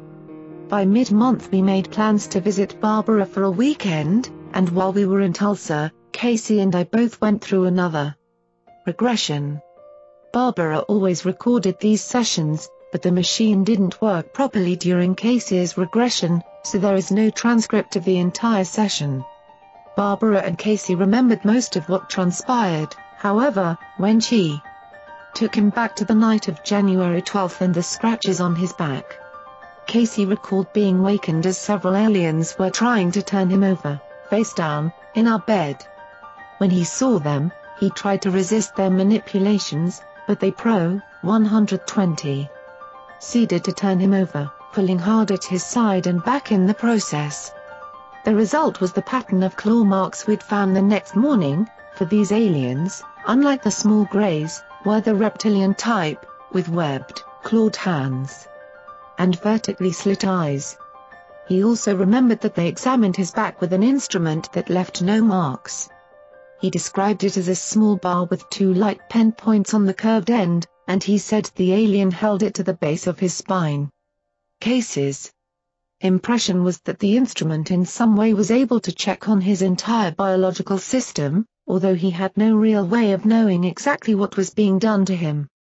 This was all he recalled, and it made a sketchy story at best. But that was typical of most people's experiences under regression, we knew, finding gaps in the chain of events that even hypnosis couldn't fill. Casey admitted later that the session was a difficult one for him this time. He wanted to know what had happened, of course, but at the same time he was afraid to look at it too closely. In my regression, I had the same mixed feelings when Barbara took me back to Halloween night, in hopes of discovering the cause of the three punctures in my jugular vein. Once I was finally relaxed enough to let myself focus in the trance state, however, the memories began to return, and I saw myself in bed. I'm feeling heavy, my head, neck, real heavy, I said feel strange across my face, like gravity is pushing on it. I feel real tingly, my hands, my arms, and my ears ring. Feels like my arm's hurting, a little, in my vein, had a real sharp pain, left arm. It's still hurting a little bit. My eyes close. I'm tingling all over now. Describe your surroundings, Barbara instructed. The bed's flat opening there's not any cover, and I can. 121, see me. I don't want. It's making my heart beat. It's like I'm the only thing on the bed. Look around, Barbara said. Are you alone in the room? Is anyone else there? There's, um, I think, I hesitated, it looks like people around the bed. There's heads around the bed, one, two, three, four, maybe four. There's one by my head, there's one at the side of the foot of the bed. There's one at the other. Comma, one behind me on the other side. I just see little round heads, and it's dark. What is happening, Karla? Barbara asked, moving me forward. It's like they have got all the covers off me, I replied. I'm still on my side. Barbara, I don't even know if I want to see this. It makes me shake. I'm really not moving. My legs and body are uncovered. There's one about 6 inches from my head, and there's another one. I don't see them moving. Nothing is moving right now, but I feel like it's looking at me. My eyes are closed, my arm's not hurting now. Where is Casey? Barbara asked. Isn't he there with you? Casey isn't here, I told her. I'm in bed by myself. How is your body positioned on the bed? My legs are straightened out now. I'm on my back. I don't know how I got there, I didn't see me move. I'm afraid they are going to touch me. The one on the left is holding my left arm. He's touching, I'm not moving, I'm not even awake. I just see his arm, and the top of his head, and his arms out touching mine. My arms and legs are a little apart now, I can't open my eyes. I don't know what the bottom ones are doing, but my legs are spread apart about a foot and a half. My arms are spread out. I think I'm afraid to see. 122. There's a light flash, overhead, above my body on the bed. Maybe they have rolled me over. I'm real limp, they have to move me. I can start to see the other one by my head, and my arm hurts. I don't see him doing anything to it. Now. It's like afterwards, while before it was burning, a little burning spot. Now it's just sort of tender. Move forward to the next thing you can recall, Barbara said. Oh, Barbara, I replied, uneasy, I feel like they are standing up right there. I'm in the bed, in the center, and they are moving, but they don't make any noise. I'm on my back, and I feel them moving right here. My eyes grew wet. I don't know if this is all real, but it's making me cry. I'm trying not to, but it does make me cry. I'm afraid they are going to touch me again. Barbara paused to reassure me that everything was all right, that I had survived the experience and could look at it now without fear. There's a hand right here, I continued. I don't want to look at them. I don't want to see their faces. I see they have big, round heads. I don't want to look. These things touch me, but I am not going to feel it. I don't feel it, it doesn't hurt. I can see something reach out to me on this side, I pointed left, by my head. There's a sensation on my neck, but it doesn't hurt. It feels like a cold burn, something so cold it feels like it's burning. It's like it's frozen, like feeling skin as asleep. How is this happening? Barbara pressed. Tell me exactly what you see. Something is touching it real lightly, I explained. I don't know if it's a thing or a hand.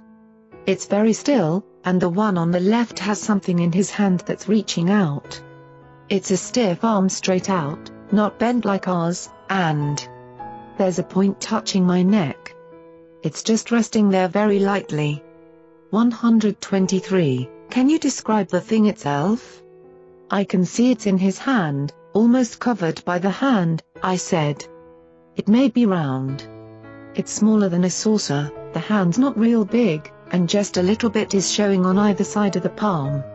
It's held stiff over that spot. The others aren't moving. How long does this take? Barbara wondered. I can't tell how long it's there. I did feel a frozen bum, but I'm not feeling anything now. I'm just looking at the bed, and I see all the covers are down at the foot of the bed. Now I'm no longer in the middle of eighth bed, I'm closer to the right side, because the one on the left is to reach across. They all look bald. I feel pressure on my neck, and it does hurt a little bit. And I don't feel afraid, and I keep my eyes closed and it feels real tingling still and real tired. I just don't want to look at them. I can't move myself, so it's just like I surrender. I've just given it up, and now I'm ready to go to sleep. It's okay, it doesn't hurt, he took it all away. Did anything else happen? Barbara asked. Was anything else done? There may have been something running over the top of my body without touching it, I remembered, over both legs, over my belly. It's like something goes above this leg and goes above that leg and up over my belly, but I don't feel it going any higher. Checking, or scanning. They're still holding still while this thing moves over me.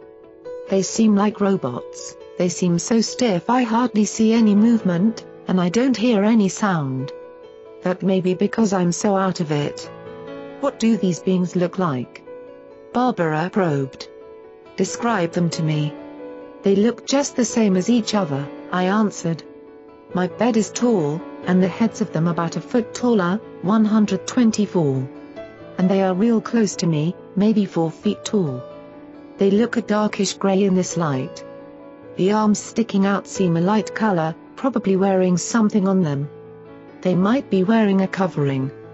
They look like ghosts, they look so hollow, they don't have any real feelings. That's why they are so scary, they just look dead, but they're not. They don't even look mean. They're really hardly there. I don't know where they came from. I don't even feel surprised, I don't even feel curious. I don't feel anything like that. I just feel real sedated. So sedated, in fact, that I found it too hard to continue and asked Barbara to end the session. I wasn't satisfied that I had recalled everything that had happened on Halloween night, but what I had seen was more than enough to deal with. This was the first time I had remembered being face to face with such beings, and the fear I experienced under hypnosis was heavy and real. It had been one thing to see flashing colored lights on a UFO up in the sky, but it was much more disturbing to recall how the grey alien beside my bed reached out his stiff arm and touched my neck. At least, however, this time both Casey and I remembered the instruments used by the aliens, which we hadn't seen in previous regressions. Up to this time we just had no idea what sort of devices were being used on our bodies, except for the teardrop-shaped metallic instrument Casey had recalled from his 1947 abduction. The regression sessions were very draining, on Barbara as well as us, so we left off further attempts until our next visit and returned home. Before we left, however, plans were made for Barbara to visit us in March, to attend a talk given by Bud Hopkins in Dallas. At that time we planned to undergo more hypnosis, and both Casey and I felt that we were really beginning to discover at least part of what was 125 happening to us.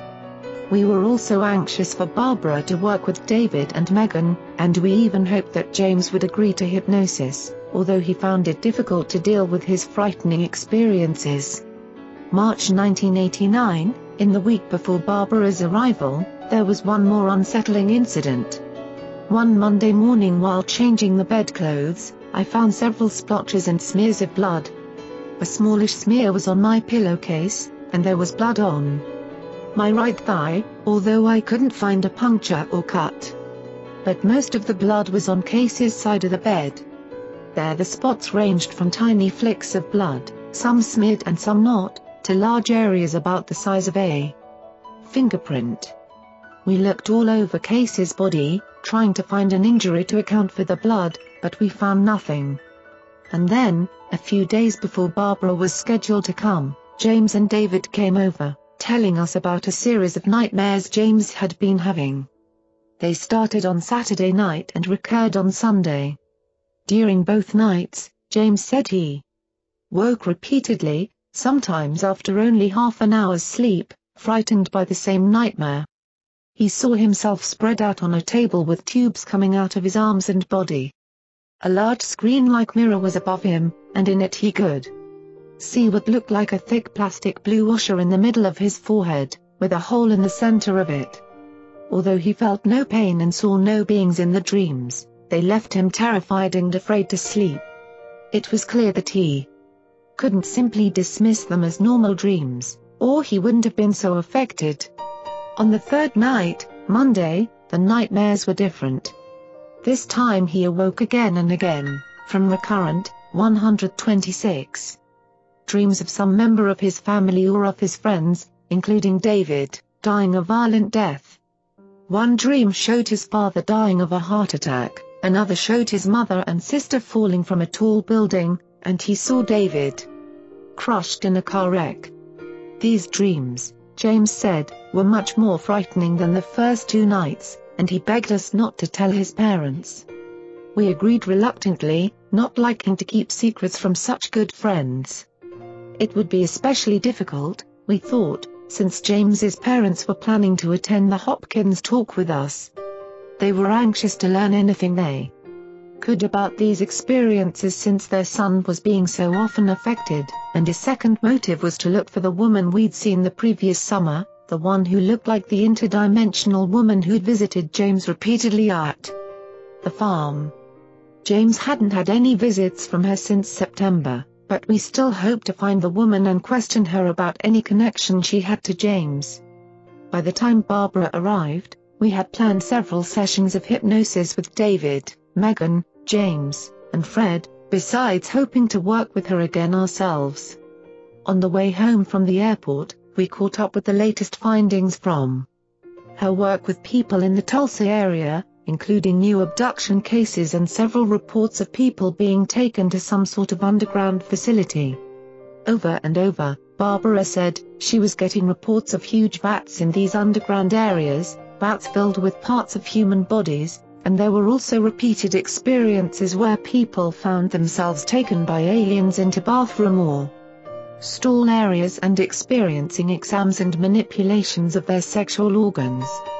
Such accounts sounded familiar now, after having heard John Lear's talk about the government alien underground bases, but word of his revelations was by no means readily available to the general. 127, Public. Yet somehow, without any knowledge of Lear's tales, many people were telling the same, or similar, stories. But what it all meant, we really had no idea. The only thing Barbara could be sure of was that more and more people were undergoing or remembering abductions, and that many of their reports confirmed each other she had been dealing with. Cases in which children as young as two years old were reporting strange beings in their bedrooms, as well as older men and women, most of whom had previously had no interest at all in UFOs or little green men. Listening to Barbara's accounts, we felt very sympathetic, because we too had been entirely uninterested in UFOs before our own experiences forced us into this fringe reality. And it made us feel worse somehow, knowing that so many people were involved. So long as we thought the phenomenon was a limited one, we could still tell ourselves that it might all be some sort of hallucination or psychosis, involving only a few people. The idea that such experiences were widespread, and apparently on the increase, sank our spirits. What on earth, we wondered, was really happening? From my own research, I had learned of hundreds of abductions, but the numbers were now well into the thousands. Barbara was in contact with researchers on the east and west coasts, and they too were finding more and more cases turning up, begging for help in trying to understand their strange and frightening experiences. All we could do for the time being, however, was to concentrate on the events involving our immediate family and circle of friends, and so, less than two hours after Barbara's arrival in our home, she was conducting her first regression. Chapter 8 David was the first to undergo regression. He had been through several disturbing episodes that puzzled him, vivid UFO dreams, strange physical sensations, punctures, and scratches, but Barbara decided to take him back to the night in August when he first heard James's story about alien visitors. When we had phoned Barbara to tell her about that night and about David's strange behavior, his not remembering how he had frightened Megan, Barbara felt there was something serious going on with him. As we were to learn, she had come across other abduction cases in which the victims sometimes acted in similar ways, doing or saying things which were later unremembered. In the first part of the regression, David recalled the conversation with James at the bar, having several drinks, and then riding home to the farm with Megan. He told how upset Megan became when they arrived before James and of her reluctance to stay there. I start to get out because we're home, he said. She's yelling at me not to get out. She's scared. Now she's real. Scared. But that's stupid. So I get out, and I walk up the side of the car, around the front by the tree. She's close to the tree, so that was tricky. Her lights are still on. And I'm looking towards the satellite dish.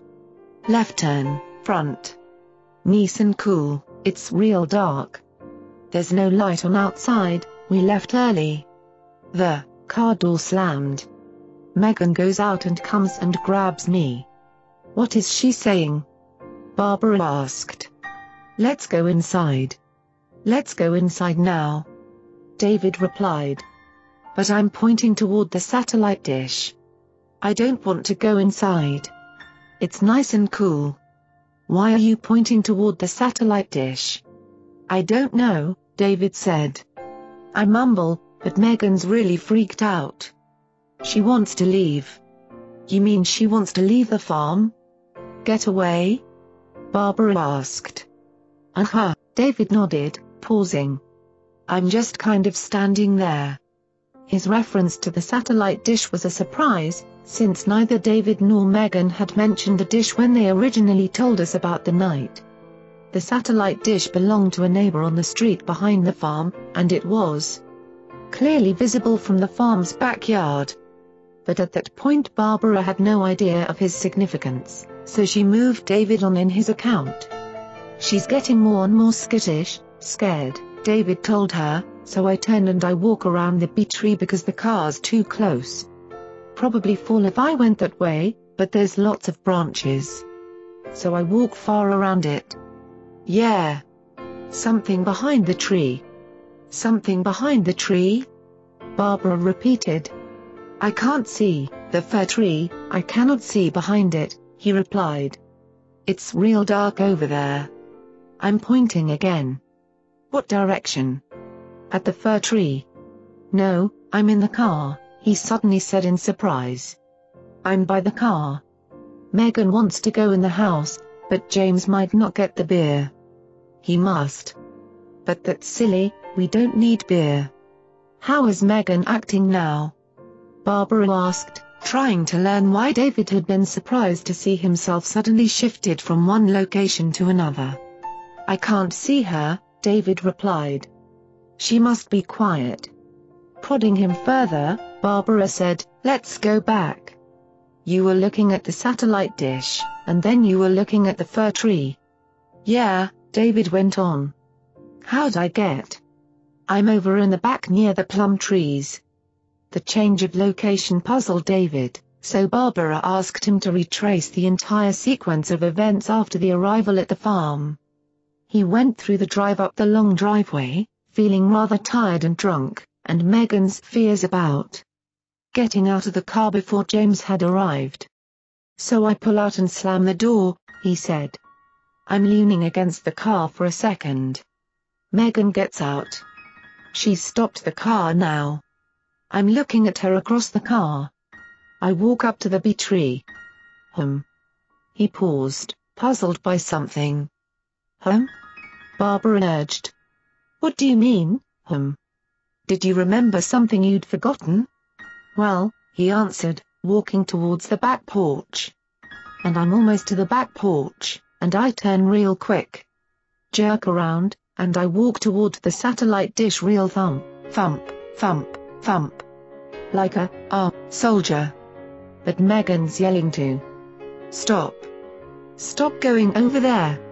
Barbara asked David to explain what he meant, why he was walking strangely. My feet seemed, thump, on the ground, real hard. Stiff legs. Rocking, like a penguin, he said, and then he mumbled something about the metal plate that covers a water line just before the porch. What's the flat metal plate? Barbara wanted to know. By the back porch, David told her. And I cut across the comer of the porch, and out into the back. I'm rocking, and I'm not thinking at all. I can see the satellite dish. Where is Megan? Barbara asked.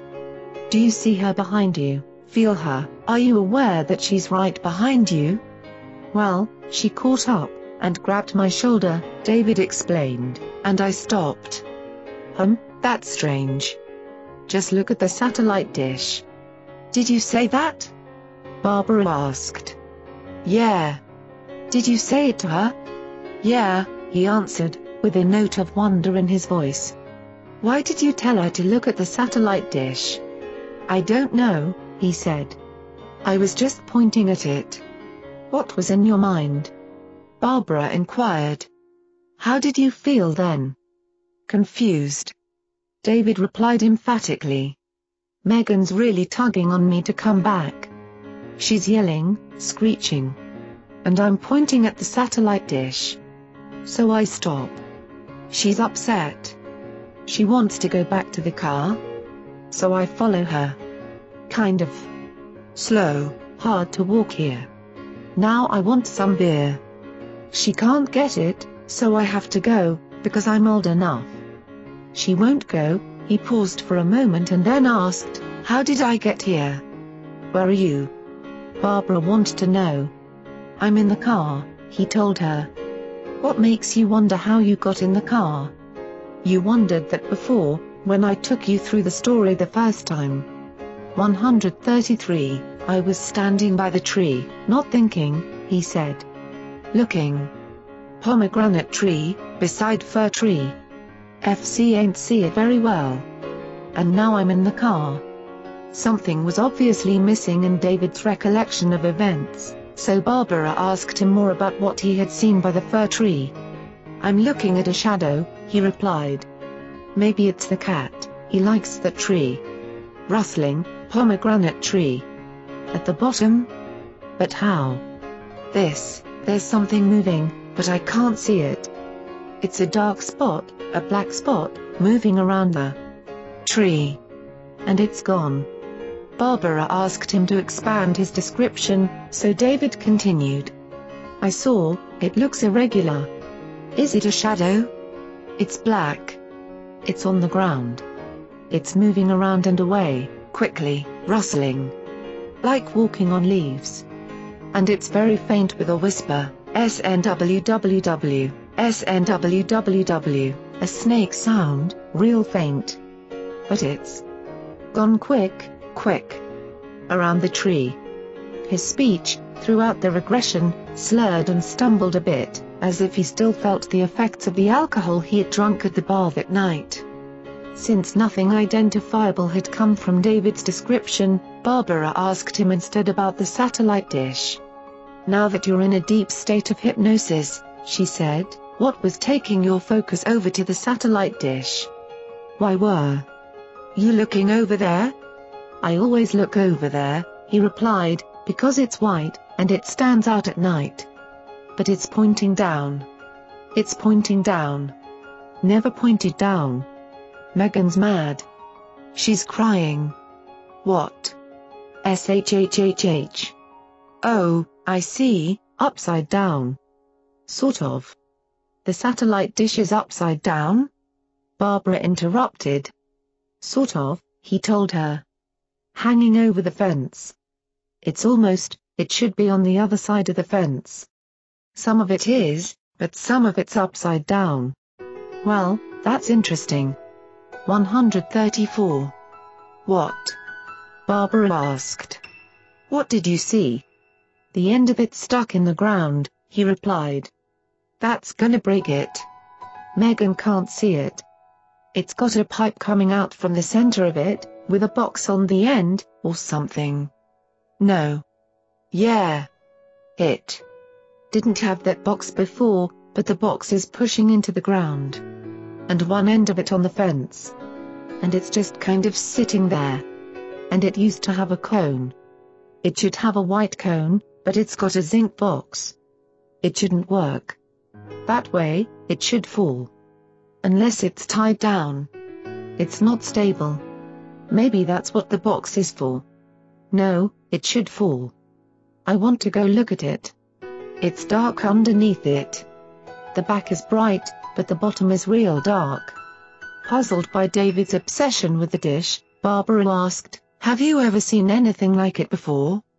Looks like a satellite dish, David told her again. It's got an upturned rim, curly. And then he said he was walking back, after Megan grabbed him and turned him around. She's hysterical, David said. She's hysterical now? Barbara asked. Like crying? Uh-huh, he replied. I'm confused. Why are you confused? I don't know anything that's going on. He exclaimed. Just tell me the thoughts that are coming into your mind, Barbara urged him. Now I'm just following Megan, he said. That's the only thing I could do. Because I can't know anything. What do you mean? Barbara asked. My brain's not working, he said. I'm just tramping behind her to the car. Ah, ah. But I want to go look at that. I heard a noise. What did the noise sound like? A rope, pulled real fast, he replied. Well, kind of like a top but soft, so it was muted. And that's when I 135. See the thing. The black. It's just blackness, on the ground. Very quick. Something hit me, before. Where? Barbara inquired. Shocked me, he answered. In the back.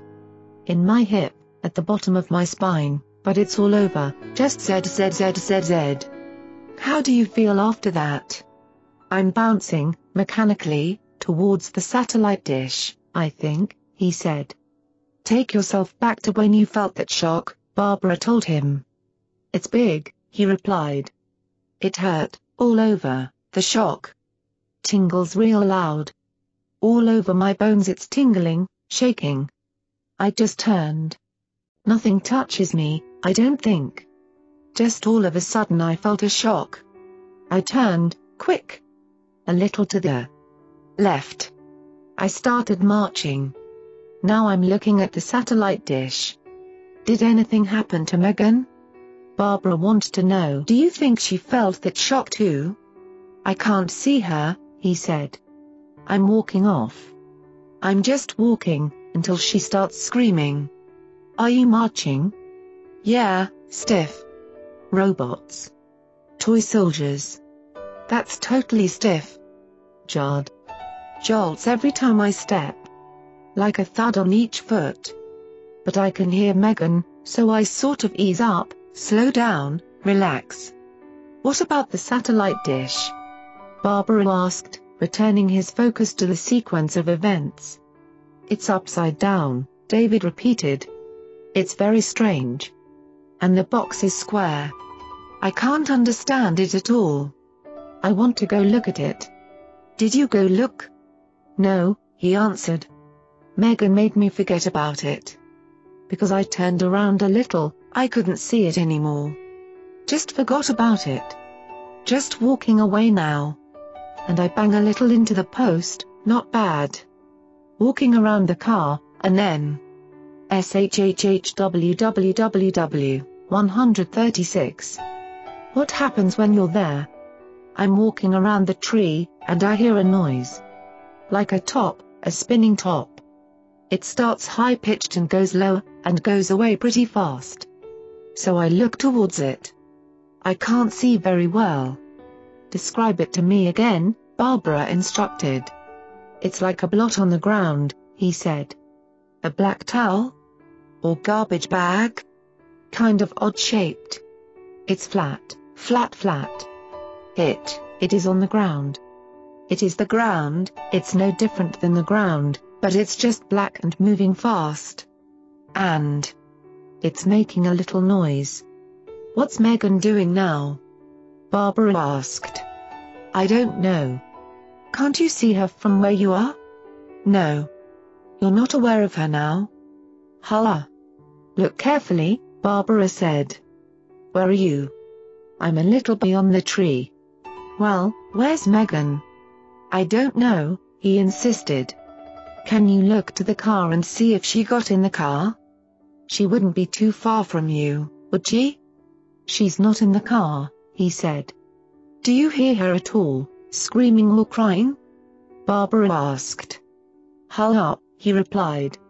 Where is she? Barbara asked again. The thing's gone quick, David said. So. Now I hear her. Let's go back to where you couldn't hear her, Barbara told him. I'm looking at the thing, David responded.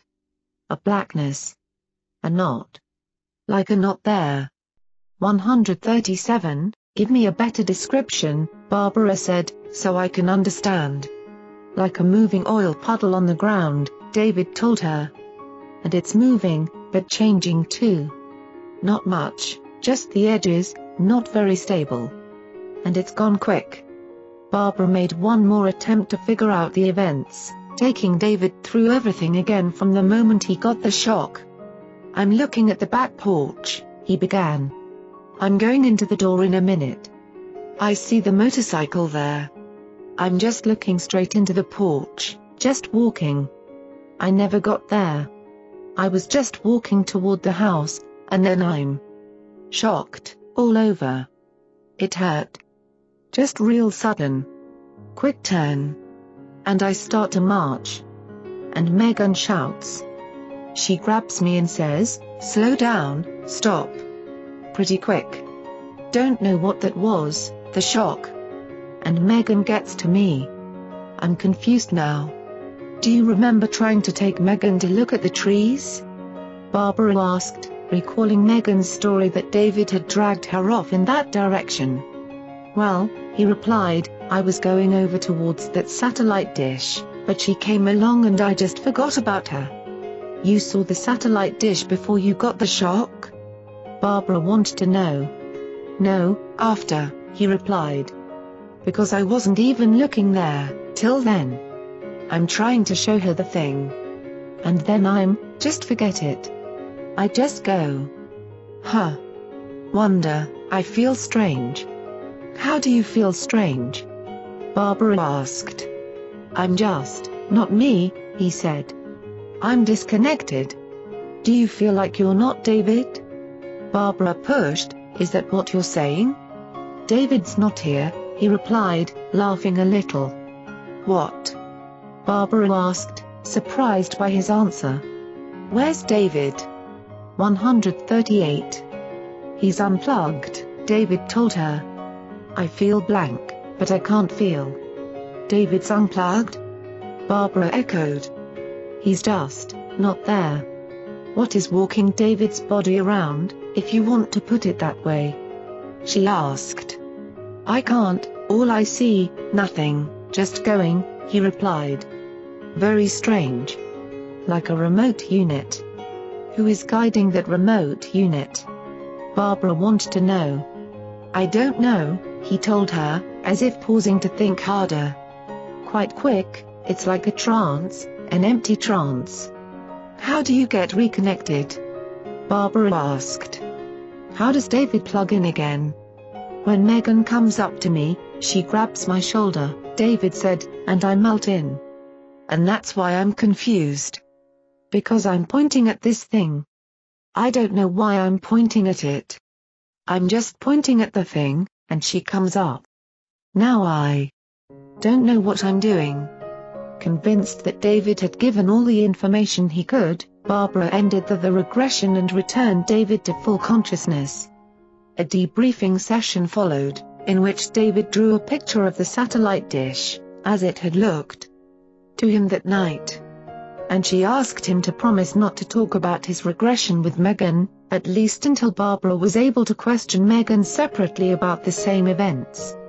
But we were able to listen to the tape recording of the regression after David's departure, and we wondered at the strange events, the shock, the noises, the black not there, and the odd description he'd given of the satellite dish.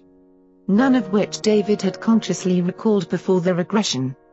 We hoped that perhaps part of his confusion came from the amount of alcohol he had drunk with James that 139 night, and we waited anxiously for Megan's turn at regression. Unlike David and James, Megan had not been drinking, so we hoped she would have a more coherent recall of the events and could explain away some of the strange things David had remembered. Chapter 9 How did I get here? I'm confused. Something shocked me, all over. I can't know anything. David's unplugged. For the two days between David's and Megan's regressions, such remarks kept running through my thoughts. What did he mean, David's unplugged? And why hadn't he been able to remember, the next day, anything that happened between his arrival at the farm and James's arrival some time later? What worried me the most was wondering just who or what had been controlling David that night when he felt as if he were a remote unit, or in an empty trance. Barbara had been right, we realized, when she said that something important had happened to the two young people, and we looked forward with great anticipation to Megan's revelations when she and Barbara disappeared into the back room. For regression. Two hours later, they came back into the living room, and the look on Barbara's face told us that she had indeed learned much more about the events of that August evening. 141. David had kept his promise not to discuss his memories with Megan before the regression, but now they both insisted on knowing everything the other had said. At the time of David's regression, Barbara's video camera was broken and an audio recorder was used instead. But we were able to borrow a camcorder in the meantime, which he used thereafter. So we settled back to watch a replay of the video Barbara had made. At first, Megan's recollections matched David's. She went over the conversation at the bar, David's description of the woman James had seen and his immediate denial that he'd given such a description, and then the drive home. During this first foray through her memory, Megan recalled only the details she'd told us originally, but Barbara patiently guided her back through the whole thing, occasionally deepening the trance and reminding Megan to sharpen her focus whenever necessary. In her first retelling of the story, Megan experienced a skip in her memory, just after arriving at the farm. And I don't know what happened right then, she said. It skips. Ah, we're standing over towards where the driveway curves. And David starts pointing at the trees, one of them's an evergreen. And he points at it, then he started to pull me over there first, grabbed my arm and started walking over there. And I started pulling back because I was scared. And he said, hum, he said something over there wanted to see me. And I started getting very, very upset. My arms were flying all over, and I was pulling back and crying and screaming. And, and, I couldn't figure it out. Because it wasn't David, it wasn't like David. Then we started going up toward the house, we got over to the other end of the shed, and we walked through it, and just as we got onto the other side, where the bees are, he pointed over toward that little line of plum trees. And 143, he pointed towards those and tried to take me over there. And I started pulling back again, and telling him no because there was, I was, there was something over there. What was he saying to get you over there? Barbara asked. He was pulling on my arm and saying we had to go over there. I was pulling back and I was crying and saying, no, we can't go over there. And so David just something happened, he looked different. You could see the change, kind of a shift. She described David's desire to go for beer and his insistence on taking the wheel, and then James's headlights coming up the long driveway. So far, her story was essentially the same as it had been the morning after the incident, when James went with them into the house. David insisted he hadn't done any of the things Megan described, and he didn't even remember arriving at the farm. Barbara asked Megan to go through the events once more, taking care to calm Megan's emotions and to give her a more objective point of view, since during the first description Megan had become very upset, crying and showing all the fear, she'd felt the first time.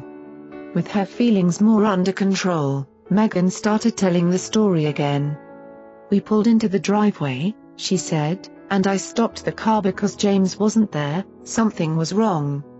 And I turned over and looked at David, and he was sitting there.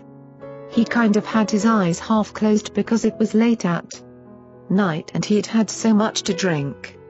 So he was just laying back. He looked at me and said, he's probably just gone to 7-Eleven to get some beer. And then it was kind of like, it shimmered. What shimmered? Barbara asked. Not everything, Megan answered. Just like when it's 144 hot and you can see the shimmery coming up from the ground, the heat waves. They were in between us. They were just there. They didn't really come from anything, they were just there. All of a sudden, did you feel any temperature change at that time? Barbara wanted to know, trying to figure out what Megan describing. No, Megan replied. They were really on David. And they were surrounding, no, they weren't surrounding. It was like there was a quarter circle of it. It stopped at the boundaries of the farm and the road. And David was just on the other side of it. It went through the car, it was like a shimmery sheet between us. And then it was kind of all on him. Was there a color to the shimmer? Barbara asked. I can't see a color, Megan said. Just a heat wave was like what it was, just shimmery. And then it was on him. And then he was different. His eyes and his whole being was different. How did you feel about this change? Barbara inquired. It scared me, Megan admitted. Did you like what you were sitting next to? No, Megan replied, but I knew he was still there, but he was hidden. They'd covered him up, he was still there, but he was surrounded. But he was still there, it was, slash slash was doing it. I was scared because of David. David was, they. I didn't want him to get hurt. What's happening? Barbara asked, trying to move the regression forward. He's, I don't, something's wait, Megan hesitated in confusion. I don't know if this is. David is sitting there. We had just stopped, and David just did this thing, Shimmery had just stopped shimmering. That's when he started talking, but David was just still sitting there. It 145 was like it wasn't actually there. David was there, but this other was on top of him. And David just sat there, but it was on top of him. It opened the door. David just sat there. It was something else. And it looked like David, like a hologram, but it opened the door and said he was gonna walk up to the house and I'd be sitting there by myself. But David was there, but I couldn't see him. It was like a hologram. It wasn't him. It was something else. David was sitting there the whole time. What did that hologram do? Barbara asked. What I told you, Megan responded. TT walked around to me and tried to pull me to the tree. Something wanted to see me on the other side of the tree. That's what he said, something. Did the voice sound like David? Not really, Megan said. Like it was somebody else trying to sound like him, a recording would sound like it, but it's not. David was in the car. Was it walking like David? Barbara asked. Did it feel like David? I couldn't, I knew David was still in the car, but this was, I couldn't see him. This got up, but I couldn't see David, but David was there. And what I saw moved, and got out of the car, and looked like David did, but it wasn't. David was in the car still. What was the feeling you were getting from this hologram?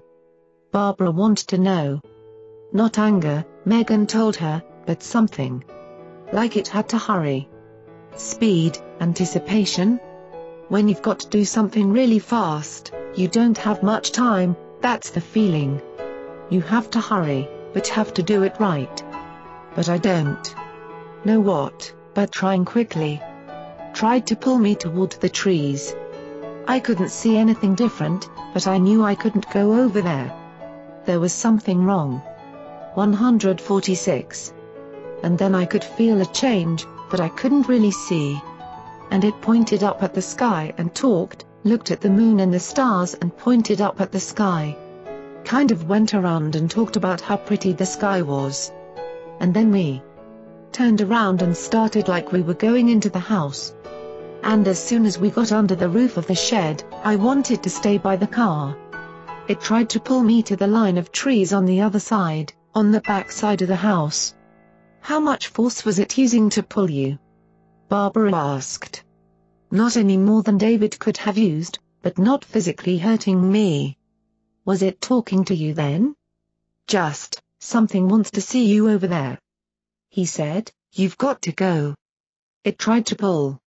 Where did David go? It tried to pull me, but where did David go? Where's David? He was in the car. But, I wanted to go back to the car. But it changed again. I could feel the change but I couldn't see it. He said he wanted to go to 7-Eleven for some beer. And he wanted to drive, and so I got in the car, but David. I got in the car, and he wanted to drive, and he grabbed the keys. And I climbed over into the passenger seat where David was, but David wasn't there. He had been there the whole time, but now he wasn't. He was there when I pulled back to the car, and then when it tried to pull me over to the trees he wasn't there anymore, not in the car. But it was just a minute or two. It got in the car, and started the car, and then I looked over and I could see James's headlights coming up the drive. And it was like David was back again, but it was still there. David was in the driver's seat, but it was there too. And then it was gone when James got there. And it was David, but he didn't remember anything, because he wasn't there. He was just 147, sitting there before, but he was gone for a minute or two. Watching the video, we could see how concerned Megan became when she realized David was missing. And then I remembered that David had said, during his regression, that for a few moments he had no idea what had become of Megan. Apparently, neither of them could account for the other's whereabouts during that time, and we listened anxiously as Barbara questioned Megan about the disappearance. Remember that part when you noticed he wasn't there in the car? Barbara asked. Go back there. Yeah, Megan nodded. I pulled over to the car because, this was when we started going back into the house when it stopped trying to pull me toward the trees. And right when it got back to the little shed, David was in the car then. And I was pulling towards the car. And then it tried to pull me toward those other trees. And that's when David was gone. Look around now, Barbara told her. You're aware that David isn't in the car. You become alarmed. Where is he? See if you can see anything in that area. They were trying to separate us for something, Megan replied. They couldn't let me see. That's why they didn't take him out when it was trying to pull me to the trees, because I kept looking back. But they didn't have time. They had to stop. That's why they changed. Who was this they, we wondered, and then on the video Barbara asked, they didn't have time. I couldn't see them, but I know they're there. How many are you feeling now? Barbara asked. Aside from the one that I was with, there were three. They were waiting to take David out of the car, but they couldn't while I was looking. They didn't want me to see them. They were behind something, I don't know what, 148. Because there's nothing there. They were behind something, though, because I couldn't see them. They couldn't let me see them pulling David out of the car because I wasn't supposed to know. That's why it was trying to get me over there. Behind the trees so I couldn't see. You mean you were being distracted by that one? Barbara offered. Right, Megan said. That's why it was trying to hurry, so it could get David out.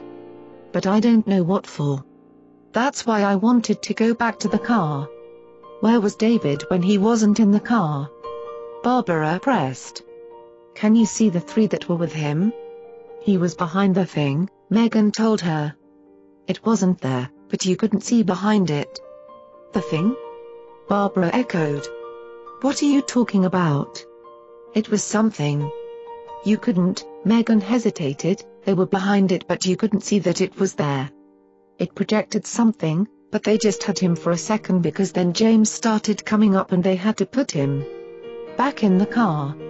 Can you remember what they looked like? Barbara asked. I didn't see them, Megan said. They did it when I was looking at James's car. They stayed behind. She paused for a moment and then exclaimed, they moved it. They moved the thing. I didn't know they could do that. Where was the thing? Barbara asked. Where was it being projected? It was like, kind of like it was a screen, Megan explained and it projected what was supposed to be behind it on that screen, so it looked like there wasn't anything there. They were just on the other side. Like a thin metal thing. It was just a square except it bowed a little bit. 149, but you couldn't see any equipment, it just looked like a thin, metal sheet, and it had a stand thing on it so it wouldn't fall. It kind of curved a bit.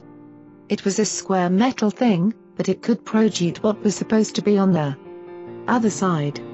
They moved around, but you could kind of tell along the edges that it was there. But otherwise you couldn't.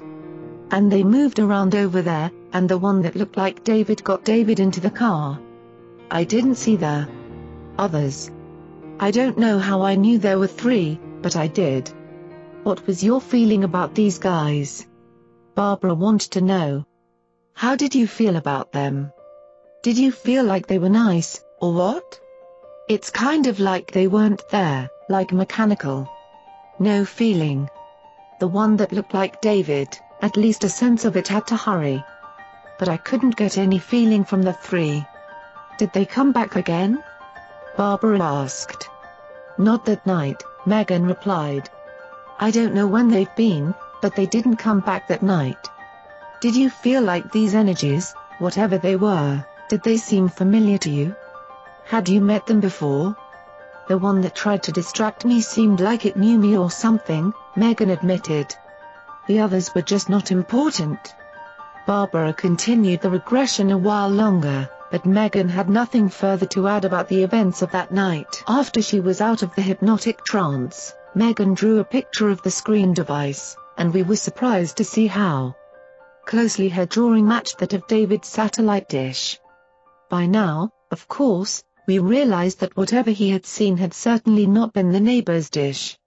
Given his description of the dish, curly edges, square, with a pipe supporting it on the ground, and his description of the black thing on the ground, and not there with unstable, 150. Changing movements along the edges, it seemed that David had seen something unusual and had tried to make sense of it in terms of the familiar satellite dish. But could it have been the same machine, the invisibility screen, that Megan described? Just to make certain that the neighbor's dish had not been the object, I phoned a few days later and asked the neighbor if anything had happened to move the dish during the previous August. She assured me that the satellite dish had never moved from its original location, and that there had been nothing like a pipe and zinc box attached to it at any time. Whatever had been in the yard that night, it was nothing we could identify. And that wasn't the only puzzle we had to consider. How could we make sense of the hologram Megan described, the double of David? Had his image actually been duplicated in some way? Or had his body somehow been borrowed by an outside intelligence, with his consciousness, his psyche, unplugged? We had strong relationships with both David and Megan, and we felt certain that they weren't deliberately lying to us about their memories. Neither of them had consciously recalled these events, and David had not told Megan about his regression before she underwent hers. Yet their strange stories confirmed each other's accounts, and we were left with many worrying questions. What had happened to them during that time when they lost sight of each other?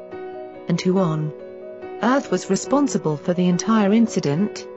Neither recalled anything like a UFO, nor had they described aliens. Megan insisted she didn't know what the beings really looked like, so it was possible that they had been human.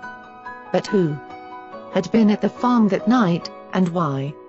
Chapter 10 For several months, James had talked about visiting Barbara, but on the only weekend he'd actually planned to go, he had been frightened, by memories of seeing a human mutilation, enough to change his mind. Now, with Barbara's presence and his parents' support, James decided to go through a regression. It was a real act of courage, we all realized, considering his decidedly unobtrusive and private nature. Telling his parents, whom he loved and wanted to protect, about the alien encounters was the hardest thing he had ever done, I believe, and I silently congratulated his strength of will when he asked Barbara to help him with hypnotic regression. A few months before, it was all he could do to talk about his experiences even with us, and by this time I knew that part of his reluctance was fear of being thought crazy. For too long, that had been the only explanation he could accept, such thing just weren't real, and he worried that others would naturally make that assumption too. Casey and I hoped that reclaiming his lost memories would help him as it had helped us, by relieving the isolation and the faceless fears abductees develop. Barbara and James began his regression one evening after dinner, with his mother, Sandy, waiting for the results with us. From the first, she had been emotionally supportive of James, which surprised me. Until, that is, I learned that other members of her family had had their own strange stories to tell in the past, including her father and sister. Most intriguing was her story of a night long ago when her sister encountered a small floating ball of light, about the size of a basketball. We immediately remembered James and the basketball-sized light that had come into his room and told him he couldn't understand any more than the interdimensional woman had already told him. When the regression was over, we listened to the tape of the session together. Barbara asked James to choose which experience he wanted to look at, and he went back to the series of nightmares he'd had just prior to Barbara's visit here. He knew, at the time of the terrible dreams, that they were more than just dreams, but it was hard for him to accept that they revealed a real event until he'd gone through the whole thing under hypnosis. I'm lying down on my back, James said, beginning to relive the experience. I see my head, about here, there's no hair. Hurt. Lots and lots of holes in my head holes around my head, in a line. Makes your heart speed. How do you feel about this? Barbara asked. Are you scared? Yes.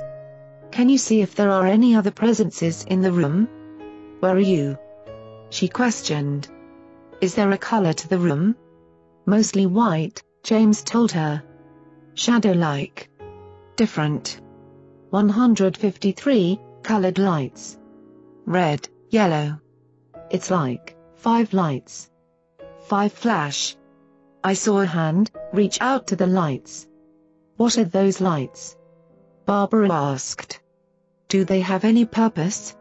A hand touched the lights, five lights, he replied. Something hurt my aim.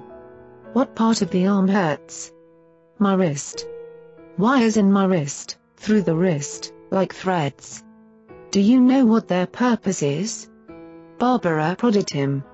No. How many are in your wrist? One, James said, just one in the wrist. It hurts, the wire. Is this the dream you wanted to look at? Barbara interrupted. The dream that happened a few nights ago?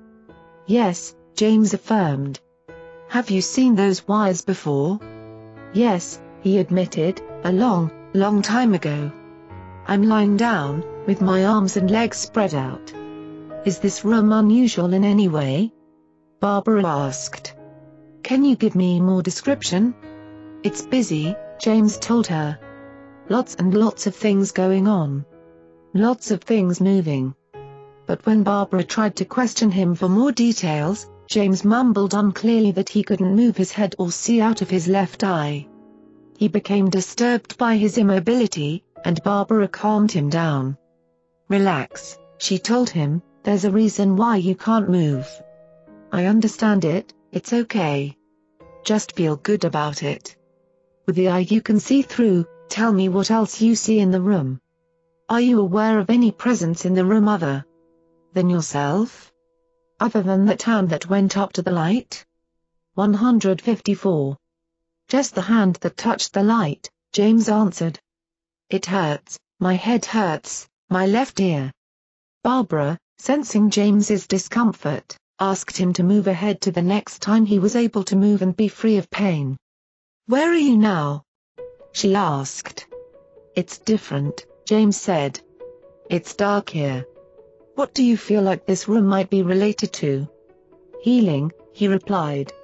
Is it like a recovery room? Barbara suggested. Yes. You feel much better now, don't you?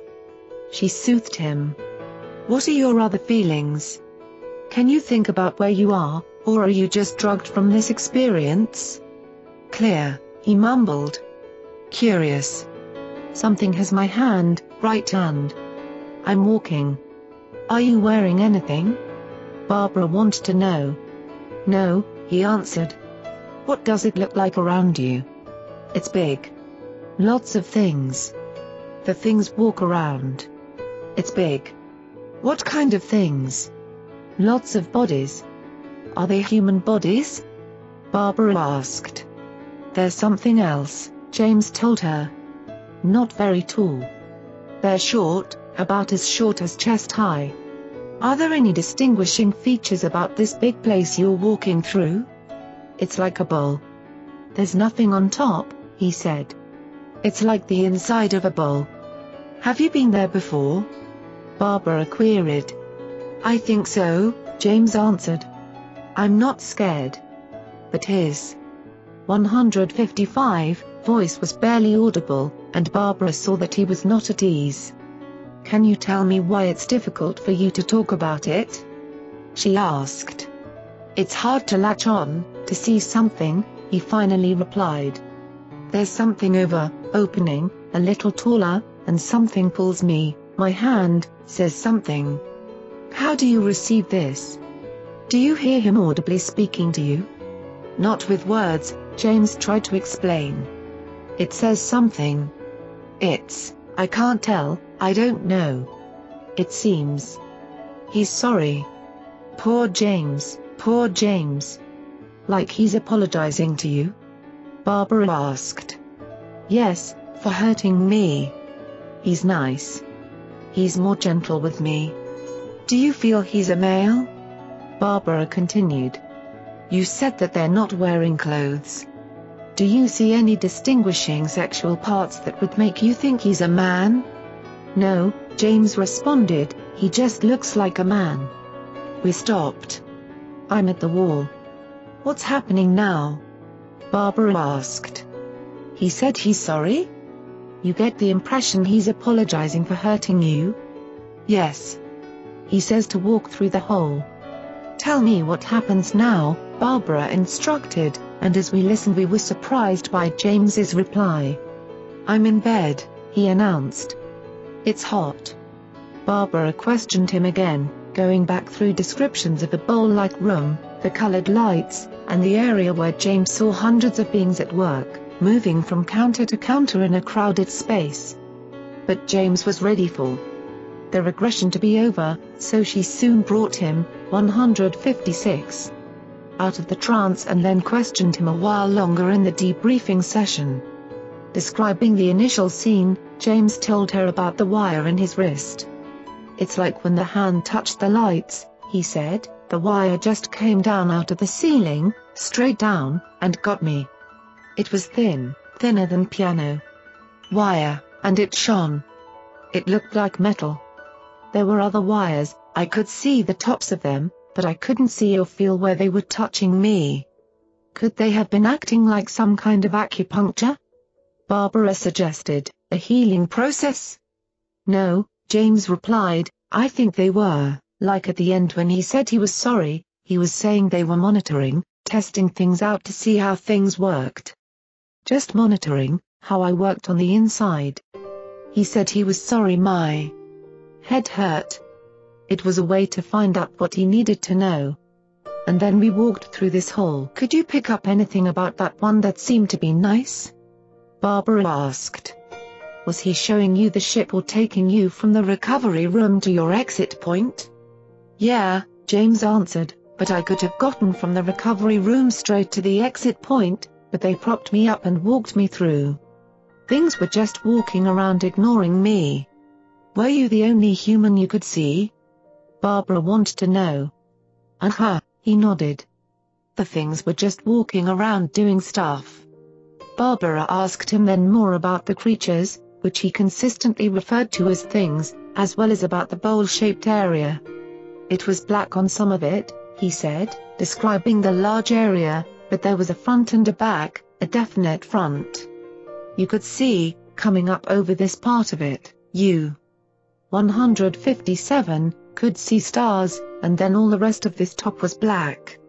It was just one level, sloping, and I looked all around. It was gently sloping, and then all of a sudden I just walked up and there was a wall. Did you feel this place was up in the sky? Barbara asked. Yeah, he said. Standing over here you could see that it was curved, because you could look down and see it all. All over and curving down to the walls. It was all real flat, beneath except for these counters coming up about this wide, and then they made a maze of these things. And the little things are standing around them, and they were all walking around, with all these lights on top, of the counters. They were different colors, flashing, and they were looking at them, not touching them or anything, just standing over there. As he described the place, He pointed to various parts of a sketch he was making. It was just a maze, he said. It didn't look like there was any kind of order to it. Just lights. They'd stop and look down at the lights, and then they'd walk to another counter and look at the lights over here, and they were all just walking around looking at lights. Next he sketched a rough picture of the being who escorted him. The one that was leading me around, he said, his head came out further in the back than mine does. They all looked pretty much identical. The head was flat in front. They were colored kind of muddy brown, or gray mud color. When he finished the drawing and the description, Barbara asked one more question, remembering something else she'd heard earlier about James's experience. And then it seemed that you were walked through a little bit and taken to that opening, where you are, 158. Transported back down to your bed, she reiterated. Was that the night you found blood? Yeah, James recalled, that was the first night. It was in the middle of the sheet. When the being apologized to you, Barbara finished up, how did you feel about him? I believed him, James said quietly. He seemed, he didn't say like I'm sorry, it was like, an overwhelming feeling. I came out with the words to match whatever it was, the feeling I got. He was sorry for hurting me, but there wasn't any other way. I got the impression I was part of what they were trying to find out. The pain, they were monitoring some of that as well. As to how it registered with me, how I perceived it, or how I worked. Maybe the holes were just put in your mind to see how you would react to holes in your head, Barbara suggested. They could have projected it into your mind, and then you get afraid, and they register your fear. Does that make sense? There aren't any holes in your head, and your hair hasn't been shaved. James shrugged, and Barbara asked, How do you feel now? Spooked, he said. You know, she told him, this is happening to other people, but often the most intelligent ones. Small consolation, James replied.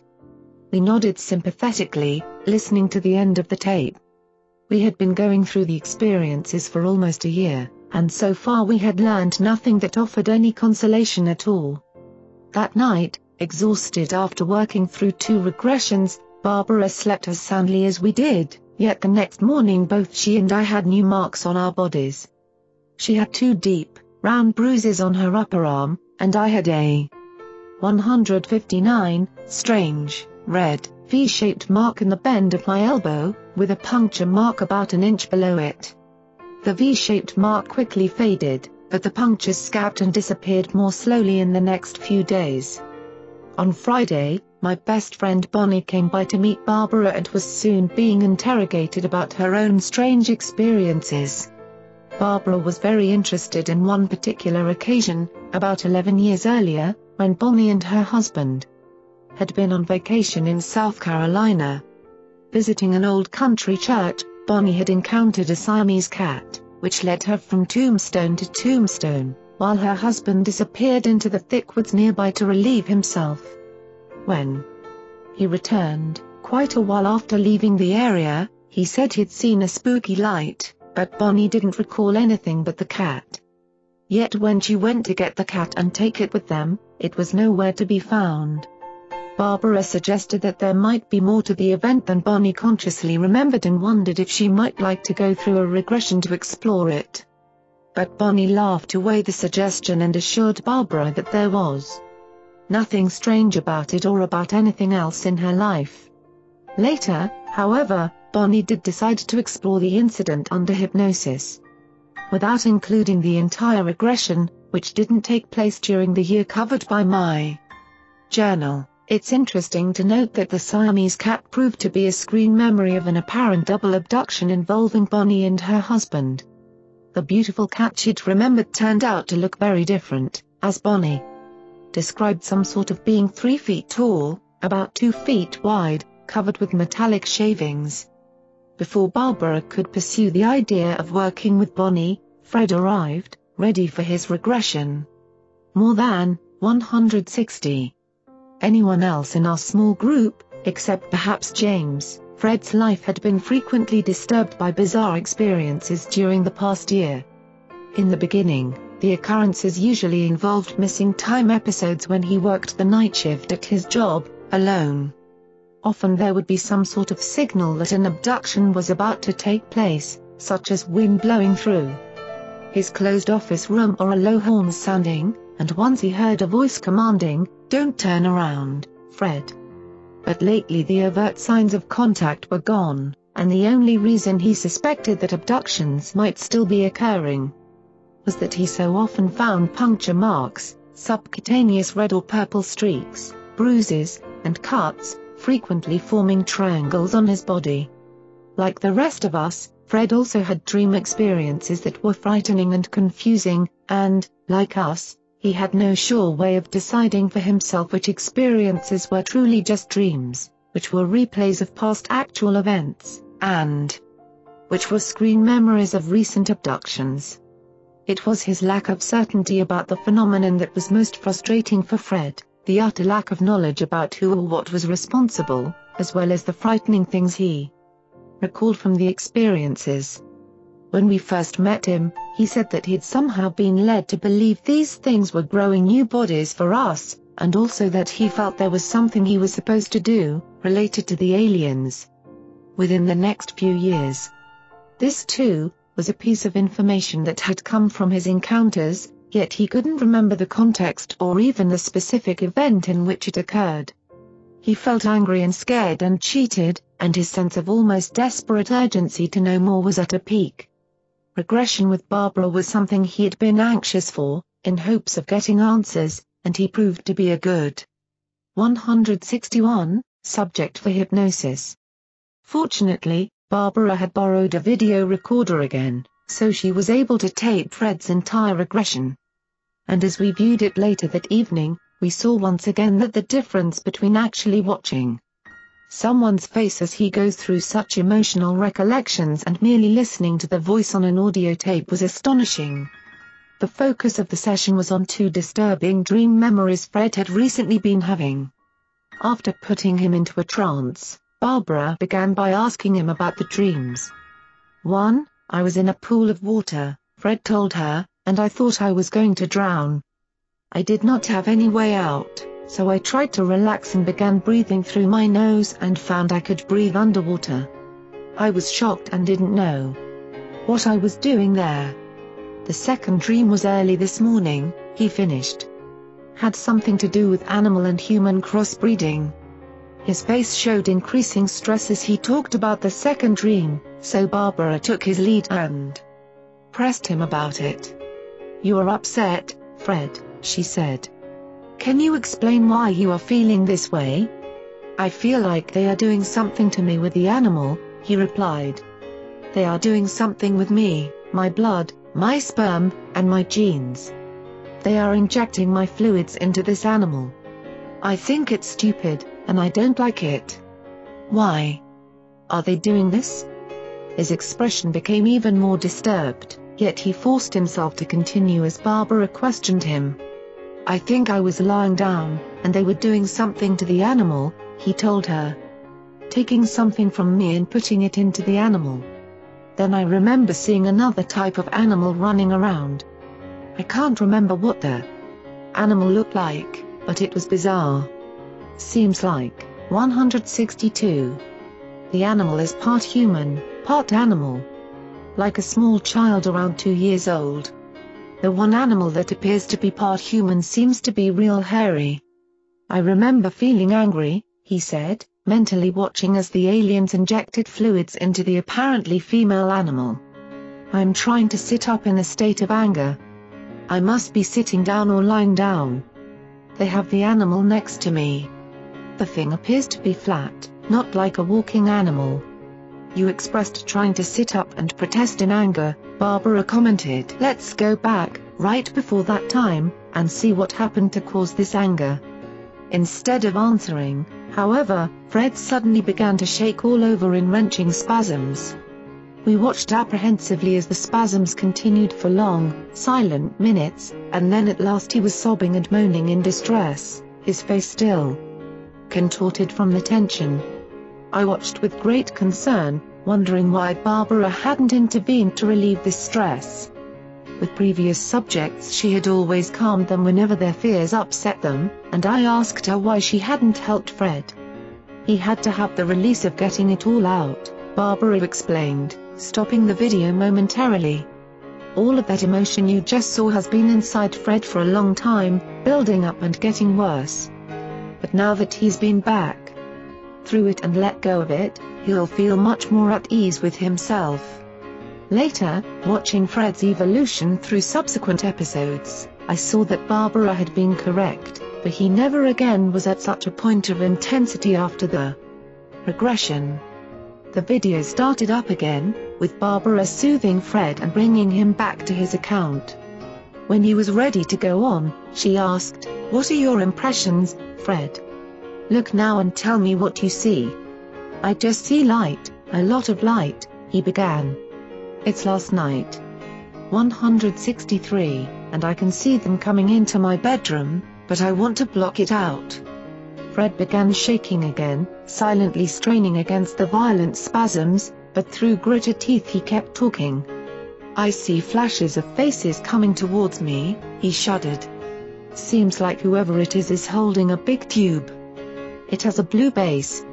I can see three inches of the tube, but I can't see all of it. Is the animal feeling upset like you are? Barbara asked. The animal is sedated. It's about two feet away. I'm on one and it's on another table. What are you on? I'm on a singular bed, Fred explained.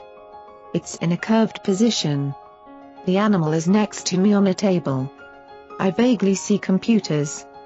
You said there was another animal, Barbara interrupted. Can you describe it? I can't see it clearly, Fred replied.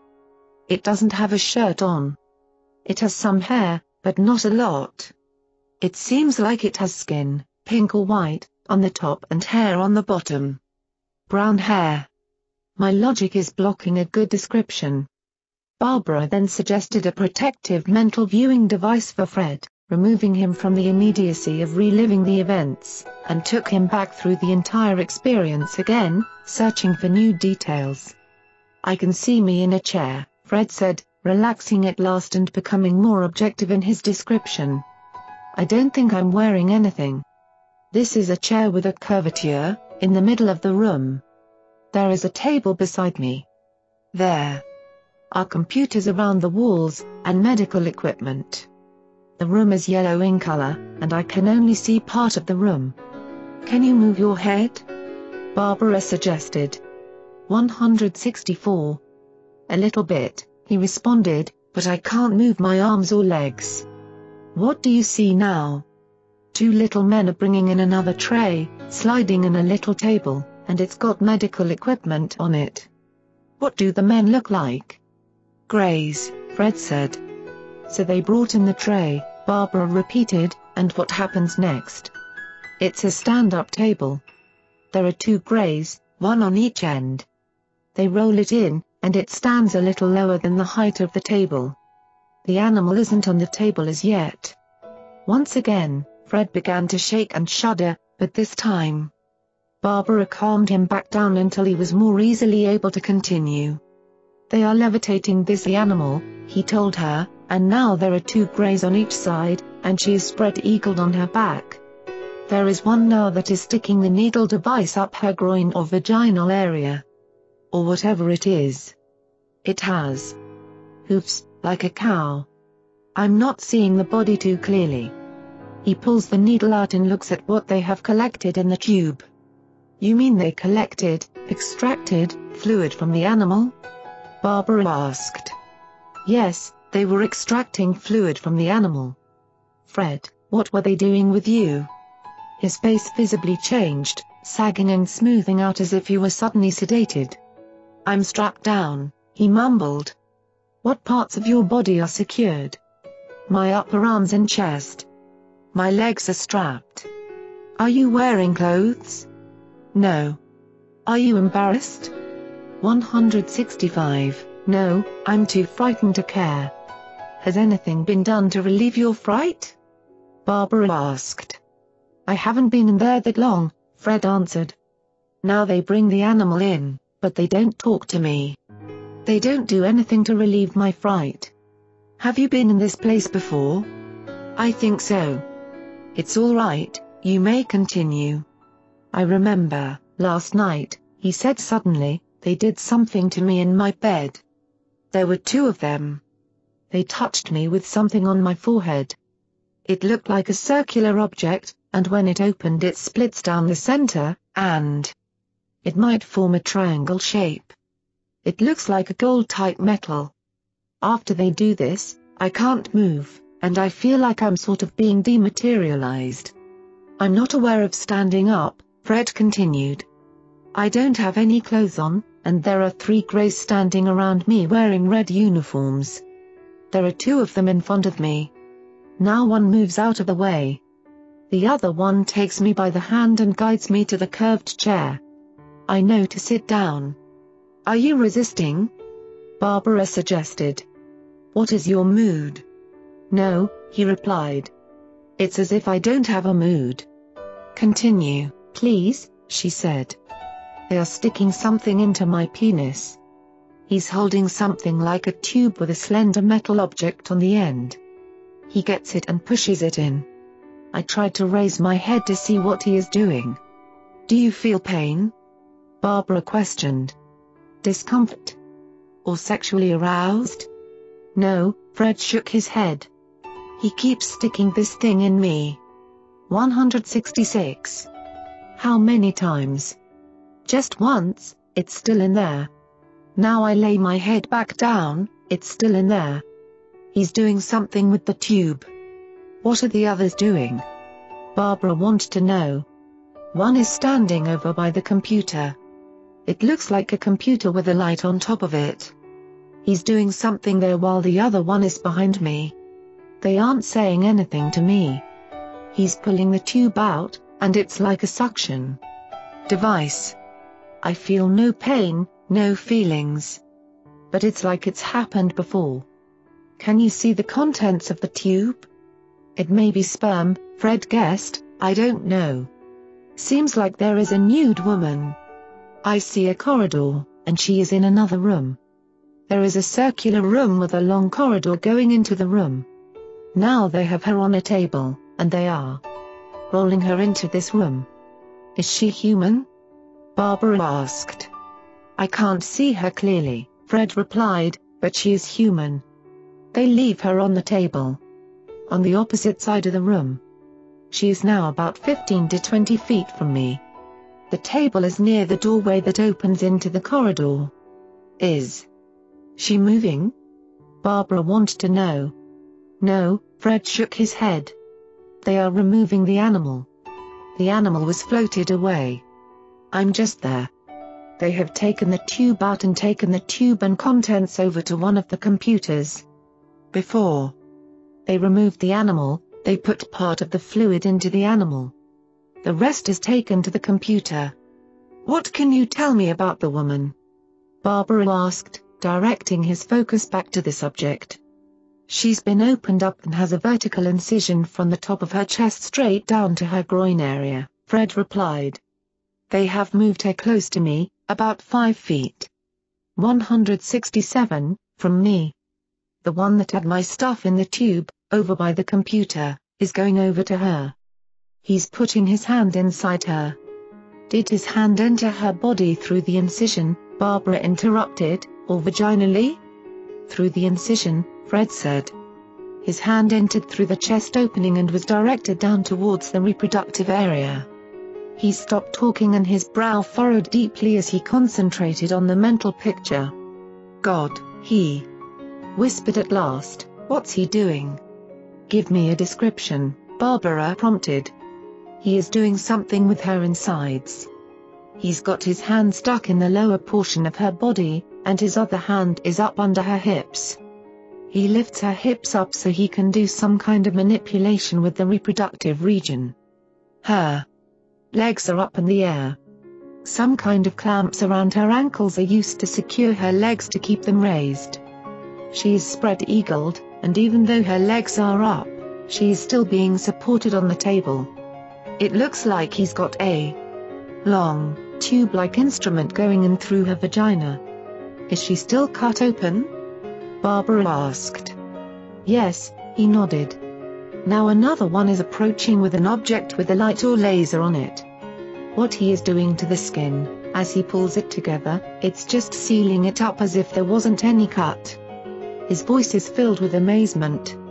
As he studies the mental image, he uses the light, pulls the skin together, and you can't tell she was ever cut. Did you ever have any physical contact with a woman? No, this was strictly surgical. Do you think the contents of your tube were injected into her? I think it went into the animal or a combination of both. 168. The woman and the animal. He began to be upset again, agitated and gritting his teeth, shaking his head. How do you feel, Fred? Barbara asked, wondering what brought on the tension. They are getting ready to do something to me, he answered, still so agitated that Barbara had to remind him of the protective viewing device before he could continue. He's going into my eyeball, he told her. He's doing something to my eye. He's going into the camera of my left eye. He has a long, thin rod, probing between skin and the eyeball. Is he hurting you? No. What is happening now? He has this long needle tube device, and he's putting it into my navel, and he's going up under my skin to the left side of my chest. Fred's agitation turned to obvious distress as he fought to keep control. What's he doing? Barbara asked, what is the purpose of this procedure? He's scraping tissue from the inside, Fred replied, still very disturbed. I don't know why they want to get inside tissues. Hell, they could have gotten that from the girl when they had her opened up. His expression changed then. From fright to anger. They've got a vial of something, clear fluid. I don't know if they are going to make me drink it or what. No, they are going to inject it right in through the cut into the navel. How large is this vial? About three inches he indicated with his fingers. Concerned about his angry mood, Barbara asked if he wanted to stop the session, but Fred refused. I want to see them clearly, he told her, and Barbara gave him instructions to sharpen his mental vision. 169, As you leave this event, she said, walk behind the thick curtain and close it. Then quickly pull it apart just enough so you can take a quick peek at them. You will be able to see them clearly. There was a pause as Fred implemented her instructions, and then, becoming extremely upset, he told her, they are the Greys. Once the vivid experience was behind him, Barbara asked a few more questions and let Fred express whatever opinions he might have about the things he had seen. They are regenerating from animal to human, from human to animal, he surmised. Regenerating DNA. I think it has something to do with the immune system. Either they are testing our immune system, or doing something with it, what it is. I don't know, but they did implant something into the woman. They seem to be crossbreeding too. Between animal and human. Fred, Barbara asked, bringing the session to a close, do you like them? He shook his head silently in the negative. Are you being taken against your will? Yes. Do you think you are genetically linked to them in any way? Yeah, he answered, in a way. Does that give them a right to do what they are doing to you? Nobody has the right to do or mess with my body, he insisted, unless I want them to. Chapter 11 With all of the scheduled regressions taken care of, we were now able to go back through the material and try to make sense of what had been discovered. It was clear, from comparing David's and Megan's regressions, that they both recalled previously forgotten events and descriptions which supported each other's accounts. From Megan's point of view, David's image had somehow been duplicated and used to distract her while three beings took the real David out of a car and behind a screen which kept them from being seen. Yet David recalled walking to the places that the duplicate, in Megan's story, had walked. It seemed to us that perhaps David's volition had been somehow shut down, unplugged as he put it, so that some other intelligence could manipulate his actions. We also noticed that both David and Megan gave descriptions of devices from angles that neither of them recalled being in positions to observe. And there was the matter of missing parts in their stories, for at a certain point neither of them was aware of the other's whereabouts. Barbara hoped to explore the missing parts in later regressions, for she reasoned that they must each have been inside or behind the device in order to know what it looked like. Whatever had happened there, however, David and Megan could not recall. Equally disturbing and frightening were the memories of painful physical experiences that Fred and James related. Yet Barbara said there were many such cases she had worked with, and in some instances other abductees had described identical procedures to the laser wound closing and the probing into Fred's eye. We discussed the fact that James's experience seemed utterly real to him, even though there hadn't been any scars or other evidence, save the blood on his sheets, to indicate anything had been done to his head. What kind of intelligence, we wondered, could cause hallucinations that seemed so real. And why? Barbara, through her research work with over 200 cases, had learned enough to formulate her own interpretation of such experiences. She believed that at least a certain group of these beings in some way feed off our emotions. Especially the strong ones that come from fear, pain, depression, and compulsive actions. It was no news to us that blood and fluid samples, as well as sperm, ova, and skin tissue, were reportedly taken during abductions.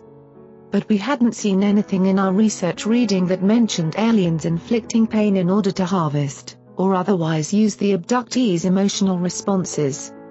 Barbara was the first researcher I'd heard who presented such an idea. With case after case to back it up, and I wondered if her cases were particularly different in that way from the abductions studied by other investigators. Aliens as emotional vampires was a very strange thought, but no stranger. Perhaps, than anything else we'd heard. And then I remembered my dream, of Casey and his black-garbed vampire. 173, friend sitting in a circular room, and wondered if it had indeed been an insight into the truth. In looking back through the material from Fred, I also saw a few familiar elements. At one point, for instance, he described a circular object which he thought could be manipulated into a triangle shape. I immediately thought of the round device I'd seen in the alien's hand on Halloween night, which I recalled as the source for the triangle of punctures on my neck the next morning, and I wondered if it was the same device Fred saw and then he'd talked about feeling as if he were about to be dematerialized.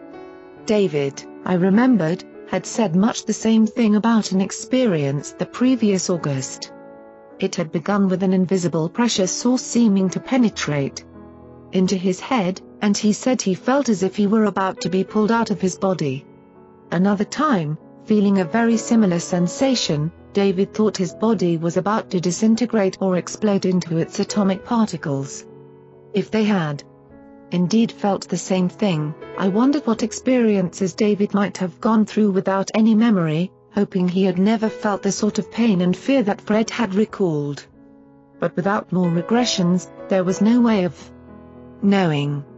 Barbara's time was limited, however, and the Bud Hopkins lecture was important enough, we hoped, to postpone further hypnosis sessions for another visit. James's parents decided to attend the lecture with us, but an hour before we were to leave, his father phoned to say they wouldn't be able to go. When I questioned him, he was vague, saying only that a family situation had come up which needed immediate attention. So our group consisted of Casey, Barbara, David, and me, with Fred meeting us at the lecture site. We arrived early, but the hall was already crowded. From 174. Our seats in the middle of the room, we scanned the faces, hoping to sight the woman James had seen at the August meeting. Casey and I had both recalled seeing a woman standing where James described and matching his description. In fact, I had noticed her looking in our general direction several times that night, so I had a very good idea of who to look for. Of course, we had watched for her at all the other meetings since Lear's August lecture, without success, but Hopkins was the first widely known guest since Lear, so we assumed there was a chance she'd show up. The hall filled up with so many people that we couldn't keep track, and then the lecture began. Having read both of Hopkins's books on abduction experiences, I was aware of how his views on the phenomenon had slowly changed. At first, he had dealt only with people recalling abductions from their past, and he thought such events must be one-time occurrences. Then, working with more people, he'd learned that abductions were sometimes repeated.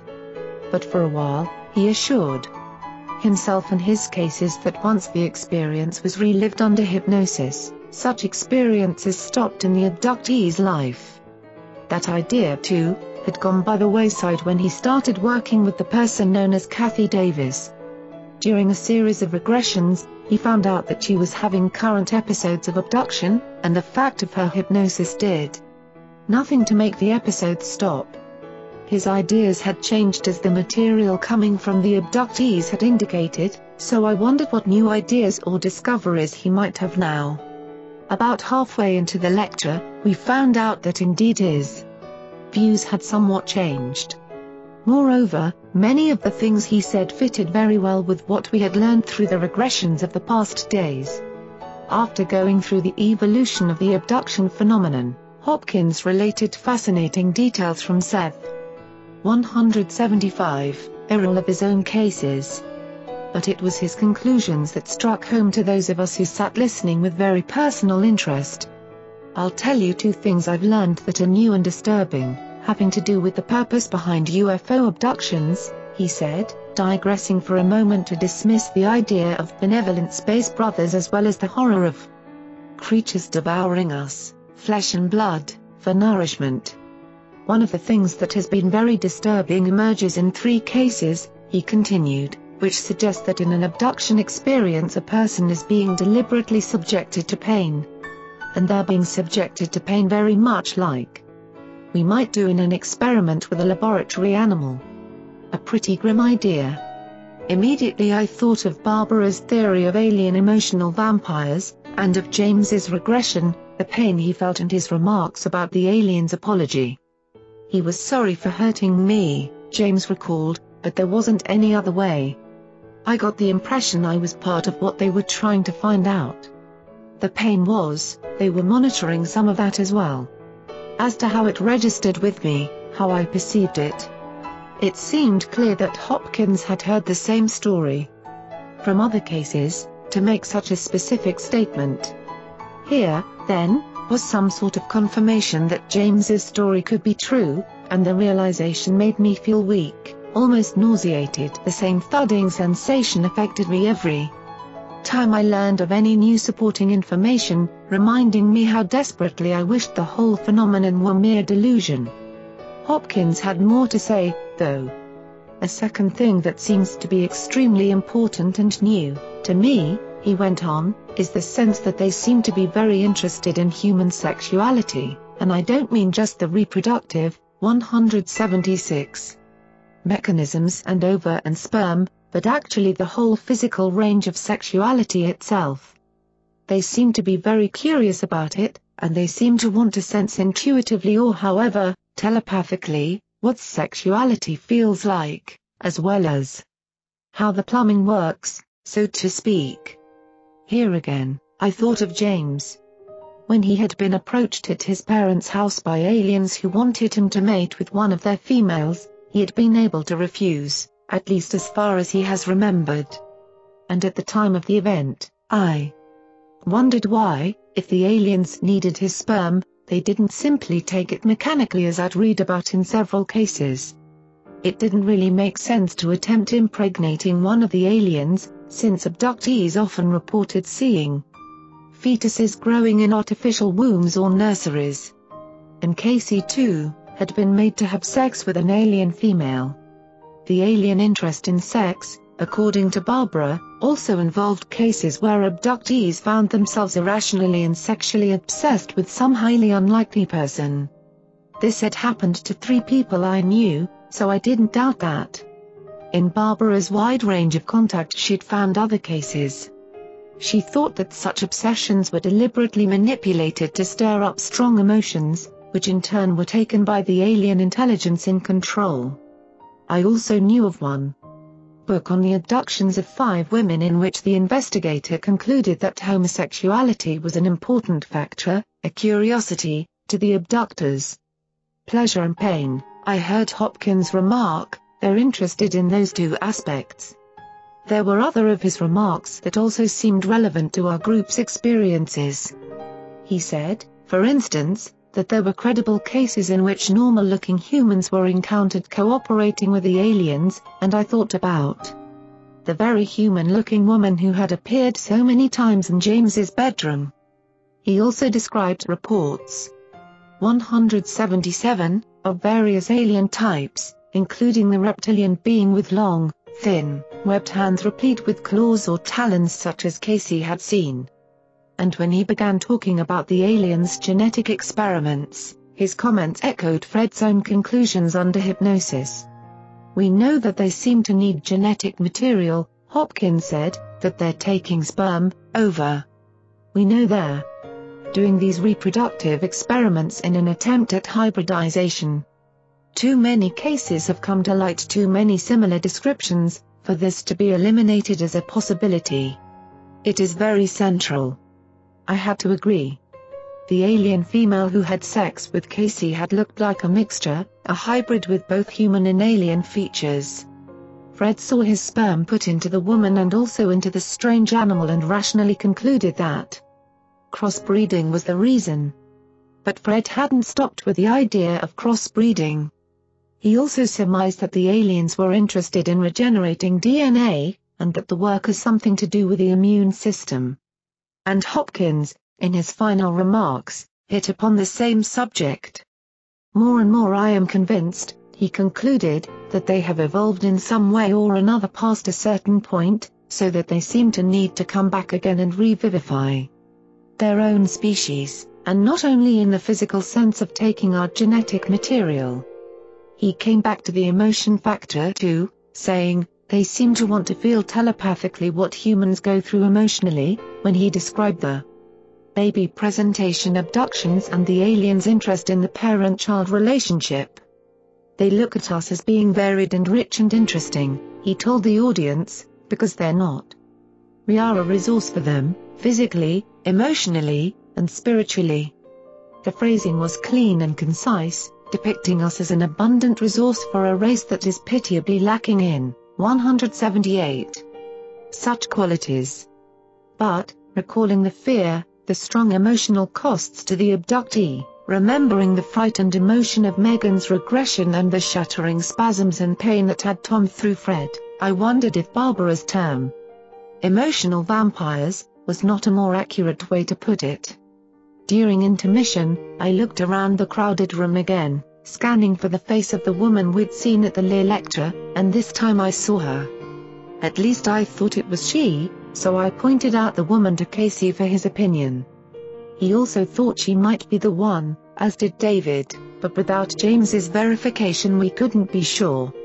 I bitterly regretted his and his parents' absence and wondered again what had changed their minds at the last moment. If James had, been here, we could have approached the woman and questioned her, but I was too afraid of making a mistake to risk it then myself. Still, I reasoned that if she was here tonight, she would likely show up at later meetings. Surely James will want to come next time, I told myself, once he hears that she was present again. When the lecture ended, some of the study group members invited us along for coffee and dessert with Hopkins at a nearby restaurant, and we accepted eagerly. By the time we arrived, more than a dozen people were already seated at a long table, but there were several vacant seats across from Hopkins. We sat and talked for a few minutes, and then more people arrived. Imagine our surprise when the woman we'd seen at the lecture was among them. And I was even more surprised when she took the chair next to me and began talking familiarly with Mr. Hopkins. At first I was too shocked to speak to her, but I listened and learned that she had just been through her first regression with him and had discovered her own abduction experiences. A little later I managed to say hello and 179, introduce myself. Anne, pseudonym, seemed to be a normal person, not at all what I expected from the woman who might have been at the farm with James. Yet I was certain, upon closer inspection, that she was the woman I'd seen looking in our direction at the Lear lecture, so I tried a few innocent questions. I remarked that she looked familiar and asked if she'd been to any previous meetings. When she answered yes, I asked if she'd attended the Lear meeting, and again she answered that she had. That must be where I've seen you, then, I said. Were you one of the ones who had to stand up? Yes, I was, she confirmed, beginning to sense that my questions were leading somewhere. Why? Were you in the doorway, the front doorway near the podium? I continued. Well, yes, she replied. And were you wearing a sort of blue sweater top? This is very strange, she said, a little uncomfortably. I don't remember what I was wearing, but I do have a blue top like you're describing and I could have been wearing it, I guess. What is this all about? Nothing, really, I told her, afraid to go any further without James's positive identification that she was the one. It's just that I remember seeing someone looking over in our direction several times, and I think it must have been you. And then, to change the subject, I asked if she'd ever been up to our town, since that's where the interdimensional woman had visited James. She replied that she hadn't ever been there, though, so I quit trying to get relevant information from her. Instead, we talked about our respective backgrounds, marriages, children, and abduction experiences, although not in great detail. But when I heard that she was originally from St. Louis, an alarm went off in my head. 180. The only place James had ever seen the woman, other than the farm, was in the St. Louis area on his trip the previous summer. James and his entire family had come from there, and it seemed like a very big coincidence that this woman also was a St. Louis native. It now seemed extremely important to bring her and James together. I was certain she was the woman I'd seen at the Lear lecture, but I was still afraid to tell her that, much less to tell her why. It was clear that she was a victim of the abduction phenomenon not a perpetrator, yet it was her image, I was convinced, that James's alien visitor had used. And his attendance at the Lear lecture, where he would spot this woman, had to be more than coincidence too. Facing a long drive back home, we finally left in the early morning hours, but we were too excited to go to bed right away. Still, the prospect of getting up early and driving back into the city for Mr. Hopkins's workshop was a good incentive, and the few hours of sleep we managed to get gave us new energy for the next day. Anne was present at the workshop, again to our surprise, and it seemed fated that we should have more contact.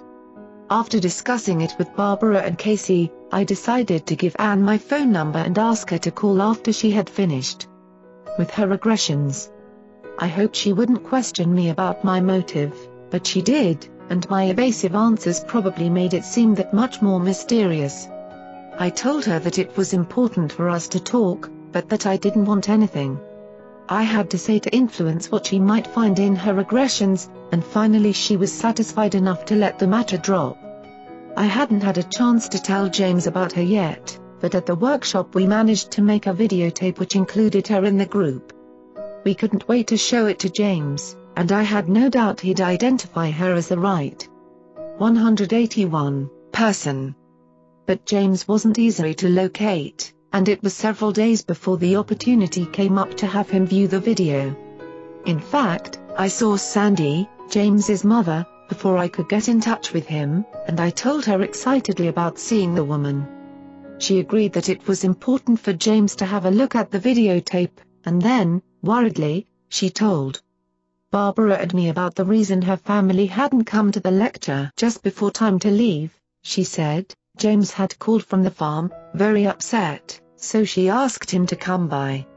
Once he arrived, he seemed almost desperate about something, refusing to go to the meeting, even implying self-destructive threats. Frantic to calm him down, his parents stayed home and talked with him and the other children about the situation. Listening to Sandy's story, I wondered if James's actions hadn't been caused by fear, after the nightmares he had in which he saw his family violently destroyed. But I'd promised him I wouldn't tell anyone else, so there was no way I could offer an explanation to Sandy. Besides, I couldn't be sure that those dreams were responsible. James, from the beginning, was extremely reluctant to talk about his experiences. Even under hypnosis, he was slow to respond. Frighteningly quiet, and his answers were frequently either monosyllabic or fragmented.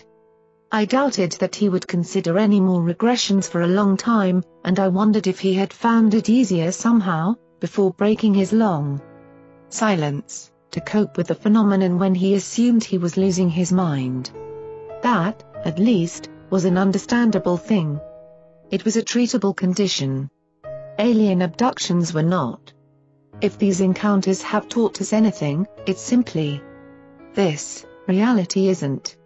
While Sandy was visiting with us, she and Barbara got to know each other a little better, and it came out that all of 182 James's family were from the St. Louis area. Barbara was surprised and pleased, because she had grown up there herself. She was only two years older than Sandy, so their memories were of many similar places and things in St. Louis.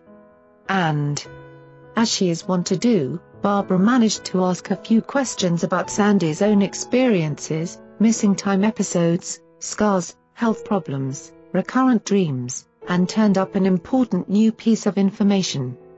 There was one dream, more a nightmare, Sandy told us, that had recurred throughout her life. The first time she'd dreamed it was when she was very young, perhaps five, and as she described the dream, I saw that Barbara's eyes got wider and wider. It was always the same dream, Sandy is standing very close to a dull grey surface, her face only inches away. The grey thing is an enormous spear, so huge that in comparison Sandy is only a tiny dot. Something is drawing her into the spear, but she is fighting against the urge, for she knows that if she ever enters the spear, she will never come back. This dream had first occurred when Sandy was seriously ill and there was a question of her surviving the illness. She finished telling us about the dream, and Barbara's expression was very strange. You are the first person I've ever met, she told Sandy, who has seen the spear. You've seen it too? Sandy asked in surprise. Yes, in St. Louis. Barbara replied, when I was about five years old. What is it, do you know? Sandy wondered. Well, no, I'm not sure, Barbara answered evasively and changed the subject. But it was clear that she knew more than she was willing to say. When we were alone, however, on our way to take her to the airport, I immediately asked her about the grey sphere. I've never told anyone about this, she said. That's 183, why I couldn't believe it when Sandy started describing the thing. Our experiences must have been very similar. Why didn't you want to tell her about it, then? I asked. I didn't want to frighten her, Barbara explained. When I was taken to the sphere, I was told that it was a repository for souls, where human souls are somehow recycled. If that's the same thing Sandy saw, I guess she wouldn't have come out of that sphere alive. I agreed that there was no need to worry Sandy with this information, but we both hoped that at some future time she would decide to undergo regression. There were several unusual experiences Sandy had remembered, all indicative of alien encounters. But that would have to wait for a later visit. Meantime, I finally tracked down James and played the videotape from the Hopkins workshop.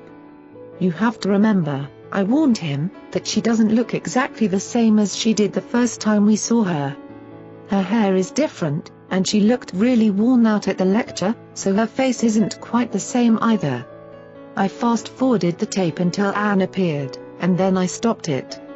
That's her, isn't it? I asked confidently, watching James's face for the spark of recognition I was sure would come.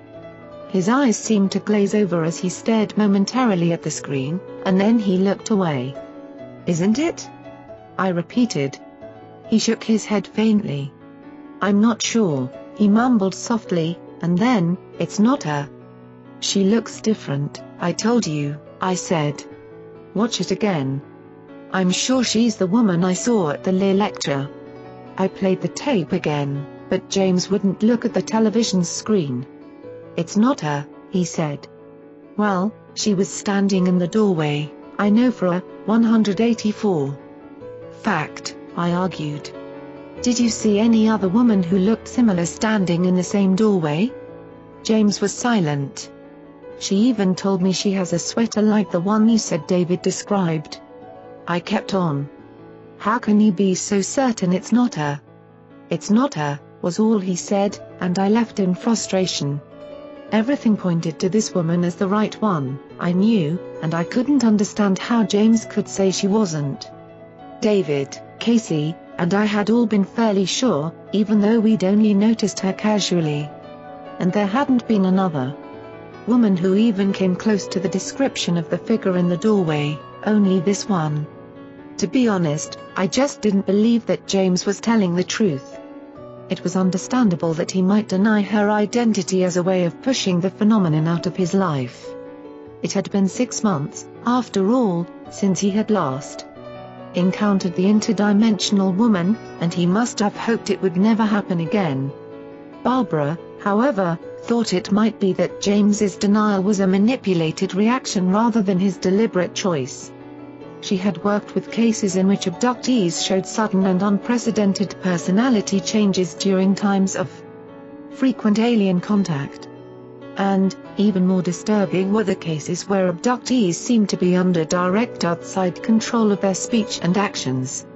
In these cases, the abductee's own personality or consciousness is put on hold, and a separate intelligence takes over.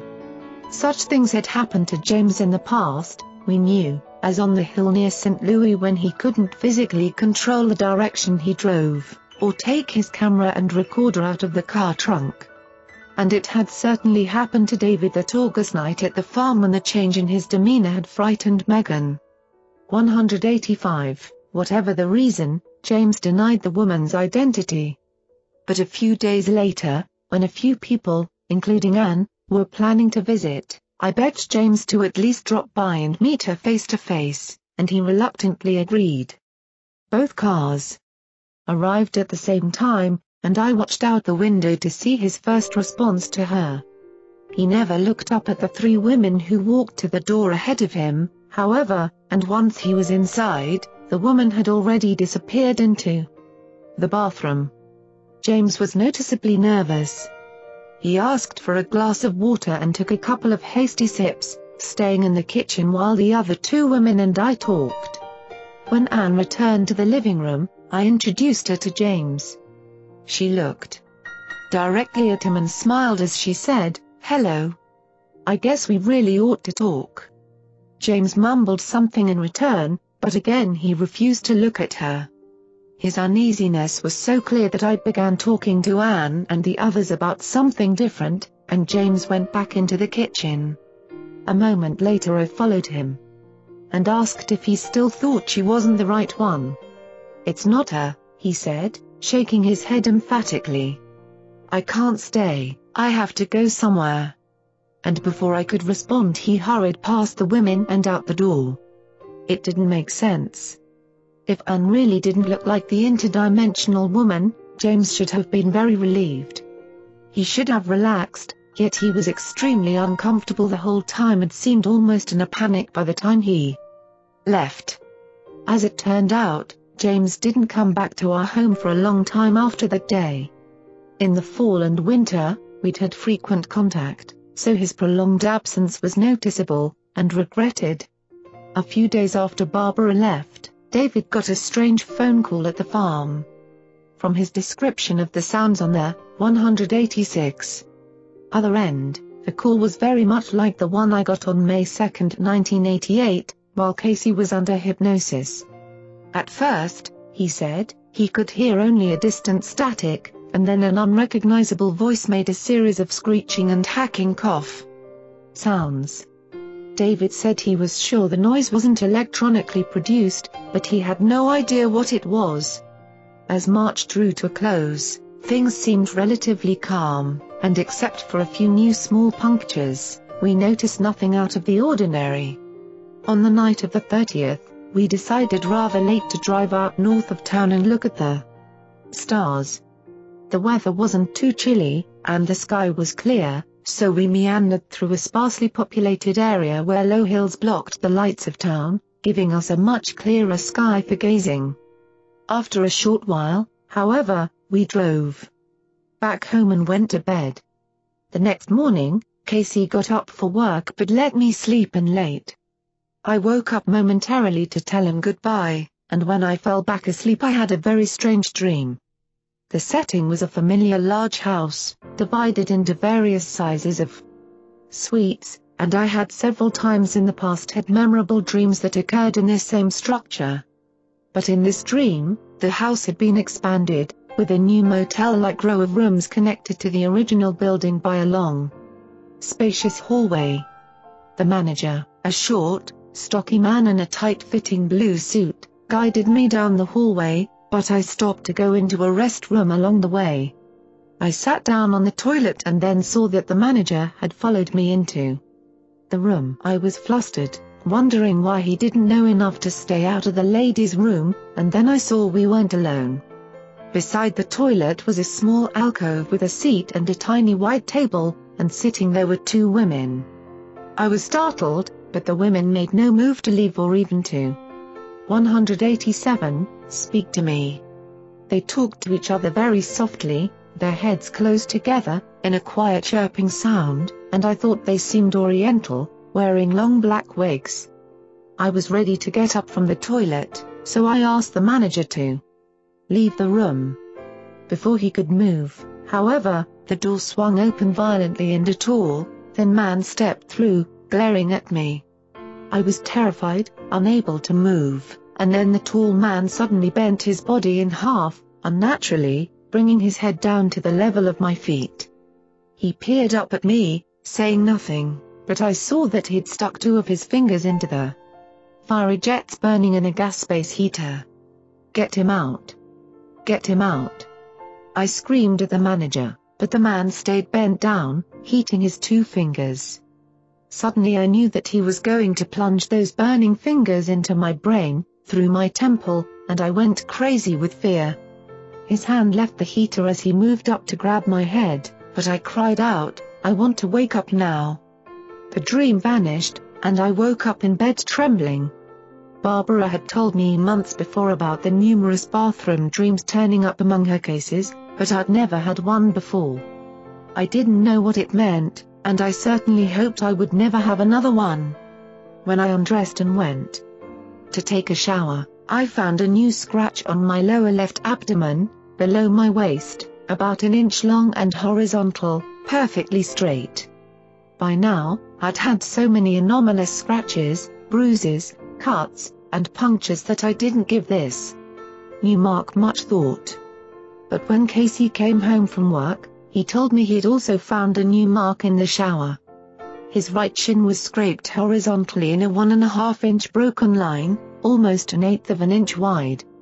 It was still really bloody when I first found it, Casey, 188, told me, but I don't remember hitting it or scraping it at all. From the size of the scrape it was clear that he'd have surely felt quite a bit of pain from the injury, certainly enough to remember doing it. The sheets were still on the bed, so we drew back the cover and searched for any spots of blood, to see if his leg somehow might have been injured while he was still in bed, but the sheets were clean. And later, looking back through the journal I was keeping I noticed that this was the third time Casey had gotten out of bed. With a raw, bloody scrape on his right shin and no known explanation. Chapter 12 In April, the occurrence of physical marks on our bodies dropped off drastically. On the 5th, I found a small scratch on my left kneecap that I couldn't account for, but for almost the next three weeks neither Casey nor I found any anomalous marks. Strange things continued to happen, however, and we wondered if they were in some way related to the UFO ET phenomenon. one of the incidents in particular captured my imagination, and now, over a year later, having learned a bit more about possible UFO technology, I believe it may indeed be important. After going to bed as usual on the 6th of April, I awoke sometime later in the night, and I soon began to hear music in my head. I wondered momentarily if I were generating the music myself, but it was so unfamiliar and such a surprise that I didn't think so. Besides, the music had a very concrete quality about it, as clearly heard as music coming through. Perfectly balanced headphones would be. It was possible, then, that something might be sending the sounds into my 189, 190 thoughts either by accident or design. I do know that I was not asleep, as I tested my reality several times, opening my eyes, sitting up and moving around. I heard the music very clearly, for a sustained period of time. It was like synthesized music, light and airy and beautiful, with a strange rhythm and quick succession of notes. As I listened in amazement to this music, I began to see a rectangular shape, like a piece of paper, on which the notes traced out ephemeral designs in various colors. The rectangular image and the note designs, like the music itself, I experienced internally rather than through sensory input. Yet I saw them clearly. Then I began to hear other things. As if a radio dial were being moved up and down the frequency bands, I picked up bits and pieces of various voices, none of which I recognized. The words made no real sense, just snippets like, hey, brother, in one instance, and another voice that sounded like someone trying to talk in a computerized voice. That was followed by more music, and then the voices started up again, and finally the music returned for a little while. Longer.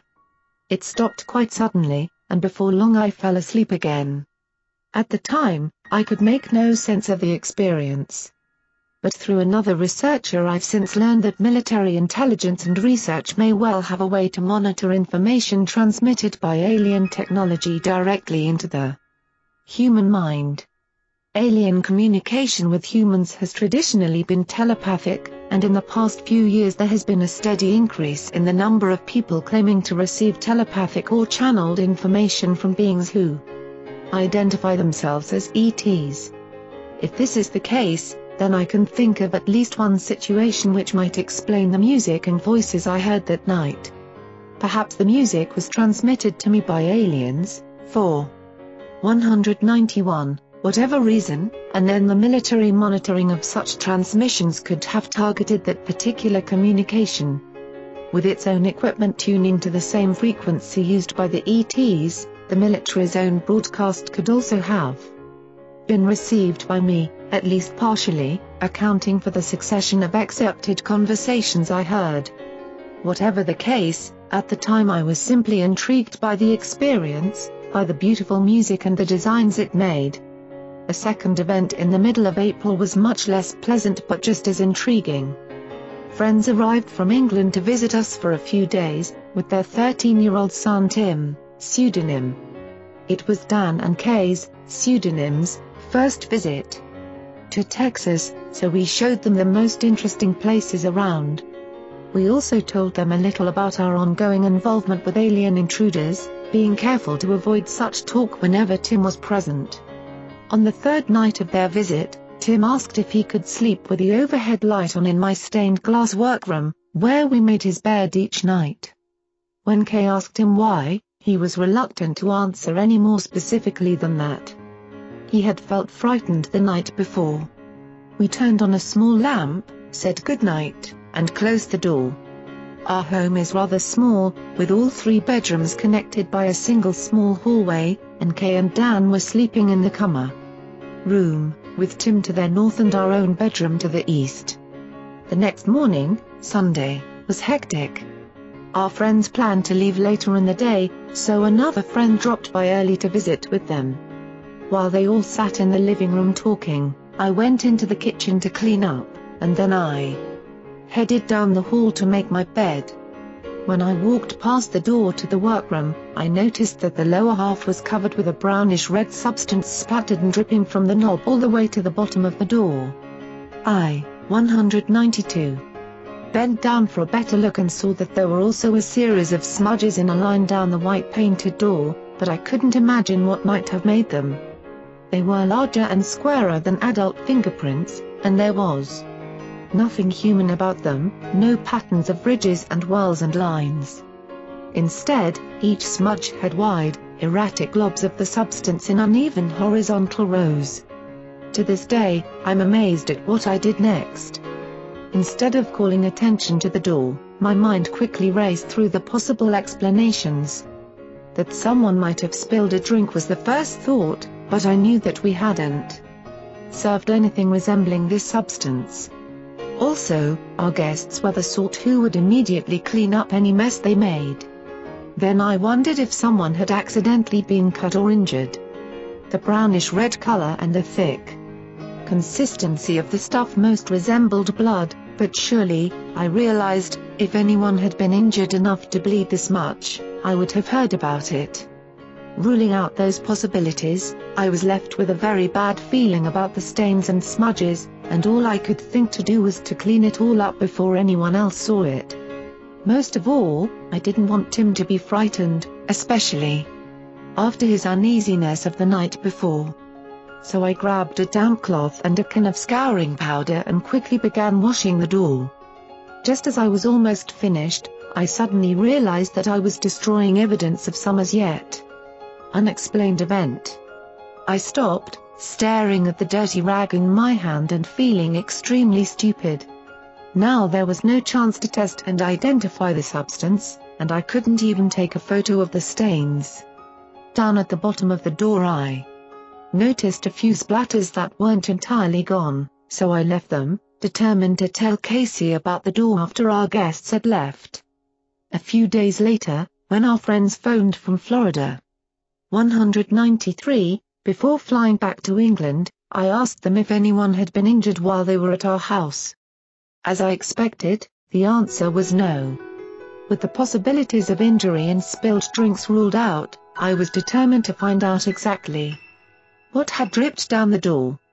I contacted a pathology lab and a forensics lab, hoping someone could test the residue on the rag, but I was told that the presence of the scouring powder and the minute quantity of the reddish substance still left on the rag would make testing a worthless effort. So the stains on the door still remain unexplained. They may have had nothing to do with our ET episodes, but they are part of a whole group of strange events, seemingly meaningless occurrences, that are as puzzling as the UFOs. Twice in 1989, for instance, one of our dogs was inexplicably moved from an enclosed area during the night. In the first case, our 13-year-old dog Asher, who was mostly deaf and completely blind, was put in the far backyard behind a locked gate for the night, while our younger dog Honey slept in the garage to keep her barking from disturbing the neighbors. The garage door was closed securely, although not locked. When Casey went into the garage the next morning, the garage door was ajar and Asher was in the small storeroom on Honey's bed. Casey went out back and saw that the gate was still latched, so he couldn't understand how Asher could have appeared in the garage. On another occasion, we were awakened by Honey barking in the backyard one Saturday morning, after she had been locked in the garage the night before, as once again the gate was still shut. When Barbara came back in May to do more regressions, a series of odd events took place, involving the bathroom light. Whenever guests are sleeping in the house, we leave the front bathroom light on. But on the first two mornings of her visit, when I awoke I noticed that the bathroom light was 194. Turned out. I assumed Barbara had gone to the bathroom during the night and freaked out the light behind her, so I didn't mention it until the third morning. I asked her about the light, and Barbara assured me that she had not turned the light off any of the previous nights. In fact, when she had gotten up once to go to the bathroom and found the light off, she assumed one of us had turned it out after she'd gone to bed. So that night we all three stood together in the bathroom, turned on the light, and agreed to leave it on until morning. We said goodnight and went into our bedrooms, closing both doors. Casey and I brushed and undressed for bed, and I inserted my earplugs as usual, since I'd become a very light sleeper through the past stressful months. We turned out the bedroom light, and then a few minutes later Casey raised up and called out, Good night, Barbara. Why did you say that? I asked him, knowing that Barbara couldn't hear him in the guest bedroom. She just yelled good night to me, he explained, and we went to sleep shortly after that. I was the first one up the next morning, and when I opened the bedroom door, I saw that the bathroom light was out once again. Knocking loudly on Barbara's door, I roused her long enough to ask if she'd turned out the light, but she said no. Casey was up by now, and he also denied touching the light switch or even getting out of bed during the night, and I knew that I hadn't either. A few minutes later, Barbara emerged from the bedroom.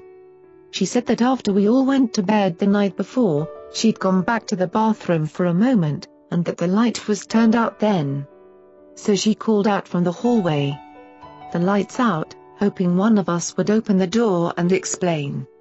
Casey had misunderstood her, thinking she had simply said good night again, so he didn't bother to get up. 195, the light, apparently, had been turned off only minutes after we left the bathroom, and we had no idea what was doing it, or why. We had little time to dwell on the mystery of the light, however, with people coming out daily for regressions. Barbara had also scheduled another session with David hoping to find out what had left the multiple scratches and welts on his leg the previous November. She put him under and directed him back to look at a significant experience he had that month. David instead began talking about an earlier event, one that took place the night of October 31st.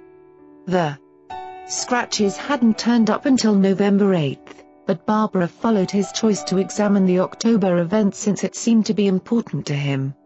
David had told us about that night right after it happened, and I had noted it in my journal. What he consciously remembered was waking up around 2 a.m. with a headache and going to the bathroom for aspirin. He noticed that all the lights in the farmhouse were turned on, except in the two bedrooms, and that the radio was playing in the living room. James had been away when David and Megan went to bed, but David now saw that James was asleep in his own room by the bathroom, so he figured that James had been careless and forgotten to turn everything out when he went to bed. David also remembered waking up again at some point, being unable to move in any way.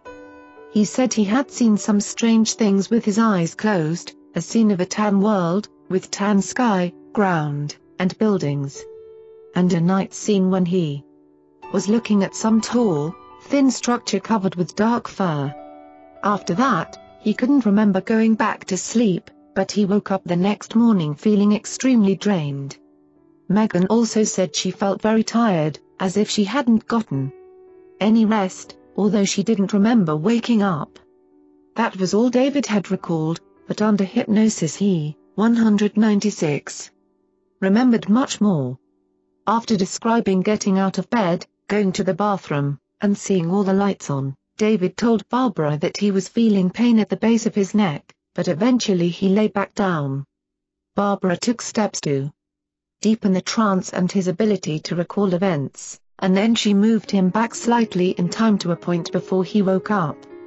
He described himself lying down on his back, unable to open his eyes but aware of a bright light in the room. Can you tell where this light is coming from? Barbara asked. I think it's from behind my head, David answered. My head is tilted back. That's why it feels like it's behind me. Your head is tilted back, then. How far back? Barbara asked. You mean, you're not on a pillow?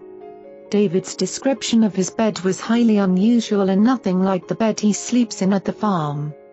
There's something underneath my shoulders, he explained, supporting underneath my shoulders, so my head's tilted back. My arms are kind of off to the side, hanging. My head is hurting, because my head is resting on my head. Or it's tilted back and resting on something hard, kind of on the back part of my head. And there's pressure on it. Are you wearing clothes? Barbara asked. I don't know, he replied. I don't have any socks on, because I can feel something, it feels like metal, almost smooth. Like in a doctor's office. Are you aware of any presences other than yourself? I can't hear anything, David said, but it's not like I'm in a room and there's no noise. It's just real distorted, shielded, or like underwater. I can hear something, barely. Just a kind of high-pitched whirring, like vents, or aspiration. And then every couple of seconds there's a Zawant. 197, sound. He laughed slightly. I can't do it right, he apologized. What kind of temperature do you feel? Barbara probed. It's cool. This thing under my shoulders is kind of soft but rigid, like a piece of plastic foam or something. It's not metallic. My feet are cold on this hard surface. I can feel my heels resting on it. My head is on it. Where my arms are touching it, it seems real sharp.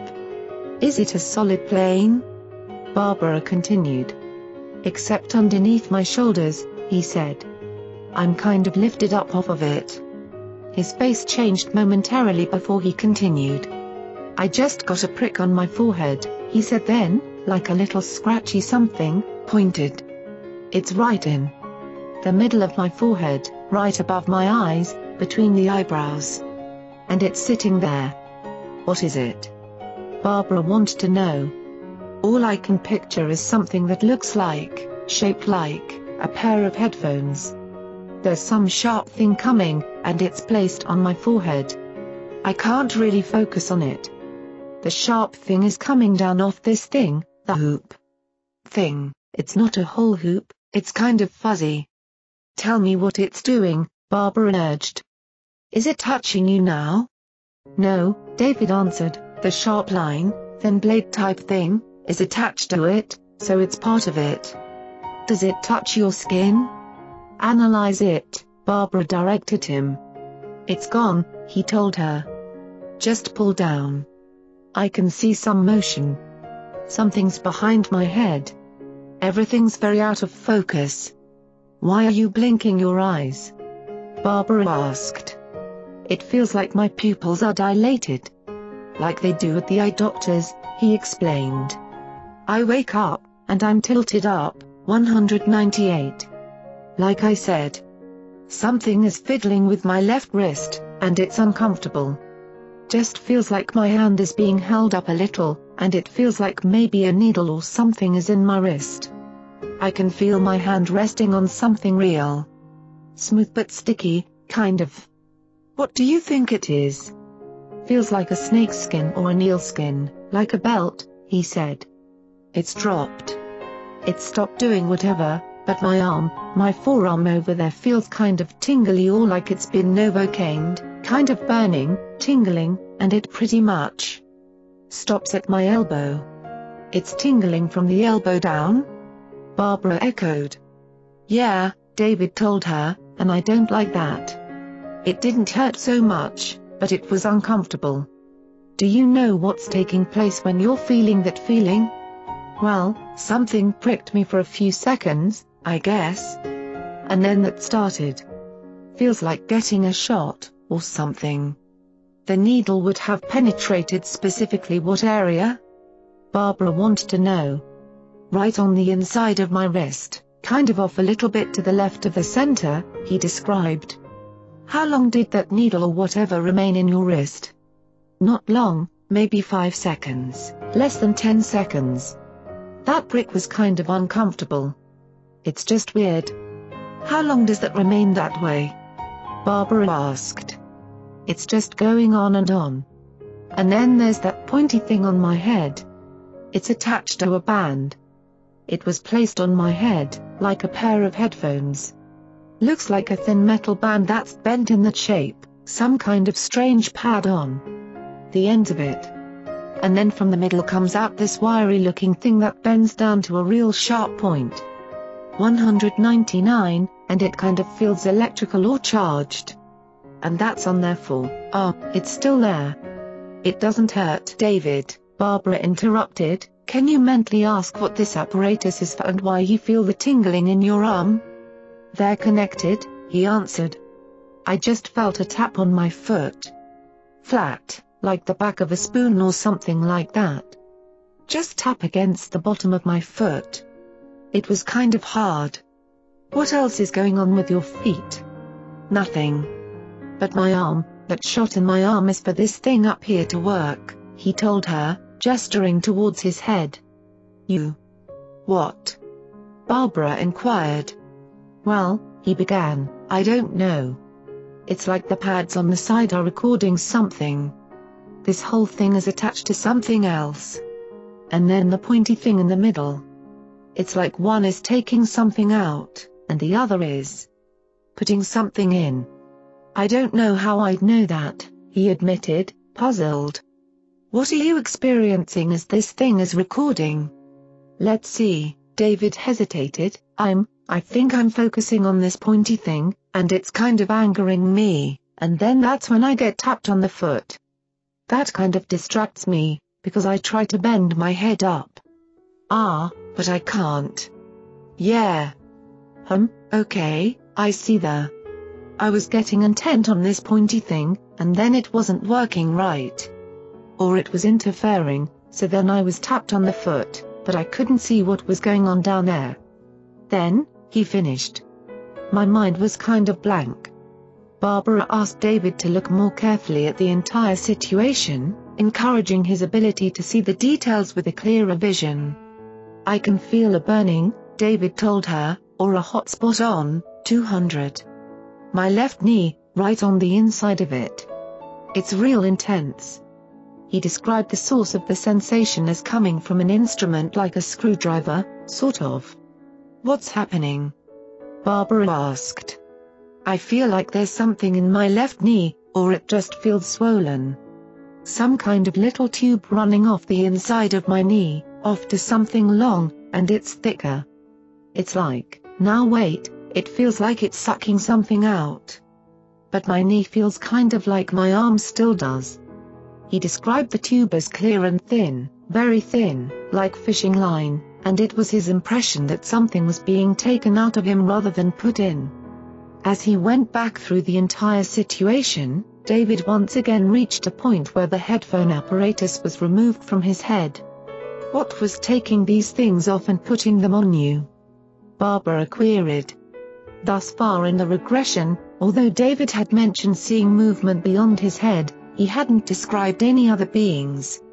Barbara questioned him carefully, letting his own recollections emerge rather than leading him toward any single point of view. Off to the left I can see some kind of little boxy cabinet thing on the corner of the bed, David replied. And it just stays there. I guess there's things on it or in it. I see that when I first wake up, because my eyes fly open. I just wake up. Open my eyes real quick. I'm in this strange position. I can see it and it's kind of white, and the background is kind of white. I can't really move, he continued, but I can move a little bit, so I'm trying to lift my arms up. Why can't you move? Barbara questioned. Do you feel restraints? No, he said, I just can't move. I can't even shake my head back and forth. Because it's sort of hard to breathe. I. 201 mean, I can. That's all I can see from here. I look over to the right, and it seems darker over there, but not much. That's all I'm seeing now. And I feel kind of, oh, apprehensive, but I am not very skittish. I mean, I can think a little, he finished with a short laugh. Evidently you're a little bit awake, Barbara commented, a little bit attuned to what's going on. I feel real dead weightish, though, he said. Remember when you put your hand on top of the kind of stick thing? Barbara asked, that felt like snakeskin? Well, I didn't put it up, it was. David paused. Yeah, see, that's what happened next. It's like something lifted up my hand, maybe two inches. It's just resting there. Then kind of pulled the hand back a little. I guess it's a hand that's holding mine. Feels like a hand that's in a mitten. It's holding my hand from the side, and I can feel it pull back. It's lifted up a little, so it can stick something in my wrist. Barbara questioned him about the description of snakeskin, or real skin he'd mentioned earlier. That's the texture of this thing, he explained, referring to the hand which was holding up his own. I can feel the texture of it, kind of like eel skin. It's smooth but kind of got a stickiness to it. Assuming there must be more of A being present than just the hand, Barbara pursued a better description. Does it have any moisture to it? She asked. No. I mean, it's hard to tell. Does it communicate with you in any way? Huh? Do you ever get to look at it? No, I don't leave this position. Is there just one? Barbara asked. No, David told her. How many? 202. That one, he replied, referring to the one holding his hand, and one or two more, and then the other one, which is what puts the thing on my head. Does he look like the rest of them? Barbara questioned, wondering why David had singled him out from the others. I can't see, David began hesitantly. It walks over from right to left behind me, takes that thing off that, ah, boxy looking thing, so I can see its body. Because I'm looking down towards the floor, sort of. What do you see? I can kind of see it when it crosses. I can see its abdomen area, I guess. It's just, maybe, a foot across, or about that, maybe a little more. Seems real smooth and skinny. And then below that is some kind of, it looks kind of like a belt, but it's wide because it's, I can just see the top of it. It's dark colored, kind of like an orangey brown. And I can't see anything on it. I can only see the top edge, and it looks, I don't know, solid, not woven, and above that. It's whitish. Is there a covering on the body? Barbara asked. Well, it might be a covering, David admitted, because all I can really see is the top of this belt-looking thing. I just say it's a belt, I don't know what it is. It's in that region. And then just kind of a whitish color above that. But I can't see. I can see an arm when it brings over the thing. It's very, very thin, and it looks like it's got an oversized hand on it. It's pinching this thing between, like, two fingers, but one of them's big, and one of them's small. When Barbara asked him if this being differed from the others, David replied, It seems bigger, but it's an odd kind of view. It's hard to judge size, because it doesn't really touch me. It just places that thing on. How are your legs? Are they straight out? 203, I think they're straight out like they are now, David indicated. And just the feet are up. They're spread apart a little, like that. I can tell that my feet are like this, because when that one, there's this one over here, he motioned, and there's at least another one, because I can sense motion over that direction too, and that's the one that taps me on the foot. Barbara questioned him for other details about his surroundings. He mentioned once again his distorted sense of hearing. He described the room as having an amorphous shape and being 10 to 15 feet across. And he commented, rather sadly, I don't know anyone else here. Are there humans? Barbara asked. I don't think so, he answered. I feel in the middle of it. Because this one behind me seems kind of hunched over, a little. Is that one behind you the same as the others? I can't really tell. It seems big. I mean, he explained, the one over here seems small. Barbara asked him to describe the one behind him, to which he replied, it's got extra long arms for how tall it is. A very strange body shape. It looks like it's too thin, and it looks like it's wearing a mask. How tall is it? Barbara wanted to know. almost as tall as the room, six feet tall, maybe, over here, anyway, he said. The room's probably taller in the middle. It seems darker down there. There's something blocking the light. Some kind of thing up towards the ceiling in the middle of the room. Seems flat. Returning to his description of the being behind him, David added, It's got a mask on, I think, because its bottom half of its face is smooth, like it had a handkerchief wrapped around it. What's the body shape like? Barbara queried. 204. Like a pencil, he told her. It's sort of cylindrical. It kind of tapers off up towards the neck.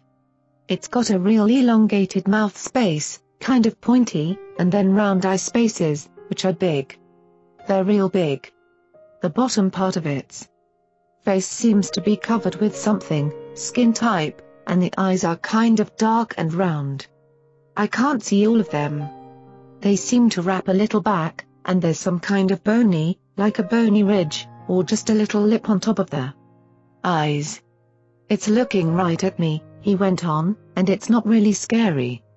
Ah, I can't really tell any emotions right now, it's just kind of there, but it looks right at me when it reaches over. I could see it reach to pick up that thing, so I move my eyes over and watch that. It's got real spindly arms. It doesn't ever take its eyes off mine.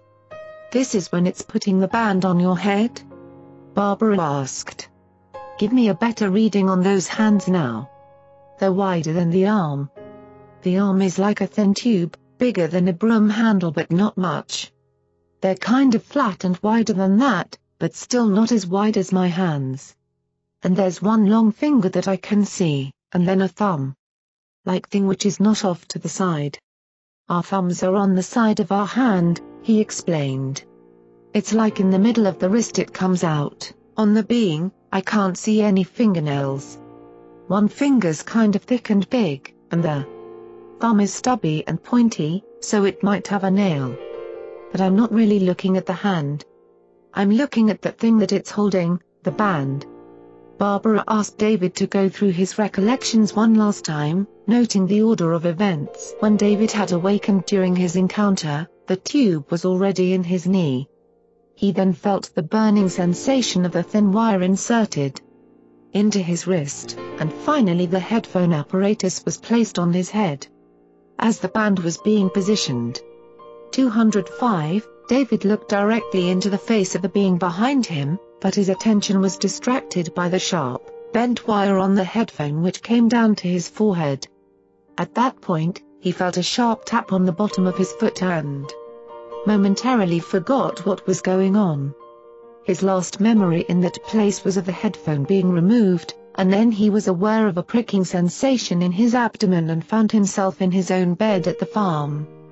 Although Barbara questioned him about how he got from the farm to the other room and back again, David couldn't remember anything helpful. So after a few questions about his feelings, Barbara brought him out of the regression and waited. While he drew sketches of the strange bed and also of the being he had seen behind him. It bore no resemblance to the usual image of the Greys, nor was it especially reptilian. Instead, more closely than anything else, the creature David drew looked like a tall, pale white praying mantis. As I stared at the drawing, a vivid, frightening image from my childhood came back to me. I recalled being in a strange dark place, standing beside a tall creature whose hand rested on my shoulder. I remember looking up at what seemed to be a giant grasshopper and insisting, You're not my mother. You're not my mother. This scene haunted my nightmares for several years when I was very young, and it crushed me to think of the fear my own son must have felt as he lay helpless before such a being. Chapter 13 Thus ended the first year of our involvement with this intriguing, terrible world that drew us into and beyond reality's fringe. But the strangeness continued on, the familiar scratches and punctures showed up again and again, and there were new kinds of odd events, all of which combined to fragment our old, comfortable perception of reality. Going on with our usual occupations had grown easier, though, and we managed to keep our wits and our humor, no longer so afraid of the phenomenon as we once were.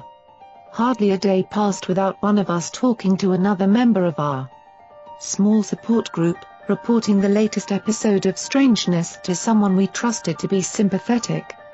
And although much of what we continued to experience was common to most cases of alien intrusion, each of us still had our own unique scenarios. Once, when most of us were going through a time of very little ET activity, Fred reported a high frequency of physical marks and possible alien presences.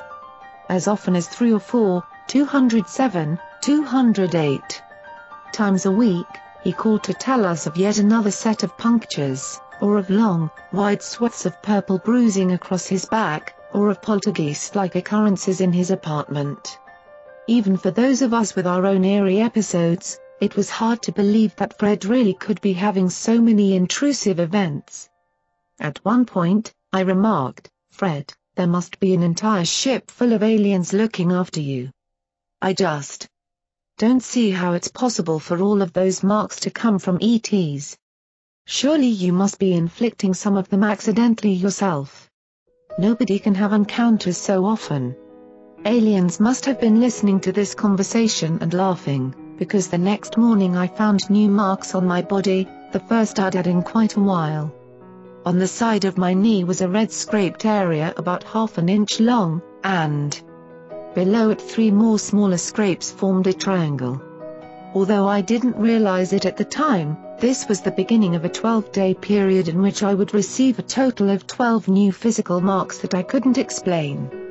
Besides a number of bruises, single punctures, and scratches, I also found the triangle described above, a group of four punctures arranged in an arch, and a small triangle composed of four punctures with a fifth puncture off the triangle's apex. By the end of the 12 days, I no longer doubted that Fred's frequent scars were as inexplicable to him as mine were to me. The theory that such scratches and bruises result from natural, unnoticed accidents was disproven to me then. Now with over four years experiences to evaluate, I am certain that the physical marks come from a source other than the victim. During this time, we have scanned our bodies twice a day, morning and evening, noting every bump and cut we inflict upon ourselves and comparing them with the marks we find. The unexplained marks have 209 repetitious patterns, while the accidental ones are more random. Similar or identical odd marks have turned up on more than one person, in situations where there was no contact between them. And we've also seen that during periods of little or no alien intrusion the number of physical marks found on the abductee's body is greatly reduced or altogether eliminated, which shouldn't be the case if the marks were all the products of mere clumsiness. There was also a time in 1989 when several people, both in and out of the support group, heard voices, when no one was actually present. In two instances, people heard their names being called repeatedly, and a third acquaintance heard a man's voice shouting, Stop! while she was in her car. During this same period, some of us also began to see things that weren't there. Sandy glanced out the front window and saw two men standing in her driveway one day, but when she went back for a second look only moments later, there was no one in the yard or on the street. And there were other cases where people kept seeing something move in their peripheral vision field, something that was often described as dark and the size of a rabbit or a large rat. No such animal, of course, was ever actually found. The incidents genuinely didn't seem merely to come from poor eyesight or vision problems, and, like the hearing of voices in the summer of 1989, the invisible rabbits were a transitory phenomenon. It was also during this time that my brother and his family made their first visit back home in over a decade. They stayed at my parents' home, located on a private lake in a rural area, where their two teenaged sons took full advantage of the fishing. One night, when my brother was fishing with them until almost 1.30 am, the lake suddenly became completely calm. Paul said it was so still and mirror-like that when he flipped a cigarette butt into the water, there was, 210. Absolutely no ripple. even the insects had stopped buzzing. Paul told the boys to pack up their gear, since the fish had stopped biting, but as they stood up to leave, the oldest boy, Richard, pseudonym, pointed up to the sky and asked, What kind of plane is that? Having been in the Air Force, Paul was familiar with most types of aircraft, but he couldn't identify the formation of lights that were flying low in the sky above them. All of the lights were orange-yellow, and a single light led an amorphous group of several others. The lights covered a relatively large patch of sky, so Paul assumed that the craft must have been flying quite low, yet there was no sound. The three of them watched the lights for a few moments and then left the lake. As far as any of them remembered, nothing else happened. But two days later at a family reunion, I noticed that the older boy, Richard, had several V-shaped scratches on his chest. I asked him how he had gotten them. I don't know, he shrugged. I didn't know they were there until I took off my shirt a while ago. Intrigued, I asked my younger nephew if he also had found any strange scratches lately, and I was surprised by the look on his face and by the way he reached back instinctively to shield his rear end. How did you know? He asked. I didn't know, I assured him. I just wondered. Where did you get the scratches? I don't know, he replied. And don't ask if you can look at them, because you can't. I agreed with a laugh and dropped the subject, but I wondered if there might have been more to their experience on the lake.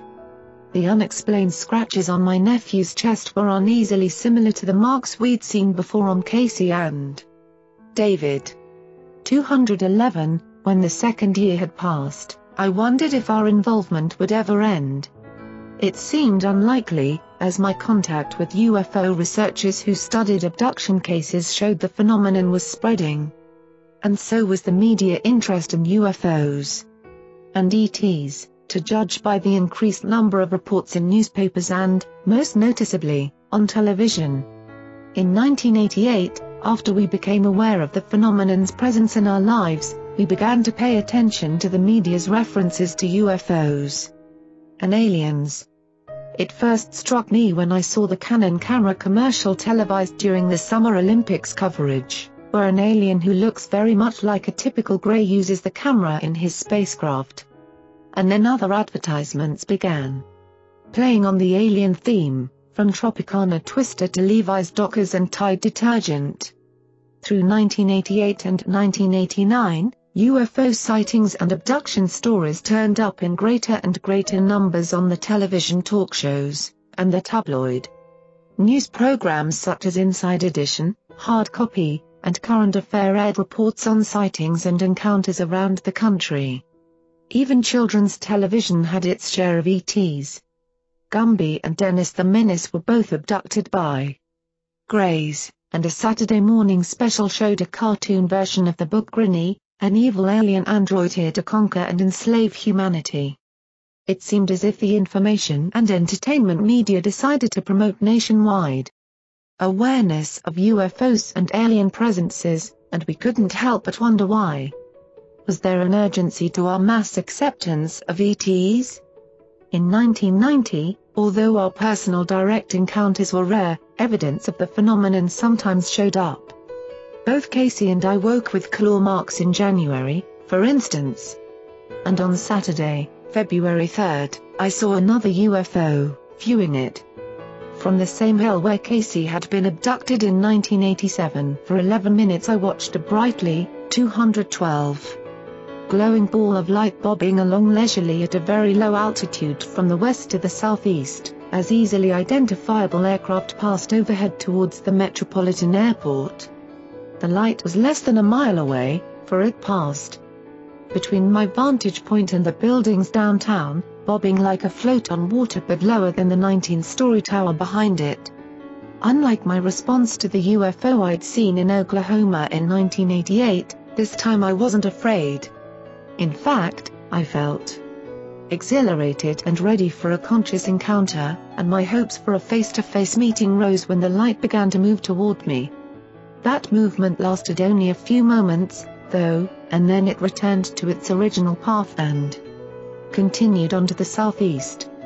The following Saturday, James's parents pulled off the interstate to the edge of town to watch a triangular craft soar above them, unlighted but covered on the bottom with closely packed circular designs. And another swift-moving erratic. Light made sharp angular turns high in the sky above Casey and me in August as we watched the stars on a very clear night. Nothing more personal interrupted our lives, however, until June. One morning we both discovered new punctures and bruises on our arms and legs, but the night had been peaceful as far as we consciously knew. A week later, though, we were awakened from a deep sleep by loud clicking sounds, yet we saw nothing in the room. The next day we discovered more marks on our bodies, two bruises and a pinpoint scab on my upper right arm, and a small, straight cut on Casey's inner thigh. The clicking sounds were all that seemed out of the ordinary, but the marks were inexplicable. The intruders returned in late November. Sandy, James's mother, experienced an hour's missing time from 8.30 to 9.30 p.m. on the 29th, and then after going to bed. 213, that night she had a direct encounter. Waking around 3 a.m., she felt compelled to leave her husband and her bed to lie down on one of the couches in the den. Her dog, a large, protective animal, slept on the other couch as Sandy dimmed the light and covered herself with a knitted throw for warmth. She dozed off but was suddenly alerted by something tugging on the throw, both at her feet and also near her head. Too afraid to open her eyes and look at whatever was beside her, Sandy found the courage to resist. She yelled, Boo! very loudly, and the tugging on the cover stopped momentarily. When it began again, she yelled, Boo! Boo! Boo! until the tugging ceased. Moments later, she opened her eyes and looked around the dimly lighted room, catching sight of a shadowy movement receding from her towards the kitchen. The dog still slept undisturbed nearby, oblivious to her shouts. Then suddenly he sprang up from the couch, as if released from some invisible restraint, and looked around in fright. He tucked his tail beneath his belly and darted from the den into the living room, burrowing under and behind the sofa.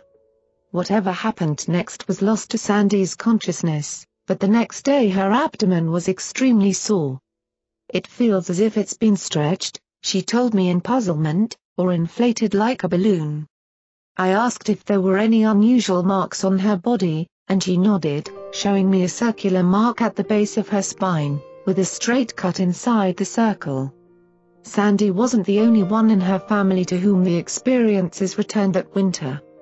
James had moved into a trailer park on the outskirts of town, and in January 1991, after months of no activity, he once again found himself under siege. Barbara Bartholic came for a visit that month, and when, 214. I told James she would be in town he said he wanted to see her. This was quite a change in his attitude. Since late 1989 he had tried to put the whole series of incidents out of his mind and had steadfastly refused to discuss it with anyone, even his parents. Now, however, he was anxious to see Barbara. When he arrived at our home, the two of them talked privately for over half an hour, and then he agreed to tell me about his recent experiences. It began with his awakening after midnight on January 3, jumping out of bed and throwing on his clothes, feeling a sense of great urgency. But he had no idea what had awakened him or what the emergency might be. In bewilderment, he undressed and went back to bed. The same thing happened again the following night, and for several nights thereafter, and each time he was compelled to go a little farther until he was actually rushing out into the street, frightened but unable to resist the urgent push. It was really scary, he told us, and I never could figure out what I was rushing outside for. I'd get to the street like I was running from a fire or something, but I had no idea why. These strange episodes stopped when he had a disturbing dream experience. I was out in the street, he said, and I saw this group of beings coming toward me real fast, maybe nine or ten of them. They shoved me down on the ground, and I tried to get away, but I couldn't. Then one of them took out this long tube and forced it into my mouth. It went down my throat and into my stomach. I was gagging and choking, and when they pulled it up it left an awful taste in my mouth, real bitter. Then another being came up and made those first ones leave me alone. But last night, James continued, I had another dream, and it scared me more than that one did. This time I 215 was outside again, and I saw a beautiful blonde woman facing me. She was really pretty and looked totally human. And she was acting sort of sexy and alluring to me. She held out her arms like she wanted to hug me, so I went to her. I thought she was going to kiss me, but when we got really close together, it all changed. She wasn't pretty anymore, and she damn sure didn't look human. It was ugly, whatever it was. What did she look like? Barbara asked. Terrible, James replied, real dark and bumpy, like there were warts all over the body. And slimy.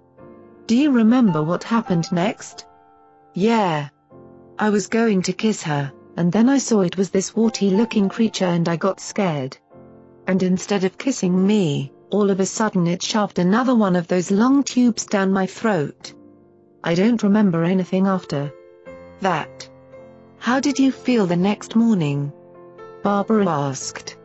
Not too good, James admitted. My throat was sore, and I had that awful, bitter taste in my mouth, like bile. He turned around slightly and pulled his collar away from his neck. I found these marks this morning, he said, and we saw three parallel scratches running across the side of his neck. It may all indeed have been a dream, but the marks were real. And it made me wonder if the dream Casey had had a few nights earlier might have been more than the usual nighttime fantasies. He, too, had seen a beautiful blonde woman, in fact a whole group of handsome blonde people who looked completely human. Casey's dream episode happened one night after we'd made love and then gone to sleep. In the dream, he got up, also after making love, to go to the bathroom, when he had the distinct feeling that someone was watching him. 216. He turned around and saw that the window by our bed had somehow been replaced with a clear opening from floor to ceiling, and he could see out back where a group of blonde people were standing and watching him in silence. I felt somewhat attracted, he said the next day, but also a little repulsed because I didn't like them looking at me so obviously, like I was just something to be examined. I understood what they wanted, but at the same time I felt like I was just a specimen. During Barbara's visit, Casey took the opportunity to look at that dream under hypnosis, wondering if both he and James had experienced more than mundane dreams. In the trance, he was able to recall more details, and when Barbara asked him what he thought it might have meant, Casey's reply was very telling. I think those blonde people were watching me and reminding me that it's time to go, it's getting very close to time to go, he said. What seems to be going on is that these beings who've been with me so long have let me see they're still here. I see them in a clear light, not dimly, and I'm welcome, and they are familiar. It's getting very close to the time to actually do something, to leave here, this place, and to begin something new. I'm taking Karla with me, she's part of it all, he continued. But we'll leave behind everything comfortable and familiar. There's a lot of others involved. Part of me likes them, but another part dreads their coming. We'll have to change forms. I was beckoned by them. They were familiar to me. Very real. And, as it turned out, Casey's interpretation was at least partly accurate, because four months later he was offered a new job, which he accepted, that required us to move to another state. While Barbara was with us in January, I also took advantage of her visit to undergo another regression, even 217, though I had no recent puzzling experience to explore. It seemed useful to check for any hidden awareness I might have had that could shed light on Casey's dream of the blonde people. That was our intended goal for the regression, but once I was in the relaxed trance state, my mind surprisingly skipped back instead to the encounter I'd had in 1980 with the four shadow beings at the farm who claimed to be my ancestors. When we began working with Barbara in 1988, I had tried to find out more about that strange experience, but the regression hadn't uncovered any more than I'd always consciously remembered. This time, however, my subconscious was ready to let the hidden memories surface. I've already recounted that event in Chapter 1, at least the part 1 remembered, but I had never been able to fill in the entire 40 minutes that the episode occupied. With Barbara's help, this time I learned much more. The first new information concerned something these beings did to me while I was still out in the yard and saw them standing beneath a large tree. I was already under some sort of influence or control, aware of a shimmering, heavy quality to my body and my surroundings. Things look funny, I told Barbara as she led me through the experience again. The grass is shimmering, and I hear something. Welcome. Do you hear the words spoken? She asked. No, I replied, coming from my head. Welcome. We're glad you're here. Somebody's got a hand up. It's like they're greeting me. It's hard to move. I think I stop because it's so strange. Somehow I look up, and there's one with his hand raised, and then there's three and they look like cut-out paper dolls. I'm seeing things. The male says they love me, real warm. My description continued, as I told of my persistent, 218 skepticism while talking telepathically with the four grey, shadowy figures. I ask who they are, and I think they say I belong there with them. He says something about ancestors. I feel a little tense, I told Barbara, but it's hard to feel real tense. And I think he's lying. I think I just made it up. I want to laugh, sort of, or make a joke. But I'm up by the tree with them. They're saying something about pockets of stuff, all over, and I'm just doubting everything. Pockets of stuff? Barbara questioned, for this was the first time such a thing had come into my memory. Something about pockets, I repeated. Little pockets, not like pockets in clothes. There are pockets of things all around, in some places. And I say, you're kidding me. But he's very sure. No, no, I'm not kidding, he says. I'm just pretty skeptical. They look very grey, and I'm wondering where their faces are. Don't seem to have faces. I can almost see through them.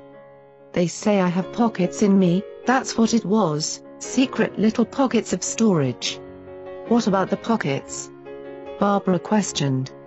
It's like something right inside over here, I told her, gesturing in the air near my body. I can almost see something reaching down, but I don't feel it. They're reaching down looking for something. Is it down near your ovary area? Barbara asked, prompted by my gestures. No, I tried to explain, just beside me. Like I've got some extra part of me that's beside my body they can sort of touch. I see this other part of me. Like a field? She interrupted, electromagnetic? Yeah, I agreed, or something like that. It's extended out away from me, a few inches. Something can be gotten out of there. 219, you're aware they're doing something to the field around your body? They're trying to make me see how to get these things, this stuff out, this material or information, I said. I don't understand, and they say, look, we put this information in you a long time ago. Because we are your kin, your ancestors, and you've got this information. You carry it in these secret pockets. I think they mean DNA stuff, and I ask them if it's DNA, my code. They say, no, it's more like knowledge. But it's all the knowledge, all their knowledge, and they want me to know how to bring it out of the pockets. And that makes very little sense, and I just don't really believe them. They say, you know everything that we've put there, if you can just get it. I think they said, tap it, tap it open, and that's frustrating. I tell them I have to go in and make dinner. Can I go in now? But they still want to talk. About something else. Why don't I already have those knowledges open? Why don't I already know everything, then? And they say, you can open it up when it's necessary. From this part of the experience, I then described going into the farmhouse and cooking the pot roast, just as I'd always recalled. And once again, new information emerged from the regression. When I first pick up the meat, I said, the two men are standing in the door of the kitchen near the stove, and the women are behind me. I pick up the meat, I don't remember getting it out of the refrigerator. But now I have it.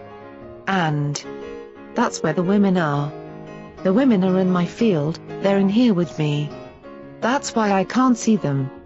So we pick up the meat, and I watch my hands. I'm just amazed that I do this thing. Like I'm sitting back watching, 220. What I'm doing but I'm not doing it. There's a very spiritual feeling, like, my God, this gift of meat. And it's so moving. I almost want to cry. I did begin to cry, in fact, and Barbara questioned me about this surprising surge of emotion. Why do you feel this? She asked. Because something died for that, I replied, unable to control the tears. It's so important. I feel like I've got to pray or give something back. And it's very serious. I wonder if they want me to give something back to them, and then I cry. I know about doing the food and what it means. I know it, and I do it, and sometimes they talk to me over there, and sometimes they don't. They watch me do this, and I watch me do this because we're doing it together. Everything's on the stove after I've done it all, and I'm real satisfied. They felt very serious, but now the women are not in me anymore, and I feel sort of cut off. I previously hadn't remembered the two females merging into my field, and experiencing the cooking process with me. But I did recall the realization that they were no longer in the room when the cooking was completed. Barbara asked me to go back over this final part of the experience and try to explain where and when the beings left me. They're behind me, and I know they're there, I said. I can almost see them now. Their hands are up here behind me, and they're making a noise, or something's making a noise like bees, like a hum that comes and goes in many sounds. That sort of bothers me. I asked them what that sound was. They said they were just talking to me, to this other pocket of my mind, and that it was okay, they were just instructing me. I wonder what they would be instructing me. And it isn't important that I know it right now, so it doesn't matter. I'm standing in front of the stove, and the 221 humming gets louder. And now when I look up, the men are gone. I turn around, and the room is empty. It's sort of sad, and I just sit down.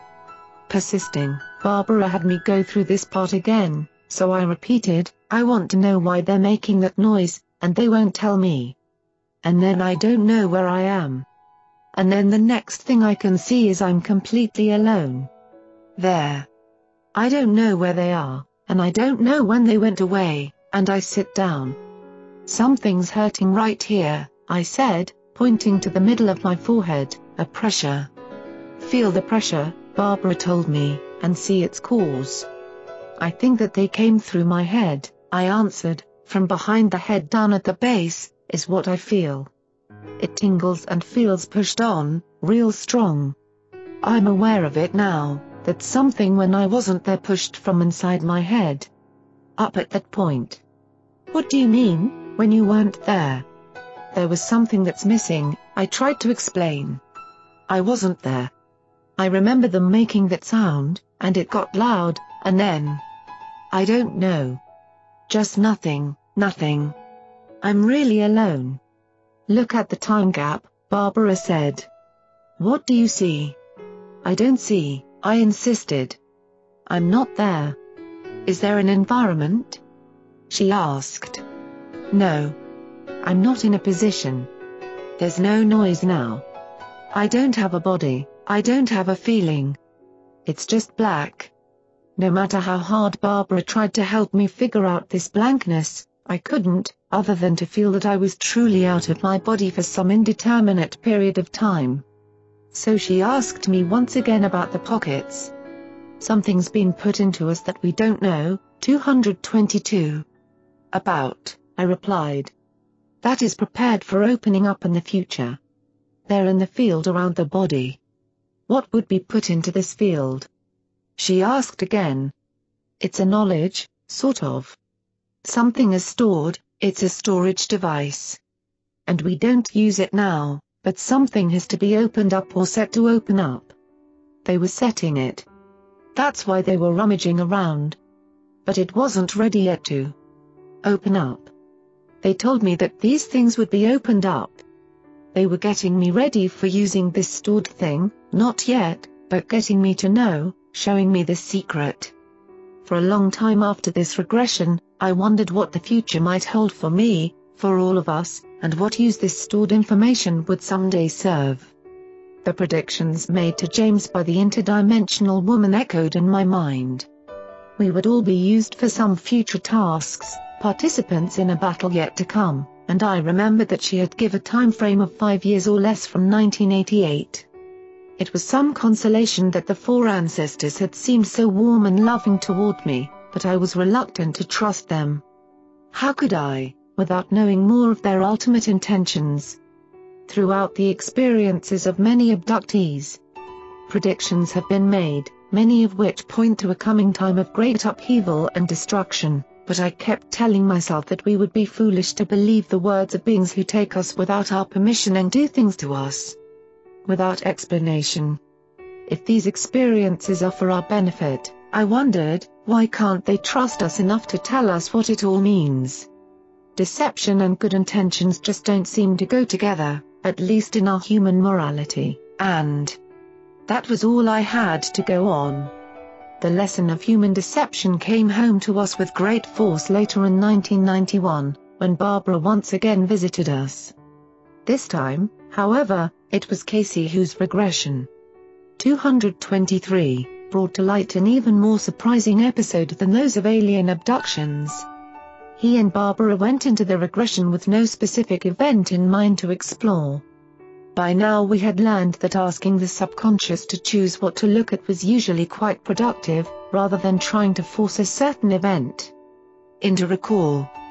But none of us, including Casey, expected his mind to focus on what had seemed, at the time, to be nothing more than a vivid and disturbing dream. It had occurred back in the winter of 1988, and he had already tried shortly afterward to look at it under hypnosis with no results. In that dream, which had two apparently separate incidents, Casey was awakened in the night by the sound of a helicopter right over the house. He went outside and saw a dark cloud moving towards him as the whoop whoop whoop sound of the helicopter grew louder. Expecting to see the machine emerge from the cloud, Casey was shocked when a white Ford pickup showed up instead. The next part of the dream was of his moving down a narrow tunnel into a large underground opening. He found himself in what appeared to be an old Western-type saloon, complete with a bar and several tables. He was sitting at one of the tables, along with several other men whom he knew, and he remembered thinking, I guess maybe we're going to play poker.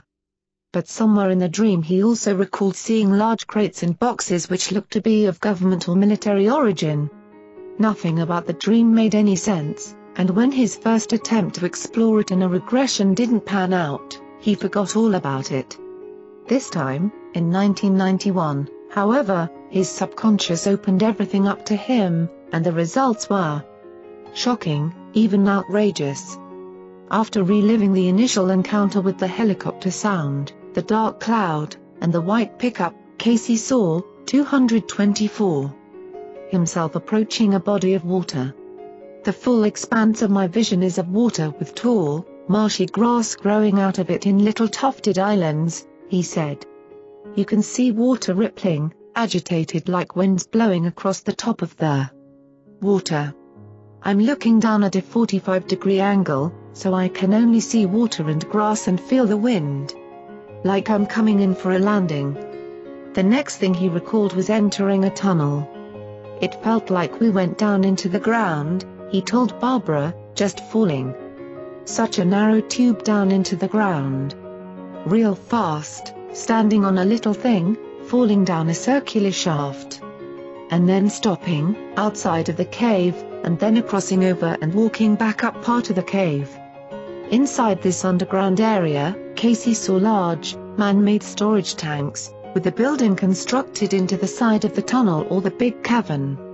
Real sterile feeling, he tried to explain, but sort of musty and dusty. I can see. Light's really clear, and I'm right up next to a building. The wall that I am next to is probably 12 feet high with narrow windows at the very top. I'm walking in through some doors, human doors, doorknobs, like military stuff. Barbara instructed him to proceed with the recall, once he felt certain that this was a real memory surfacing. Walking down a corridor, he continued, guys with spongy boots on. We go into a room. Let's see if I can see what it's like, he paused. Ah, my imagination just sees Mickey Mouse, he laughed. That's Mickey Mouse. It's military. Then, he explained, because that's what I thought of the military. What does the place look like? Barbara asked. How does it feel and smell? Kind of musty out in the cavern, he replied. Dank, but this has a machine smell to it. On the inside it's very conditioned, very cleaned up, though, filtered. There's 225, something very significant about this waiting area. It was made up to look like a western saloon, but people are just sitting at tables, dumbfounded. Lots of people. What's going on? It seems like this is a human thing. I don't have any idea of any aliens in this place at all.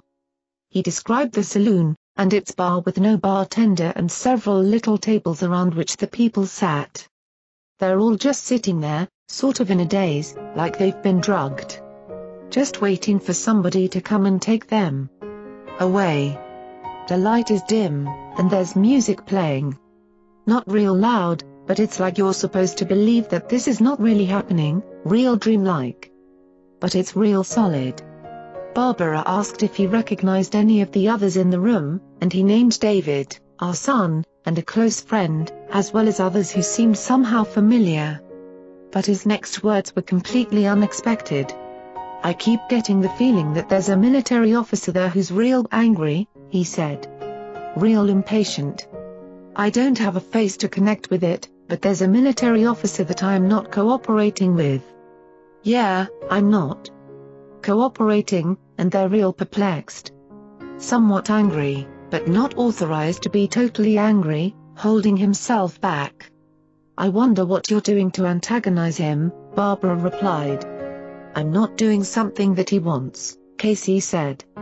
Maybe I'm coming out of it too fast. Because I'm seeing all this stuff, and I know it's not a dream. His memory began to clear so that the whole place was vivid. I remember coming in through the side of the wall on the other side of the cave, he continued. Coming in through some sort of underground tunnel, and across the floor of this thing that's wide, maybe 30 or 40 feet across, into these buildings that are on the side over here. I can see lights up high through the windows. I walk around, 226. Some machines and into this building, and the bar is just inside the saloon. It's a holding area where they put people when they first bring them in down here. What is going on with the officer? Barbara asked. I'm not cooperating with them, he said, I'm not in the state of mind they want me to be in. I was a little stunned, getting in there, and things are foggy. And then it gets clearer too soon. I remember being real surprised. I sat in the holding area wondering what in the world's going on. Look around at the other people and see if they are accessible to you, Barbara instructed him. Everybody's stunned, Casey said, like zombies in a mental ward, just sitting there. How do you feel about this place and the officer? I get the feeling they want to know, maybe they're trying to find out what it is we know, he answered. And if you don't talk, they get real pissed. Who is this guy who is perturbed with you? Barbara asked. I see a military dress uniform, Casey described. Green military dress uniform. I can tell grey hair, clean shaven, real quiet shoes. How many military types are there? Just the guard and the officer, he said. What's the guard doing? Just waiting. Never talks. He's there as the escort, somebody to guide people around, take them where they need to go because they're not in shape to talk or move of their own volition. Casey described the fake saloon area in great detail, and then he told of being escorted by the guard out of the room. We turn to the left, we turn right and go for some distance. There are doors, they aren't paneled, just steel doors. 227, proceed on through the door, Barbara told him, and tell me what you see. A small room, Casey said, about 9 by 12. I see only three pieces of furniture, just a metal chair, straight-backed, and I'm sitting in the chair. And a desk, plain military type with nothing on top. With an officer standing behind it. He's got a chair, but he's not sitting in it. The guard stands outside and shuts the door. It's just me and this officer guy. Like he's in charge. And I don't like him, so I won't answer his questions. I'm fighting, I'm rebelling, Casey continued. I can hear him yelling. Tell me. Right now that's all I can get is tell me. What's he asking? Have you ever seen him before? Barbara wanted to know. No, Casey replied. This man's trim, he's about 5'10", 5'11", about my size, older than I am, and really upset. Just how upset does he get? I'm supposed to tell him what he wants to know. That's the whole purpose, I get the feeling that's the whole purpose of the place. You mean, the other people, they're interrogated too? Barbara asked. Like you are? Yeah, Casey said, like they're all there to be interrogated. The place, I never get a clue to location. What does this guy look like? I would have to say he's about 55, 50 to 55 maybe. He's not very old, but mature. Does he have very many feelings? He's pretty emotional, Casey agreed with a short laugh. Okay, Barbara said. How long does he rant and rave? 228. About 15 minutes, and then he just yells at the guard to get me out of there. Do you think he's an American? Definitely, Casey answered. U.S. Army. A major. I hear myself thinking, what do you want from me? Something about my family. What do they know about your family? Barbara asked. They know that they've experienced something, that's my impression. You're clenching your teeth, Barbara noted. What made you clench your teeth? Something must have made you real uptight at that point. I, oh, I'm confused, Casey said. I don't know. I know that I'm feeling angry, and I don't like being here. And I don't like them threatening me. They're threatening you? Yeah, he told her.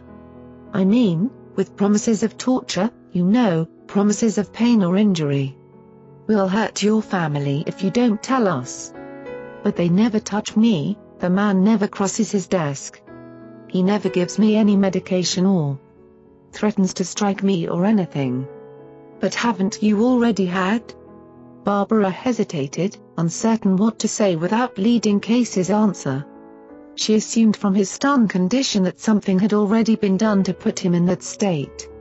Yeah, Casey said, somehow before I even got down. Everybody is stunned, we're all kind of foggy, but mine, my mind kind of clears. I'm still not able to control my body that well. I can stand up and I can move. I want you to look at what might have happened to cause you to feel stunned, Barbara directed. Retrace when that might have taken place. I'm working on that, Casey told her, been working. 229, on how in the world we got into this place. It's night time. Where was it? At the beginning, Barbara reminded him, you saw the marsh and the water. And the dream of the white truck. Out of the cloud, Yeah, sounding like a helicopter, looking like a Ford pickup truck. I see F-150 on the side. I see nothing, absolutely nothing but that cloud and the truck, no ground, no sky, no trees, nothing. And then it goes on. Over me, and I see this pickup and I see nobody inside, no lights. It's got nice wheels, they don't look like military, cheap hubcaps. What's that got to do with the marsh? Casey puzzled. I can see everything I've described to you very clearly. But there's got to be more information. The man wanted to know. Why would they capture us and take us down there? Why take those people that he's got down there? What do those people have in common? Barbara asked. Well, some are my friends, Casey said, and some look like they could be. As a matter of fact, they all look like they could be except for maybe a few. All of us that I know about in our group have had some sort of alien contact. That. Maybe what he was talking about. What have I seen? What have they seen? If you don't tell us. But why would they do it that way? Do you think you were injected? Barbara asked. I don't ever recall being injected, Casey replied. This felt more like the back of my neck, back in here, he gestured. I was just being bombarded with something that sort of numbs you and takes away some of your will. I hesitate to say, but sort of like an electronic control. Sort of a numbing buzz, but I don't hear a sound. So I can't tell you what caused that state, he concluded, and if it were an injection, I'm not aware of it happening. 230. How much of your will is not there any longer? I can't get up and move by myself, Casey admitted. But I don't talk. I can't control where I am, and I cannot escape. At first I was totally confused. But it seemed like I sat there for a good while. And after a while it began to wear off, and I started looking around more. I remember wondering, trying to say out loud, what are we all doing here? Who's got a deck of cards? We need to play some cards. Casey laughed at the irony. But when I get to the officer, I can talk, but I don't talk. I want to know more about those threats, Barbara said. What are you experiencing now? Oh, just trying to think of what that man was asking me. He can't read my mind, he can't read my mind. Does he appear to be cruel? Barbara asked. Do you think he would follow through with those threats? Nope, Casey said. I think the military would, but I don't think he personally would. I know he would like for me to think that, but I don't. Okay, you're alone with the officer. Yeah, he's across the desk. He's standing up, and I can see the bottom of his full jacket. The black stripe on his arm, green jacket, some stuff up there. Don't see a name tag that I can recall. I see a spot for one, it's dull dark. Black, but I don't see his name. It's hard to focus. The whole scrambling of my head. Has your mind been scrambled to the extent that they're trying to block the memory of this? Barbara asked. It's like they're trying to release it enough to let me talk, Casey said, but not enough to do anything else. And you're being interrogated? Like being debriefed, Casey agreed. And my impression is they want to know what I know about the aliens, what I've done with them, what I know of their plans, what 231 I've done to participate in anything, what I know about my family and their participation, my friends. But I'm not talking to them, I don't recall telling them anything. I try not to say anything but slip back into the stupor to get away from him and he's getting really upset. I can't recall anything after the man getting extremely exasperated. That's where you go blank? Yeah. Unable to take him any farther, Barbara asked Casey to go back and describe more of the underground areas. I'm being led toward this area that is the office building to the side, he said, office built into the side of this. We disappear off into the side of the mountain for the offices and in the tunnel, on the sides of the tunnel were just big boxes. Some were boxes, some looked like diesel generators, large, very large, 20 feet high, maybe, almost that wide, with sort of a rounded top. Very long, 40 feet or more. Large equipment, dark room. The guard, he's pushing me. We have to go through all this stuff to get into the interrogation areas, like a back door. Like we go through a back door to get into the back of this place. This is not like the front door of this area. Do you feel that in this facility there are only Americans? Barbara wanted to know. Yeah, that's all I see. Troubled by his inability to see clearly any more of the place, Casey was ready to end the session. Upset by the idea of his being taken by military people and questioned against his will, he tried to reject the whole scenario. But he couldn't. It had all been recalled with great clarity. And, to both of us it was even more disturbing than the memories of our encounters with the unknown beings. We had often wondered just how much our government knew about the abduction phenomenon, and perhaps we'd, 232, hoped that those in positions of power had a better understanding of it all than we did. But if Casey's recollections were true, the government seemed to be as much in the dark as we were, maybe even more so.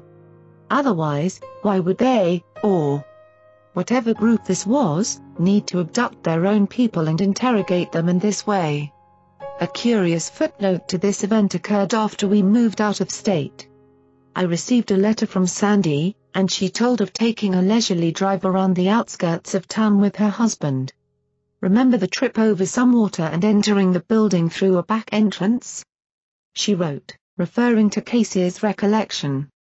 Well, the other day when we were driving on Hilltop Road traveling south, we passed an underground federal facility and just beyond it I saw a small pond or lake or whatever you want to call it.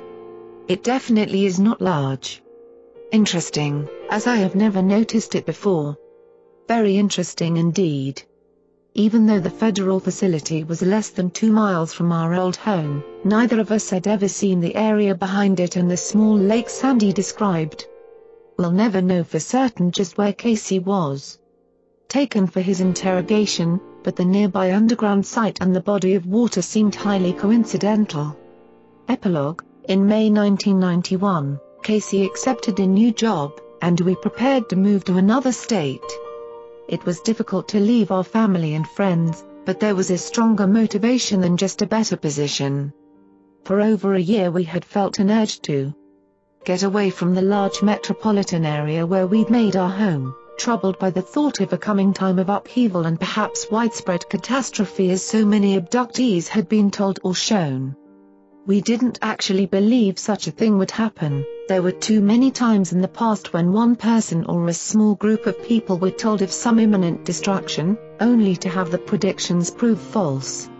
Yet the urge to get away to a more rural environment grew stronger, and this new job offer would put us in a much less crowded place. So we arranged to sell our house and prepared to move. A couple of weeks before our departure, James called and asked if he could meet with Casey. We were surprised, having almost no contact with him since Barbara's visit in January, and Casey readily agreed. They met one evening at a small bar, and James was eager to talk. He told Casey that nothing more had happened to him since the bizarre dream episodes of the winter, which had left him with physical after effects of the bile taste, a sore throat, and the scratches on his neck. Recently, however, he'd undergone an entirely new experience which he wanted to relate. Although he saw no beings this time, he had been bombarded by messages coming from a chorus of voices. At first it was hard to hear anything clearly, but eventually he deciphered a warning of some sort. What follows is Casey's recollection of the things James told him, and James has since confirmed the correctness of Casey's recall. The warning was about an impending collective calamity, a sort of psychic thunderclap of great importance for the entire human race. We have been controlled, James was told, and we are still being controlled. And these Controllers are planning a worldwide event which will be staged, orchestrated, but not an invasion. As James understood the message, the entire world will be shown the presence and reality of the controllers. No one will be able to deny the existence of the UFO phenomenon any longer. James reported that some people may think this is an invasion or a power play, but it won't be. They won't have to grab power because they already have the power and have had it all along. What is to come is an opportunity for humans to demonstrate their worthiness to continue to exist. All of us must do this, collectively. It may be our only chance to prove we have something worthwhile and lasting to give to the future. James thinks the message told of a specific challenge to be presented to the planet, which we must meet in order to survive. And we won't have a choice of whether to participate. We will participate, and we will have a chance to win. Could this message have been a fantasy? Perhaps. It would be nice to think so, to believe that the world will go 235, on as it always has. Casey and I continue with the normal activities of work, caring for our family, visiting with friends, and making plans to build our home in the beautiful forested hills of our new location. We look forward to the grandchildren that David and Megan may someday give us, and to growing old together. But in light of the past few years' events, including all the global political changes and the New World Order, which President Bush has been promoting. With only the vaguest of definitions, it isn't that easy to dismiss the possibility that we truly are being warned of a reality to come. Fred and James, among our group of friends, have been told or shown a nearing time of upheaval and change through their contacts with these unknown beings. They've been told that the aliens are somehow preparing new bodies for us, and they aren't alone. My research with abductions in our area brought me into contact with another man who has been shown a similar scenario. The beings told him he would have a task to perform at that time, helping a group of children, but that he would not survive beyond that task. I have also read reports of four people in Britain who have been told of this coming catastrophe, and two of them were given a date only a year or two hence and Barbara, as well as other researchers, have heard similar information from their contacts. In April 1991 at a UFO conference in Arkansas, Forrest Crawford, a certified hypnotherapist from Illinois, recounted incidents of several of his cases working with abductees, and here again this upcoming date had surfaced. Time and again. Correlating the predictions from these cases, Mr. Crawford offers the following summary, in early 1991 events will begin to happen that will culminate in mid to late 1992 with everyone knowing that there are intelligent beings from other worlds visiting Earth. 236. October and November of 1992 were prevalent in many predictions. The events that may bring about this awareness include mass sightings, sustained landings near populated areas, government announcements of alien contact and or open contact with the people of Earth. Many of Mr. Crawford's cases also discuss the aliens' understanding of such predictions, noting that they are the probable future based on the present trend of events or energies. These trends can be changed by even minor events, thus affecting the future. Therefore, predictions are always alterable. It seems, he concludes, as though predictions and prophecies are warnings by other beings, or even our own higher selves, of what may come if we remain on our present path. We must realize that sometimes the best thing about a prediction is that our consciousness is able to change the outcome of events and render it false. As I said earlier, there have been cases in the past when a single person was warned to prepare for a catastrophe, the end of the world the evacuation of people from this planet. The coming of space beings who would destroy our world. Or, variously, who would save it. And in every past case, the predictions proved false. They may certainly prove false this time too. But there is a difference in these predictions from those previous ones. This time it isn't a single person who is receiving this warning, it is hundreds, maybe more, all over the planet.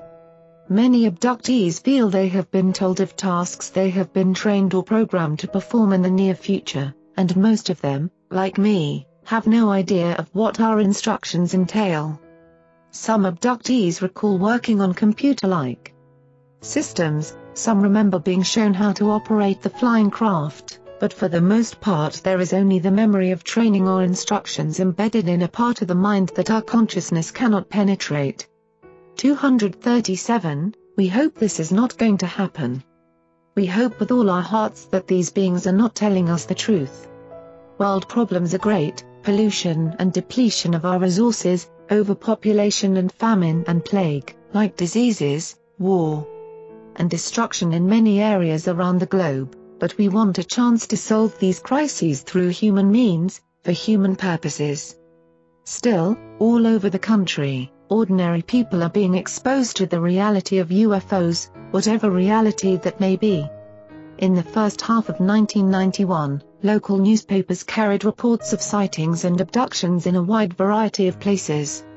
The February 28 edition of the Portland Oregonian, for instance, headlined a story, UFOs gain notice, telling that scared Portland area residents report increased inexplicable light activity in the area's night skies. The Gloucester, Massachusetts, Times, March 6, reported, strange light spotted in night sky.